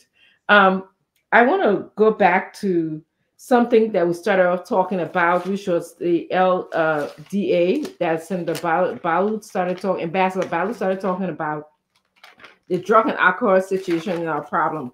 I'm glad that he's championing championing this cause. I I I think that it's a good thing. I, I actually just want to ask him to include, which he did speak about, but be more inclusive. The government has a serious role to play in terms of the legal system, the law. They have to revisit the law. They have to look at the prison system. The community has a role to play. Uh, money, the, the budget, the economy has a role to play in this. Mental health, medical doctors, the education system, the different the immigration system. Those are all the stakeholders I believe that need to come to the table and actually brainstorm different ways that they can prevent drugs from coming into our country. And he asked Spoon Center, he asked you to, you know, brainstorm way to be more involved in this drug situation, whether it's opening the phone lines for people to call in and, and tell their experience to bring awareness. Awareness is a serious piece in the drug system as well. And then, of course, we we, we finally I want to talk about Dillon's tape. I believe this tape was when he was when when the people in Bea Mountain was looking to renew their contract. It is evidence to me that people need to be fired. I think that is the first step. I, I know I keep on asking for people to be fired, and some people think I'm very insensitive. I'm not thinking about the jobs of the people who will lose their job. I mean, the family members, the children of people who will lose their jobs. But let's think about the people who now are in the situation of Bea Mountain, the workers, you know, who go to work under uh, unsanitary conditions, the workers who don't even get uh, their rights, who rights are being violated. Okay, and John and Senator Dillon asked an interesting question. He asked, "Has their com- the company constructed health facility in the past 10 years as stipulated by the contract? And that's this was a while back. Oh, that's the answer that we didn't get. He asked again and again, has the company constructed health facility as stipulated? He didn't, I'm, I'm paraphrasing, as stipulated by the contract. It was a no. We also saw today how insensitive the people from Turkey came to Liberia and they were building houses that were not even culturally sensitive to the way that we like to build houses or the people in Cape Mount like to build their houses. Where in the world will a Liberian go to Turkey and try to do things the Liberian way there? And the Turkey, the Turkish man say it's okay. Nowhere, nowhere. Then you have to say that, oh, they continue, they didn't stop after people complained to them. Oh, they continue to build their houses and somebody over uh, uh, ride them or overruled the, the idea of, of them halting building the houses. I never heard this whole this thing yet before. They're building people houses, even give them backyard, giving them those small squeezer. And you know very well in the villages, the people like their spaces. They build their homes where there's enough air, breeze coming, where they can sit down and relax. If anybody been to a, a, a village before, you know how it is. And then we went to the military. Who, where in Turkey, you think the military, like, bro, go to Turkey to go do some kind of business there, and then, you know, the, the, military will come to, inter, to intimidate our people? No. The military is there purposely for intimidation purposes. So that people can shut up. They won't rise up. They won't talk. Uh, they won't express themselves. So to me, I believe that the government need to act. The whole thing that way for investigation, that way for yes, investigation is fine, but there's some things you can do right now to to to to eliminate uh to make the situation better for the people. There's some things they can do right now, and the government needs to do it. This whole about investigation, me, I tell you, because there's too many investigation in the book that no, I'm not getting. Don't laugh. I say I'm not talking for you yet. You will not use my mouth to chew your pepper because there's no, you know, hair, no tail to these investigations because we're adding, we just keep on adding to the investigation. So I believe that our government need to represent the people. They need to make things right for them. They need to look at all the way how this Bea Mountain government have been insensitive to the people of Cape Mount County, taking billions and billions of, of dollars as a result of our mineral through the back door every single month, day, or whatever. It is, it is, it is just not heard of. It, it makes me sick. So once again, my condolence goes out to the people of Cape Mount County. Thank you so much, Tina, for allowing me to to give my closing early. Dr. Richardson, thank you as always. We'll see you tomorrow. Again, thank you very much. Have a good evening, Dr. Richardson. Thank you. Bye-bye. You're Bye, guys. Have a good night. See you. And so while we the men stay on, like you know, we the men always remain. Uh, those of us that serve in the military, uh, it's time for us to go. Listen, guys, I want us to take questions. Let's listen to the Liberian people. Colonel Gray. You know why? Because when we do this thing, especially what happened today, you know, today in Grand Cape Mount, it's, it's, it's a very, very serious issue. Yeah, but I want to so, place but our, why, uh, I was just saying, why can't just close up from there and then we stay on the show, take questions, take calls, and things and go from there? Why don't you think so? At least I would think. No, because when we take let we can take a few calls and we just close, right? Because when we close, we close. We got about 20 more minutes to go. So let's just take a few calls. Nelson, can you come on? But I actually that this issue about the Bea Mountain is serious. I appreciate that. I, I, do. I appreciate you for even calling. Tomorrow we'll have uh Francis Dopoh, the senator, and then we'll speak to the information minister on Monday. You know, this is a serious time in our country. And to tell you the truth, eh, I'm, I'm not pushing anything, but I disagree with some of these decisions that we we investigate with. Now, now the army web investigation is day 17. In Liberia right now, it's after 12, right? So it's day 18. We're still waiting for results. Are you sure it's not it's not over yet? The two weeks? The two weeks is over. It's day number 18 now. So the two Okay. weeks is over. Okay. That's what I'm saying. It's a two weeks, the two weeks over day number 18. Uh, and when we stay counting, when will we have some comprehensive, the entire report to tell the Liberian people what's happening? And, and, and And besides, also the, the also the issue about LDC again, you know, the young met uh, money captain is people tell us what's happening. We'll continue to say this thing because the government owe it to the people, you know. Uh, but you want to say something real quick? Let's get each other 30 seconds now. You ain't gonna agree, don't go to the phone line. Yeah, no, I was only talking about the overall situation. Now, uh, as we speak, we got people died, and we've not got anyone yet being held for questioning or for anything. I mean, the issues that have been there, uh, didn't just start up today. That's one part of the story. And then the other one has to do with government's own response towards the protest actions that was there. I was reading front page Africa's story for tomorrow, and they said the protest was largely peaceful until allegedly, according to them, armed men from the side of either the LNP or the military, one of the two, opened fire. I thought it was crazy. Why who we resort to a place where even the first protest under this government who resort to killing of unarmed civilians? When have we reached to that? We have had years come years go where we had people dying from protest. Oh, that was- That's it. That's, that's it. one. That's it. That's it. That's it. Are you listening to Colonel Gray? Are you listening to Asido? Oh, yeah. Oh yeah, I'm being hmm. real. The other side has to do with the people's phones, which of course we all know. Are, I are, are you serious? Isaac, are you serious tonight?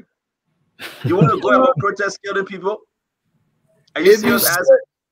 If you say serious, that would be a very big understatement. We, we, am we can more, more we can we can come from another way though. But are you uh-huh. serious that the I- I- protest listen, killing I always now? I always want to talk about the situation happening today, but I know you want to go back, George Weah's time. Let's go back there. But, yes, but, but, I, but I understand ourselves now. Co- co- I beg you, Minister, don't wait now. Wait, wait. With a few time we got left, let's understand ourselves. It was a bad day today for the government. It was, I, I, I can say that it was a bad day. So what did the president do? He called for the justice minister, of the minister of Alliance Matters, or how you know women pay, justice minister, of my own Pape Councilor Oswald. He called on Gregor Coleman. He called on everybody and said, You're open an investigation. Don't you think now, like we're holding the the government said two weeks have gone uh, on this, you know, on this army web. Give us time, two, three weeks on this investigation, and let's just wait and see. But for you to say, well, the government did nothing, he called an emergency ministerial meeting, man. Come on, probably, probably you didn't get me. Maybe, maybe you are listening no, to no, something. I, I got you. I got looking- you are no, no, no. You were looking to call me, so you were trying to damn my number, so you didn't really get me. No, But- what? Why am I calling you on the show? I'm not concerned. My my my statement did not mention what happened after the incident. What I said was people died from so far the first protest action against the government. That's what I said. I'm not saying what the president did later. No. And I know you wanted to go back to George Weah time, and I can be here proudly say, Okay, let me correct you again. Let me I, I correct come you. I come in one, one minute. George Weah was president for six years, good six years. There were protests upon protests upon protests upon protests. Not a single of them led to somebody dying, or to military or police or anybody shooting gunmen here and there. But I'm only saying the first time, the first of its kind led to people dying. Live bullets being fired. Uh, Is that let me let me let me remind you a little bit. Let me remind you. One of the first times uh, people protested against this government was the army wife. I am Nobody one one of the first times. I didn't say the first Unity time. Party, through its chairman, but, uh, Mr. Luther Tarpeh, had one of the largest demonstrations against its own government. Loga. Nobody died. People at the um, UL. uh, the UL Yeah, they were one a all around their heads and So everywhere. to say the first time No, no, no. is, One of is the an, first I mean, it's protests, uh, a, it's, it's a I mis- guess, one of the first protest actions against the But give government. a fair chance to talk now. No, but he's not saying what I said. No, but give him a chance to talk. Let him finish. So, so far, this government has demonstrated more willpower to negotiate up to the point where people are thinking sometimes they cave in. To come, the temperament of this government is nowhere comparable to that of Mr. Weah. This Stanton So thing that don't came make- in, you're right. don't make any comparison with between them. Look, Ambassador Boakai has moved to handle some of this situation in a most uh, civilized and somber manner. What happened today was a spillover from you guys. You should not deploy armed men, more so the armed forces of Liberia. Um, maybe they should have looked at it um, from a different So your military man couldn't agree. If it's a spillover from CDC, why now our government can just take those military guys from there? Now I agree with you totally.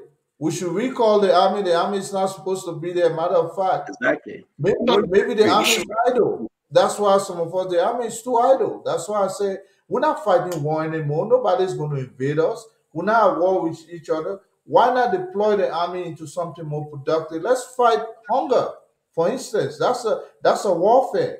Why not uh, Get you involved in agriculture. Get involved in growing, that's what I'm growing vegetables and fruit and something. What are they doing? You are right. So we have to look at you know in our direction. I could not have been I could not have been head of the army. I don't I don't I don't I don't revive a very But this is a serious thing, though. football For the, for the great, for the great, this is very serious and shameful It is. that It our is. military Right. men, our military men, killing our own people. And and I hope this investigation will I won't use let some us go war. Senton, I won't let us yeah. go war. Yeah, I hope that I hope this investigation will yield some results because uh, we'll come. Listen, people want to protest every second, but let's just bring that open the phone line because I think Ase Ase was lying when he said that the government never protest protested. Uh, thank you. All right. I don't think Ase was right when he said the government was being the peaceful, most righteous government with no protest. We saw one Yeah, not sure- into the not sure- university, Are university you of listening? Liberia student. Are you li- li- listening to our show here? Can we take calls from Liberia, Nelson? I said those saying that his government was the best government at water protests and, You know, and, when you it know, comes to the issue of peace in the country and when it comes to issue of security, I'm sorry, it's okay you can have talking points, but listen, with what has happened in the country so far under this new leadership, President we have six years, did not bring any of those. Uh, yeah, uh, celebrations never canceled any day. It did under this. Let's you don't go to the lab. When Because- they, when, talk, when talk, people were talk. protesting, they were giving water Oh. and food to people on the street. I say, I When say, actually, to tell you the truth, Isaac actually, you know, met George Weah today. George Weah accepted the letter of resignation from Mobile Model and he replied Mobile Model. And they appreciate Isaac for being on Spoon Talk, you know, and uh, Oh, the two Isaac all got the news. an offer from Spoon to serve as consultant. So everything now you see Isaac doing is to actually do the work of President Weah. And the So that CDC we government. read out all those three again. We'll go I to the just- phone line. So uh zero triple five one zero one zero seven five. We have the um I said, are they paying your internet bill the other now? line I'm gonna post up Huh? here. Take our first call. internet bill? Hello, you live, your name and where you call from? Yeah, they pay an internet bill. They give it a I'm message. sure Father, Father, I ever do. Hello, you Can you live. hear me? Yeah, you're live. Let's hear you. All right, this is uh, this is Elston, the legend. We say it's it's so such a good thing, you know, when you have discernment and you listen to people like Isaac do. I'm so befuddled, you know, everyone who worked in the government, you know, that was ran by a semi-literate George, we are who could not, you know, discern the simple things. The guys who profess to be educated or intelligent are a bunch of bouffons. Because yes, a man who just profess on this huge It does platform small and they know that they did things. You need to pick that person off. Let him stop insulting, man. Yeah, uh, Go to the yeah, Nelson, go to the next caller. let's let's let's let's see if we take Yeah, you can't be here. insulting everybody. just have to be stable in doing that, please. That's it. Uh, hello. Yeah, hello. Okay, let's hear you. You're live. Oh God. Hey, You said what's your name? Lucini Clay Street. Okay, Lucini, go ahead. Let's hear you. Thank you very much. Program. Uh, No, Lucini, your, your line is now okay. Please change your location and then you can call back. Hello. yeah, good evening. Yes, sir. You're live. Let's hear you. Yeah, uh, I want to say good evening to the Spoon family, and I'm D. Mary. I'm calling from Juboro. Please go ahead. Yeah, first I want to say sorry to the family that lost their loved ones, to the, I mean, grandkid mom. But you know, actually, like, bro, we lack of something. We, we lack of uh, key for each other. How can law be making decisions that will not be in the interest of the common people? A typical example, man will do things and say, yeah, leave it. Nothing much will come out of it. It's so sad to say today, um, people went there to kill people. But I just want to say to Joseph Boakai we all voted for him. Thank you. Still, to conclude now, we're still pushing the idea, but we want him to do the right thing that we all will not be pushing tomorrow. Thank you. Uh, let's take Thomas Kume. Thomas, go ahead. You're live. Yeah, thank you. So uh, I'm Thomas Kume calling from Carway. Go ahead. So firstly, I want to uh, express my sympathies to the uh, bereaved uh, family, those who lost their life in Cape Mount. And uh, that that that was going to be um, that wasn't going to happen if uh, those guys that who went there and started shooting. Though the, the company was lo- losing some properties, but I think um, the the the the ERU or who's uh, the entity that went there, the guys, uh, you could use a tear gas and you know they just burst the crowd and shooting at the people's lives with us. I think that was uh not necessary. The government need to really investigate and take action. Thank you, sir. Thank you so much. Thank you. Um, we take another person from here. Hello, you're live. Good evening. Yes, sir. Let's hear your name and where you call from. Well, my name is Jared and I'm calling you from Aven Fire Station. Okay, please go ahead. Thank you know, first, uh, let me condemn the ad that Can you can you walk away from your radio or just reduce the volume? Please do that. Then I will I will bring you back on. Just just make the adjustment. I'll bring you back on. Hello, you're live. Your name and where you call from. Hello. Hello. Can you hear me? Hello. Yes, we are live. Let's hear you. Yeah, um, I want to partake in the show. Yeah, the you show, are live. You are live on the show now. Let's hear you, man. Ah, well, maybe the only program I own. I'm still saying- live, but I'm just- Somebody, please lower the TV for me. Wow. Hello, hello. You are live on the Nice to- show. Yeah, you are live on the show. Okay. Okay, thank you. I'm the one I call. I, I keep calling only one issue. Okay, my sympathy to the people from Grand Cape Mount County for what happened today. I'm so sorry for the incident, but I got problem with I said those saying uh, there were no killing in the government when they used to protest. They used to get it for water and food. That's a lie. We wash everything. Actually, my name is Amanda Spence. I'm calling from New York. That's a lie. Okay. All right. So what I want to say, I come back to address the same issue the other day about the drugs issue in Liberia. Okay.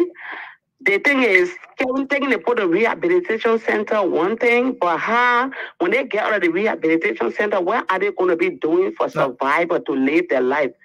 You know, to contribute towards the economy. Thank you. So my um my suggestion is to build a place for them, get them clean, train them, like make them to learn trade and stuff that when they get out, they'll be able to contribute towards the economy. It's very important because you carry the man to rehabilitation Thank- center from there, you come right back in the street. Thank you very much, ma'am. Let's let's hold you there and uh, take another call. Thanks a lot. We appreciate you. Thank you. All right, thank you. Okay. Um, hello, you're live. Your name and where you call from. Good morning. Yes, sir. Let's hear you. Yeah, uh, thank you very much. Thanks to Stephen Witherspoon. Uh, thanks also to Mr. Doe. This is Oscar here from Middletown this morning. You know, uh, uh, what happened yesterday is fast. You know, we don't support the idea. We just like it for us. So I think, Labrentu, some of us we need to learn how to, you know, follow what the government say because I think it will be necessary to follow what the government say. Once it comes in, you express your grievance to the government and government say, okay, we look into the issue.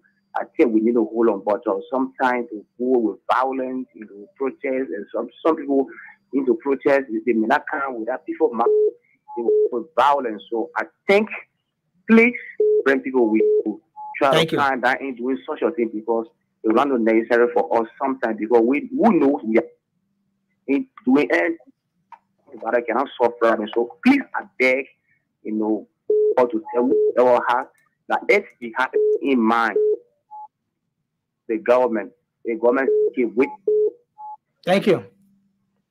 think GNB, our president, our good leader, to see how they are able to come to the ill or library to want to come out and oh yes, this is nice what we left, what we want for the food to do for us. They should what us speed it uh, with with investigation, you know, to, to see how they are thinking go on smoothly with with whosoever that have problem on their mind. Thank you very much. Thank you. Let's take another person. Hello. Please go ahead. You're live. Hello, Yes. Go ahead. This is a woman from West Farm. Okay. I want to say sorry to the bereaved family and we strongly condemn the action today. But I'm blaming the advisor to our government, especially the security advisor. You know, didn't tell that he allowed the one that seen. They should have sent different people to settle that situation. If somebody lost their life at the age of 21, 22, it's disheartening. And um, let me come to my own brother. When when the Afro start to speak on issue in Liberia, look, Joe Okay. becoming traveling to the library, you call the other guy, or when sometimes when somebody frustrate people and people frustrated, eh, they don't have where to address the issue. I don't can be addressing issue to be get all irritated. It's very bad. Yeah, yeah. thank you. Very, very bad. If Thank I you, keep sir. out of there, just walking, keep out, keep listening to someone on the radio, Thank what like, they just keep irritating all Sorry, brother. Or some of the Thank government, I was in the booth. Sorry, yeah. Um, we'll take the last maybe two calls and then we'll wrap up. Hello. yeah. Yes, you're live. Your name and where you call from. Uh, my name is Mohammed Musa Dore, and I call you from Bomi County, specifically Suehn Mecca District. Yeah, please go ahead, sir. Uh, you see, Liberia, we need to change. Liberia will be the other country around the world, we need to change from our bad behavior. How can a country look at military and expand their present era to suppress their own people in the interest of some high profile government official getting their own, you know, selfish deed to be done? I think it's very bad and so Liberia must desist from this kind of act if our people is or are to live good, better life. Thank you. Thank you. Thank you, sir. Okay. Oh, Thank you. Mr. Do, your your leg go up? Hey. Uh, you want to ask me that kind of question? Well, I thought again that trouble. Go on. Minister money captain. Hello. Hello. Hello, you live?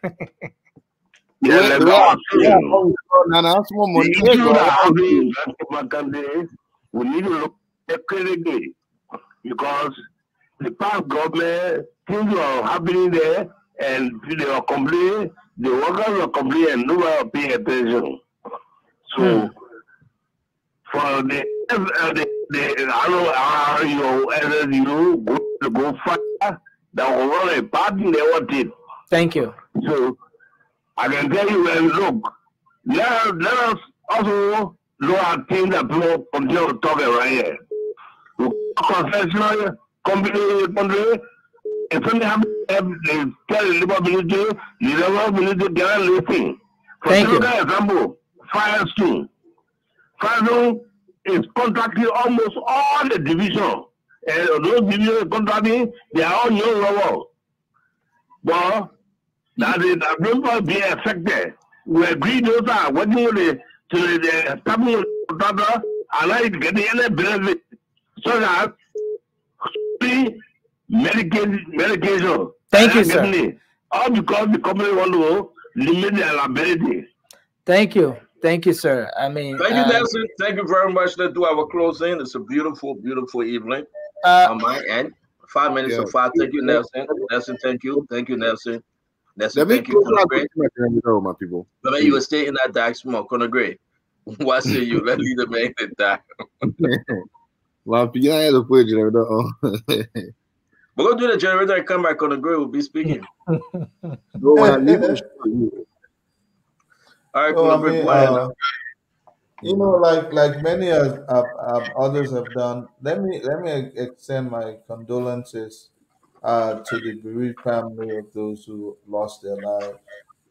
Um, in Cape Mount, they are my people, uh, and and I know definitely my people are not.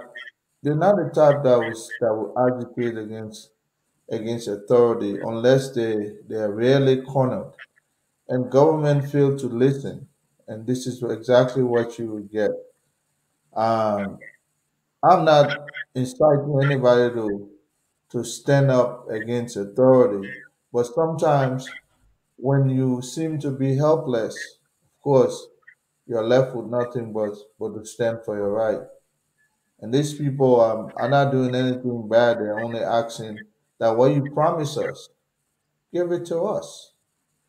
And uh, my hope is that um, um, the new administration under Ambassador Boakai will step in and really compel these people to abide by some of the the contract agreement that you know um, that put them in place in the first place. If you can't do that, if you don't have the decency, like Dylan was asking, Dylan was asking a very good question. You promised to build house hospital medical facility. You Yeah, have people did. working in this kind, in this kind of dangerous, uh, uh, uh, you know, situation, and you promise. You know, hospital is very important. Now, somebody got hurt. They had to transport them to to to Monrovia. Liberia, Monrovia is not Liberia. People are mining at least give them that that, that courtesy to get them, you know, some some accessible hospital so that they can bring their family there. Come on, man. And you know, we got people coming to our country and they take advantage of our people. And our government there remain mute. Uh, you know, uh, this is not the first time it happened in Firestone. And then people go build makeshift shel- shelter for people who are who are giving you billions of dollars. Nobody benefiting here, but, but only those who come in and probably few government officials. I think uh, they should let out that Dabah guy go. It should go. I mean, definitely, he has uh, outrun his course. 12 years, man. He's not there for the anymore. He got no feeling for our people. But, but you know, Stanton, we we got we got a long way to go. And and I'm not. I really don't like the way how Grigsby is proceeding. Uh, I understand it's a Lexington brother, man. Uh, it's not. It's not doing well. Um, He's from, he's from Greenville. yeah. Okay. He's from, he's from I Greenville. I, It's, it's, I, it's not too I far from heard, I Lexington. heard names that are placed in the in the in the appointment. He, kind of like changed them at the end of the day and put some of the people there. Uh, I don't No, know. I I, don't I'm know not. I'm to not. I'm that. let it's also going to agree. I'm not going to put that on Grigsby. I may disagree uh, on that note that anyone switching names. Uh, Yeah. listen, it's not Grigsby. It's not Colonel Gray. I respect that. I don't think because those things are signed by the president. You know, No, the, the, the and- president and- signed and put the signature on top. Under are the name. So I so Grace understand it's happening out there, Madam Sirleaf. So it's not that you know, then then the Senate blast. So the, the, the Omen will not be able to cater. That's why No, you have seen again, again, I would say on, No, on that note, on, on that note, I would say, you know, something is happening, but it's not about changing names on the appointments, right? Uh, people are very careful because the old man have frowned upon that. When he he he, he he's hearing you that you're making those uh, accusation. Uh, but my thing with the Grace factor is like the party folks themselves have felt within themselves that you know they are left out. I, I don't think, and here we are. This history behind Grace that he was supporting Cummings. Uh, he's the Madam Sirleaf boy, you know, guy. He's 75 years old. Uh, his relationship with Joseph Nyuma Boakai is a factor, of course. You know, we respect it. But I asked a direct hard question to Ambassador, and you heard how he answered the question. Knowing what we know today, if Joseph Boakai ever going to say, I will make Grace my, my, my chief of staff, a minister of state, he was going to lose this election. Seriously speaking, because even people within the party, they are mad. Why are you bringing Grigsby? You say, yeah, that's my long-time friend. I respect him. I trust him. But this is a collective effort of everyone. That you bringing Grigsby, as I say, he went to Ghana for an interim government. You bring in Grigsby that people say, well, Grigsby was supporting uh, that, that, that Mr. Cummings boy. Uh, people saying Mr. Cummings, uh, you know, people going through Mr. Cummings now to call Grigsby and say, I need a job. These are the kind of things that are coming up. We got one instance that a woman called and they said, go and call Mr. Cummings. And when a woman called Mr. Cummings, whether it's true or not, but I'm explaining it, and I will explain it better tomorrow because I'm gathering the information. Uh, Mr. Cummings called Grigsby, and Grigsby said, send the person to me. So who hiring who? This making people so uncomfortable with the grace period factor. Oh. But Joseph Boakai said that my longtime friend, the president said with Bain CWA, that's my buddy buddy from Madam 72 of your government. I know him, I trust him, so be it. But if there's a problem for the government, then we need a solution. Because if Mr. Combs will be calling Grigsby and telling Grigsby, say, I got somebody that want a job, help them out. You know, You know. and, and, I, and, and, and I say, we'll come to you, my brother Isaac. And I think that's a problem, Colonel Gray, because it making people uncomfortable. Maybe President Boakai not seeing it. President Boakai thinking this is a 10 years, 12 years, 20 years back when Colonel Gray and myself were chilling. This is a new time, man. This is the guy that never supported you. You say, oh, the man was doing it bad, though. No. Griezmann never supported you. Griezmann wasn't in the fight. People that were in the fight right now, I can tell you, they are so mad. People say, man, maybe Griezmann called the Pape and hooked the Pape with some money. No. Man, Griezmann someone openly knew that told us he was support were- Someone knew that these shenanigans were the one that were going to show up at the end of uh, a Cummings um, presidency, and and more of those kinds of people that will come So, from nowhere. and, and we're going, and we're going to say this thing. We're going. To, I'm going to say it good because I was able to gather the individual name that Grace will helped put through for that job. I want to respect them, and you know whether he convinced just say he might work out for the job. But I don't know what agreement the president went through with Madam Sally. Maybe that's a factor. I don't know. And, you know, but the fact is that if President Boakai said, I trust Grace Bay, I want to work with Grace Bay, I make Grace Bay my minister of state, uh, then then then a, a lot of people kind of like shaky, man. Uh, So- so- what's going on with this guy? I said, though, I know you stay in Yeah, the we know- darkness. Come in, let's hear you out. Let's hear you, brother. Yeah, let, let me close. Let me close because we are so much tired with this blame game on other people. The day we begin to realize that the government is on the armpit of the president, the president only, maybe we will stop making the people be concerned as to who is actually running the government. Please, everything that happens under the government is the gov- president's responsibility. Okay, great, great spirit change day, he bring this. It is the president's responsibility to appoint whoever name there that is appointed, as far as we know, is the president that appoints the president. British because you know we we we tired with this excuse on everybody. This is our country to, to- today. The country is overheating. The country is overheating. We are seeing suspicious houses burning every day and people losing their lives here and there. Live bullet flying everywhere. Where is the rescue train? And I want to specifically go to the civil servants. I know this is not something people will be expecting, but I, I, I really wanted to say this. Listen, you civil servants, I wanted to talk to you very quickly. We can only talk as much as we can talk. One thing I was talking is showing is that uh, we care for everyone, everyone, not just people who are seditious or people who support the CDC. Every one of you. You voted for the rescue mission in anticipation that they will come and improve your lives. And of course, you were not wrong to do that because of all of the things they told you. How much they said they would do, they would do this, they would do. So I said though, and and, and I think and, and, and I think Let me- your internet your internet is having problem too. Uh, we No, it's not a big problem. Let me end. It's not having problem. No. Be mellow by post uh, uh, Stanton. And you say you I don't your have- internet went off. That's what No. I'm saying. No, but I'm I'm on. I'm on. People hearing me all over. I know I'm on. Just leave my internet go through, please. So as I'll say, I know someone wants to take me to the back, but across ministries, there are mass dismissals, cancellations of contracts, demotion of people, recalling of people, and most of you affected today campaigned and voted for the rescue mission instead of talking about increasing your salaries that they promise you. They they are you, your friends, your brothers, your sisters. Am I you? It may not be you today. You are not. Which one, far the from harmonized salary? when will you rise up, civil servants? When will your voices be heard? When will you stand up? Elections have gone. This is not campaigning anymore. This is governance. Right in your eyes.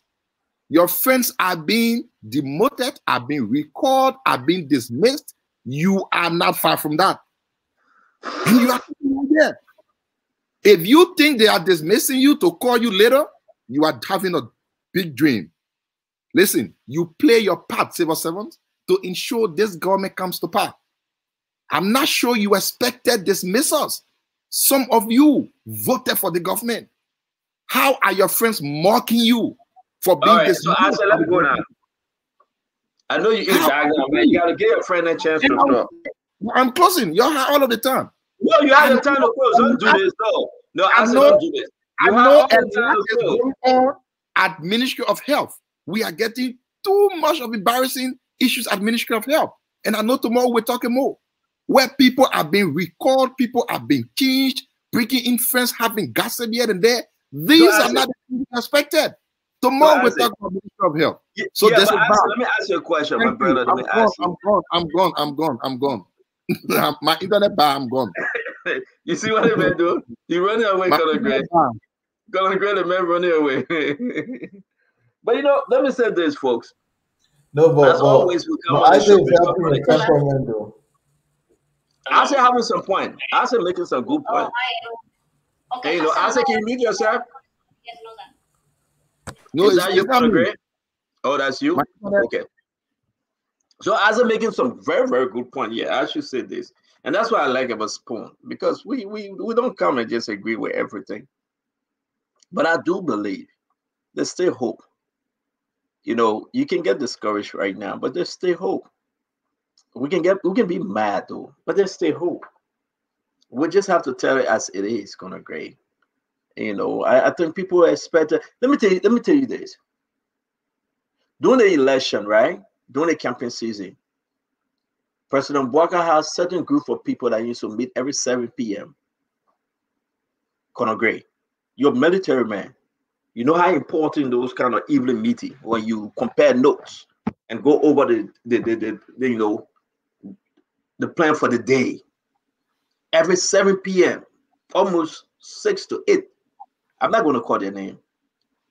They will meet, they will discuss the issue, and you know, they will put things in place. And these kind of mistakes was never happening. Because he know them, Colonel Gray, and they know him. They are raw politician on the street. There were certain things in place. Before the press release come up, people understand.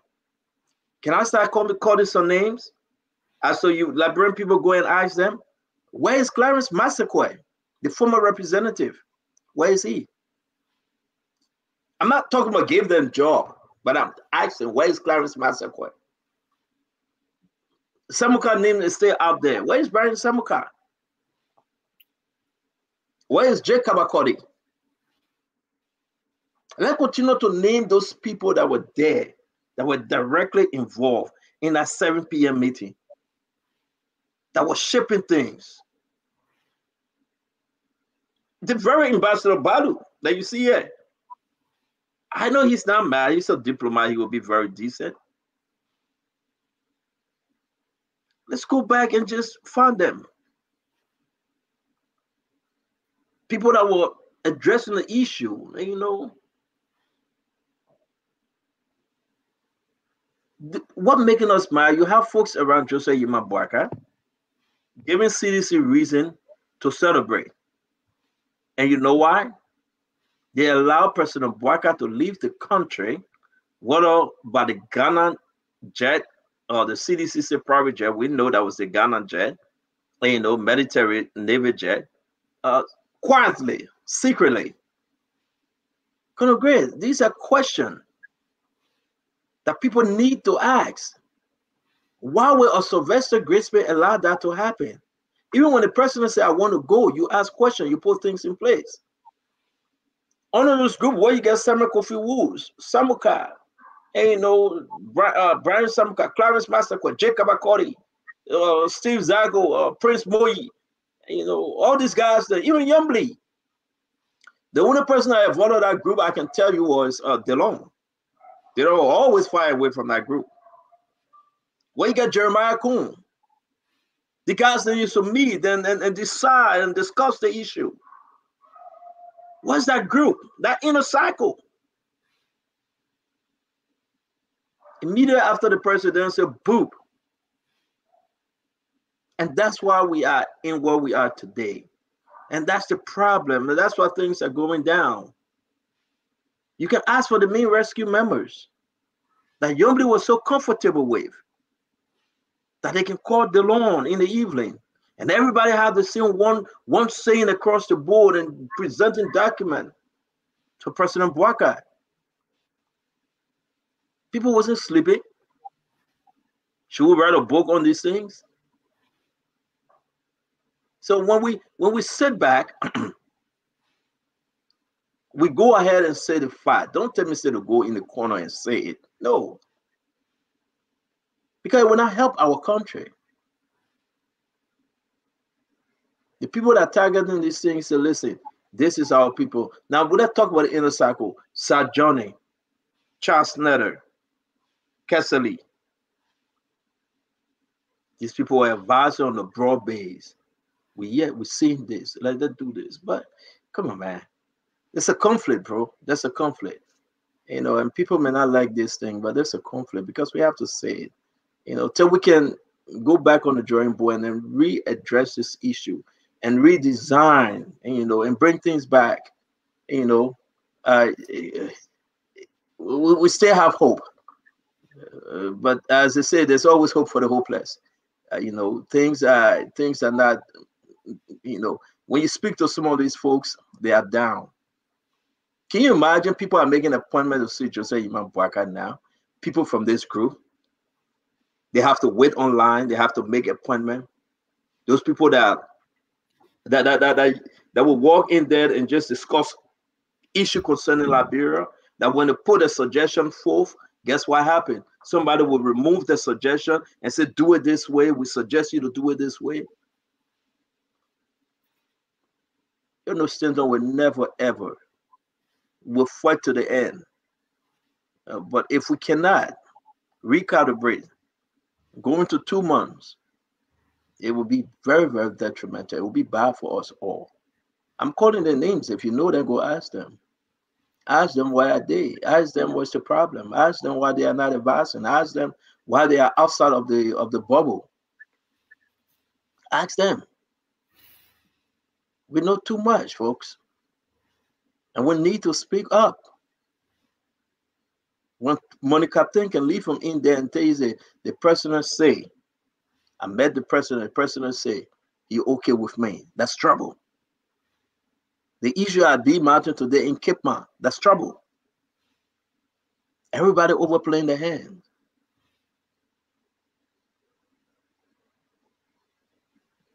And so if you want to say it's okay to each his own, to each his own. But I know, I know that it's not. We said 17, 18 days. The Army Wife investigation. We still wait for the report. The tenure thing came about under the bad advice, no due diligence, Conagray. We're removing people from tenure guess what? Supreme Court put it on hold today. Supreme Court said we're still within. I think the rescue revolution has been hijacked, my brother. We are not we are not moving forward because we don't have anybody from the Justice Department today. Today it's on the newspaper because the appointment to meet people in Chimoy was today. So the tenure thing is just up and down. You know, and people say, but we're not Stanton. We be quiet, but it's small. Be quiet, be quiet will cause a, a problem. You know, uh, people not speaking up because they are in the government. So since we are not in the government, let's speak up. It will help to change course. And that's all I have to say. Tomorrow it will be a powerful show. We have Francis Dopoh coming, the senator, and uh, we're holding responsible for some of these things and ask him to explain to the Liberian people what's going on. Every day is important in the life of Liberia. Every day. Don't say it's just one day, it's just two days, it's just three days. Every day is important. Every day we should hold the government responsible. Every day we should hold our nation, the leaders responsible. Every day we should question. Can leave. I will, I will hang out with my PG. I know you are very basic. Thank you. Every day, Nelson, we should hold people responsible because It is our right to do so. There's no more guns, there's no more bullets. We should use our medium, we should use every way, every which way to speak truth to power. It, it, it doesn't look good. People are afraid to talk. Jawea a lot of people will be talking secret. Out, they will be scared. And are not losing the election. We need to change course. Today, an emergency meeting was called. All the ministers that went there. And they came out and said, Well, we send people to Grand Cape Mount. Listen, then what? You call Monie Captan, the president will meet with Monie Captan and his team. Then what? Are you still not in darkness today? Have the government spoken on the issue of LEC? Have this president said I will keep Monie Captan on X, Y, and Z? Let's talk about the issue. The position of the government on the tenure issue is what? Freeport board members say they on tenure. EPA say they on tenure. Fishery tenure. NRF, National Road Fund, tenure. LADRE, tenure. Maritime, tenure. Uh, just call the name. LACC, tenure. CBL, tenure. National Election Commission, tenure. Let's name them. Everybody, the whole government will be on tenure. Everybody will be on tenure. So you will clear all of them and bring in new people and give them millions of dollars. So I want you to understand, let's start counting every area that have tenure. The people from the Freeport, the board members say they're on tenure according to the act, right? EPA, where Yeah. Winston Tarpeh came from, he's on tenure. They still owe him almost four years. LRA, Gabriel, they're on tenure. Montgomery, then they're on tenure. That's three, right? Emma Glassco, Fishery, that four. National Road Fund, Josita Winton, that five. Central Bank, that's six. National Election Commission, that's seven. Social Security, that eight. NASCO, that nine. Uh, okay, okay, let's just put Yeah, them together. na, NASCO, not yeah, NASCO. i- Is it the same na, National Social Security and Welfare Yeah, National Social Corporation? That's Security, that's NASCO. NASCO.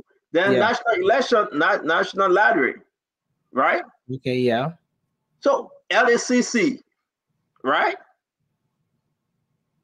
This Mhm. person from FIU, GSC as well. GSC, FIU. Let's name them. You talking about almost 15, 16 entity out there on tenure. Not only one individual, but you get three, four, five of them.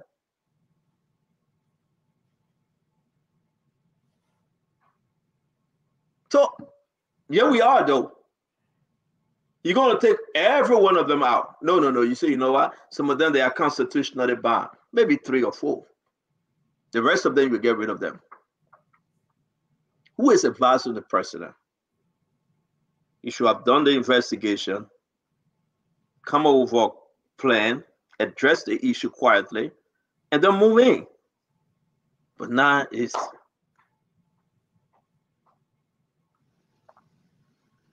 so Nelson, you're on tenure too with Spoon for four years, right? Uh, I will slap the picking. tenure. Private sector don't get time for tenure. no, stop that. Then you go tell Titi that you're on tenure. no, but open a full line. I, I beg to have maybe 10 more minutes of your time. Open a full line. Then people need to know everywhere in Liberia that have tenure. I said, Doc, can you help us? But man, go put your generator on, man. Don't do this to us. Yeah, I try. But before I go quick, and you know what? Interesting though. But I said, put the generator on and come by. We still get Yeah, 10 more minutes. You know what is interesting now? What? All of that trinity you talk about, it happened on President Boakai. President Boakai was sitting in a chair when everything was being passed. Everything you talk about today. So that the funny thing, so they will go to come out that will come out. That- that can be Yeah, I beg you. I beg you go. But it is important, right? For us to understand, folks. Nelson, open the phone line. Let's say I know I into your time, and all your people that I can see, then they can get fair with me. But we need to we need to hear this and hear this now. How many folks on turning position in Liberia? How many are they? Who advised the president to go ahead and say we'll remove them without having some you know better background understanding?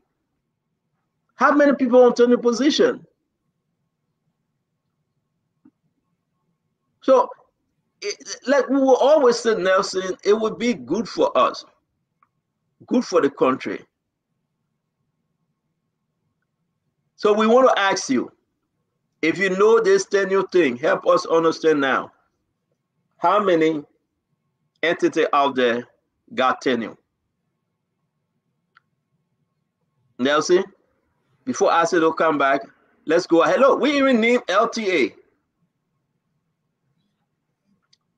LRA, Liberia Revenue Authority, LTA, Liberia Telecommunication Authority, Liberia Maritime, that's three, right? I mean, yeah. that's in plenty. This thing, that, that, that, that's not a small area, man. Everybody is on tenure in Liberia. Mo Ali will soon get on tenure too.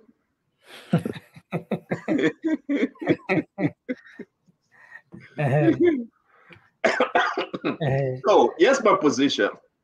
The current government should have gone in the back and negotiated with all these people. Make sure they have crossed all the T's and dotted all the I's. Then they can come back and make that announcement about removing them. That, that would have been the best thing to do you know, but you got all the technical complication now. You know, we didn't get time. We got to move on. We got to run a government. But it, it, go back to who are advising the president, or who's advising the president currently on this issue. And that's why actually I speak these things because I know, I know what I know. So Nelson, uh, Spoon, Spoon Network at tenure, right?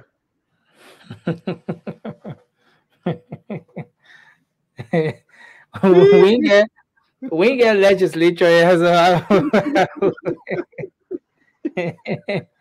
Woo! How many years do you guys have? Uh, no man, for real. It, everybody get tenure, man, and you know it, it just it doesn't look right though. Yeah. It doesn't look right, seriously speaking. Seriously speaking. If if you go back in, in the days, you will understand that for Liberia. Let me take this call. Hello, your name and where you calling from? Yes, sir. My name is Jay Numa Doko. Uh, reference the tenant positions, my advice to the government of Liberia is, look, there's a clause in the uh, the code of conduct. And when you are found guilty certain misconduct, you can be fired. All you need to do, all those 10 new guys, if there is a new government, institute an audit, you'll find them, you'll find them wanting. With that, you, you remove them easily. You need to pay nobody. But they, they, they be found guilty.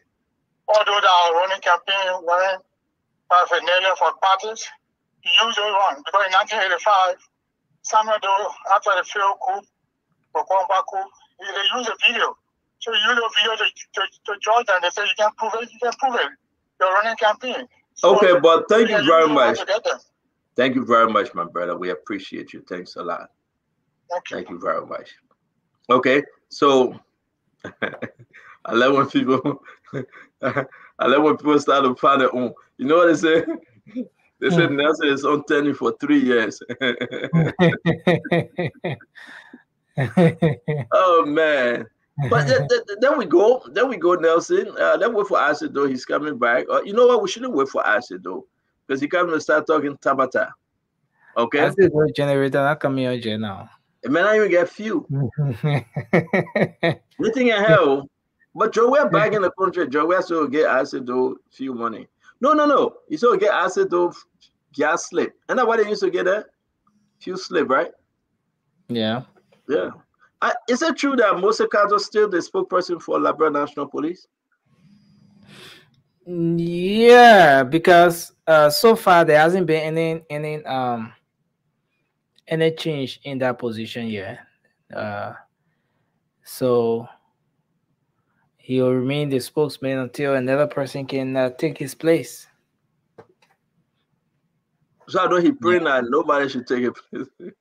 Was it kind of a man? Let me leave him alone. Now, man, let me leave him alone. But I think he praying that nobody should take his place. Yeah, but that's any position, so No, the man got tenure. Where are you? And that position? no. And Eh, Chris in Perry fact- Moses is on tenure. Eh, in fact, in fact, uh, Woods Yonton was the shortest serving um police post. I think, I think, I think, I think the president should put Woods Nel- Nelson back. I like, I like the Woods Nelson. I like he did well, but he was kicked out by Emmanuel Porter. Emmanuel Porter kicked Woods Nelson out.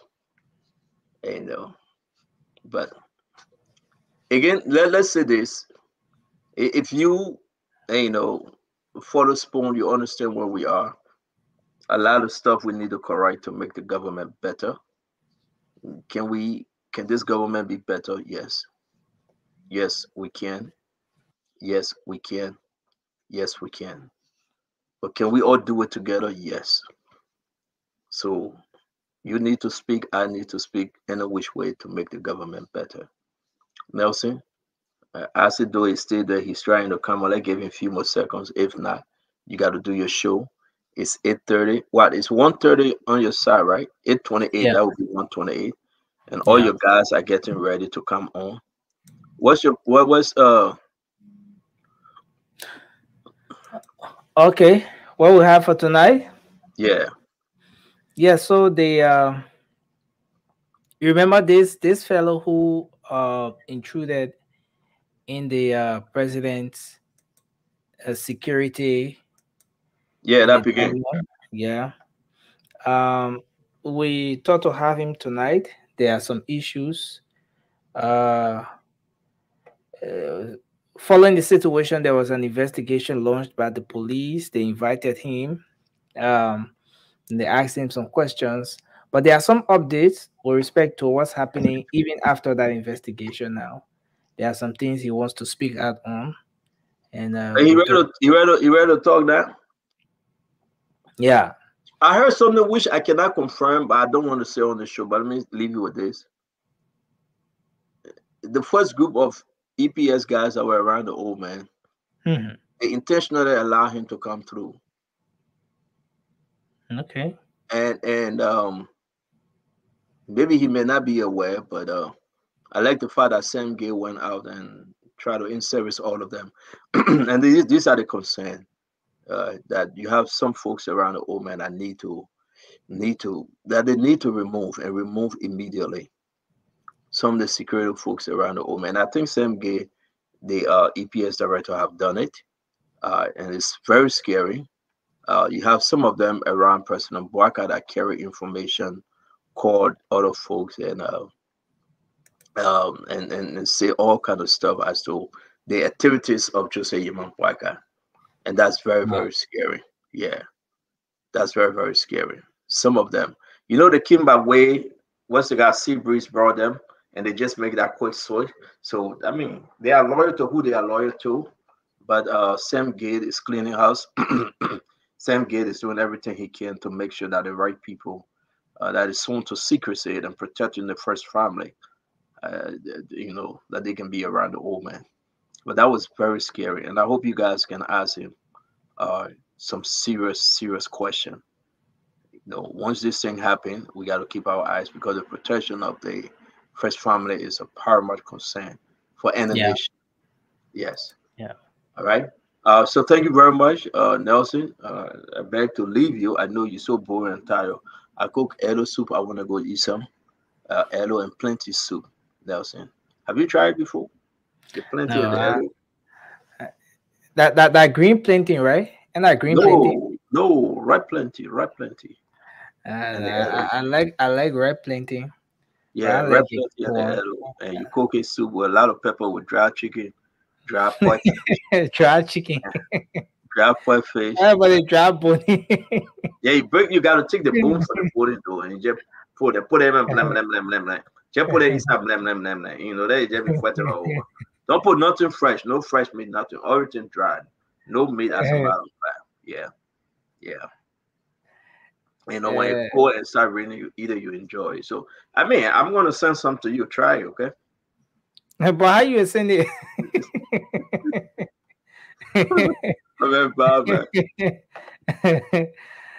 Uh, well, folks, again, we want to say thank you for being here with us tonight. Uh, this is Spoon Talk, man. We appreciate all of you for um, always uh, sharing your time with us. Thanks for um, making up time to be here every single day. As you know, Spoon Talk is where you get um, all the latest information, the happenings in the country. We bring you up to speed every single day. And I want to say thanks to thousands of you in Radio Land who charge your battery every single day, catching us on several frequencies across the country. We appreciate you for that. Thanks to our partner radio stations across Liberia, um, Trend Radio 104.7 in Grand Kru County, Gibi FM 90.9 in Kakata, Margibi County. Thanks to Trust FM 88.7 in Bomi County and of course uh, Punch 106.7 here in Monrovia. We've been live across the Spoon Network as well. Um, Spoon 107.5 FM, Fabric 101.1, and uh, Super 95.5 FM. And uh, to our online audience, many thanks to all of you. Yes, um, you're on YouTube, uh, Spoon Talk Live, Facebook, Spoon TV, Fabric TV, and Super TV. We appreciate all of you. We'll be here tomorrow with another edition of Spoon Talk. You don't want to miss it. It's going to be another great show. Um, you can make up time to join us tomorrow. Until then, have a good night. Um, Abraham Walker, Yaman Thompson, uh, Chris Perry, Dr. Kelvin, Jason, Yes, Dr. Kelvin, thanks for being here tonight. Mohammed A. Sharif, my own sister Shirley Snen, Joyce Dylan, Florence Bokar, Natania, Natania Bernard. Thanks to all of you for making up time to be here tonight. Spoon Talk will be back on your radio tomorrow. Coming up shortly is the late night show, the late night politics on Spoon. You don't want to miss it. You can make up time to join us. Until then, have a good night. My name is Nelson Colette. Liberia is all we have. So let's remember to keep the peace. Happy birthday uh, to all the folks in February. Um, those of you who were born February 29th, you celebrate your birthday only in leap year. You celebrate your birthday once after every two years. Let me say happy birthday in a special way to all the February 29 born, those people who were born the 29th of February, um, happy birthday to you. Yeah, celebrate well because it's going to be after two years before you celebrate another birthday. So, uh, yes, folks, let's hope you can join us on the late night show shortly. It's going to be great. A whole lot to talk about, and so much, so much information coming your way very shortly. Bye bye for now.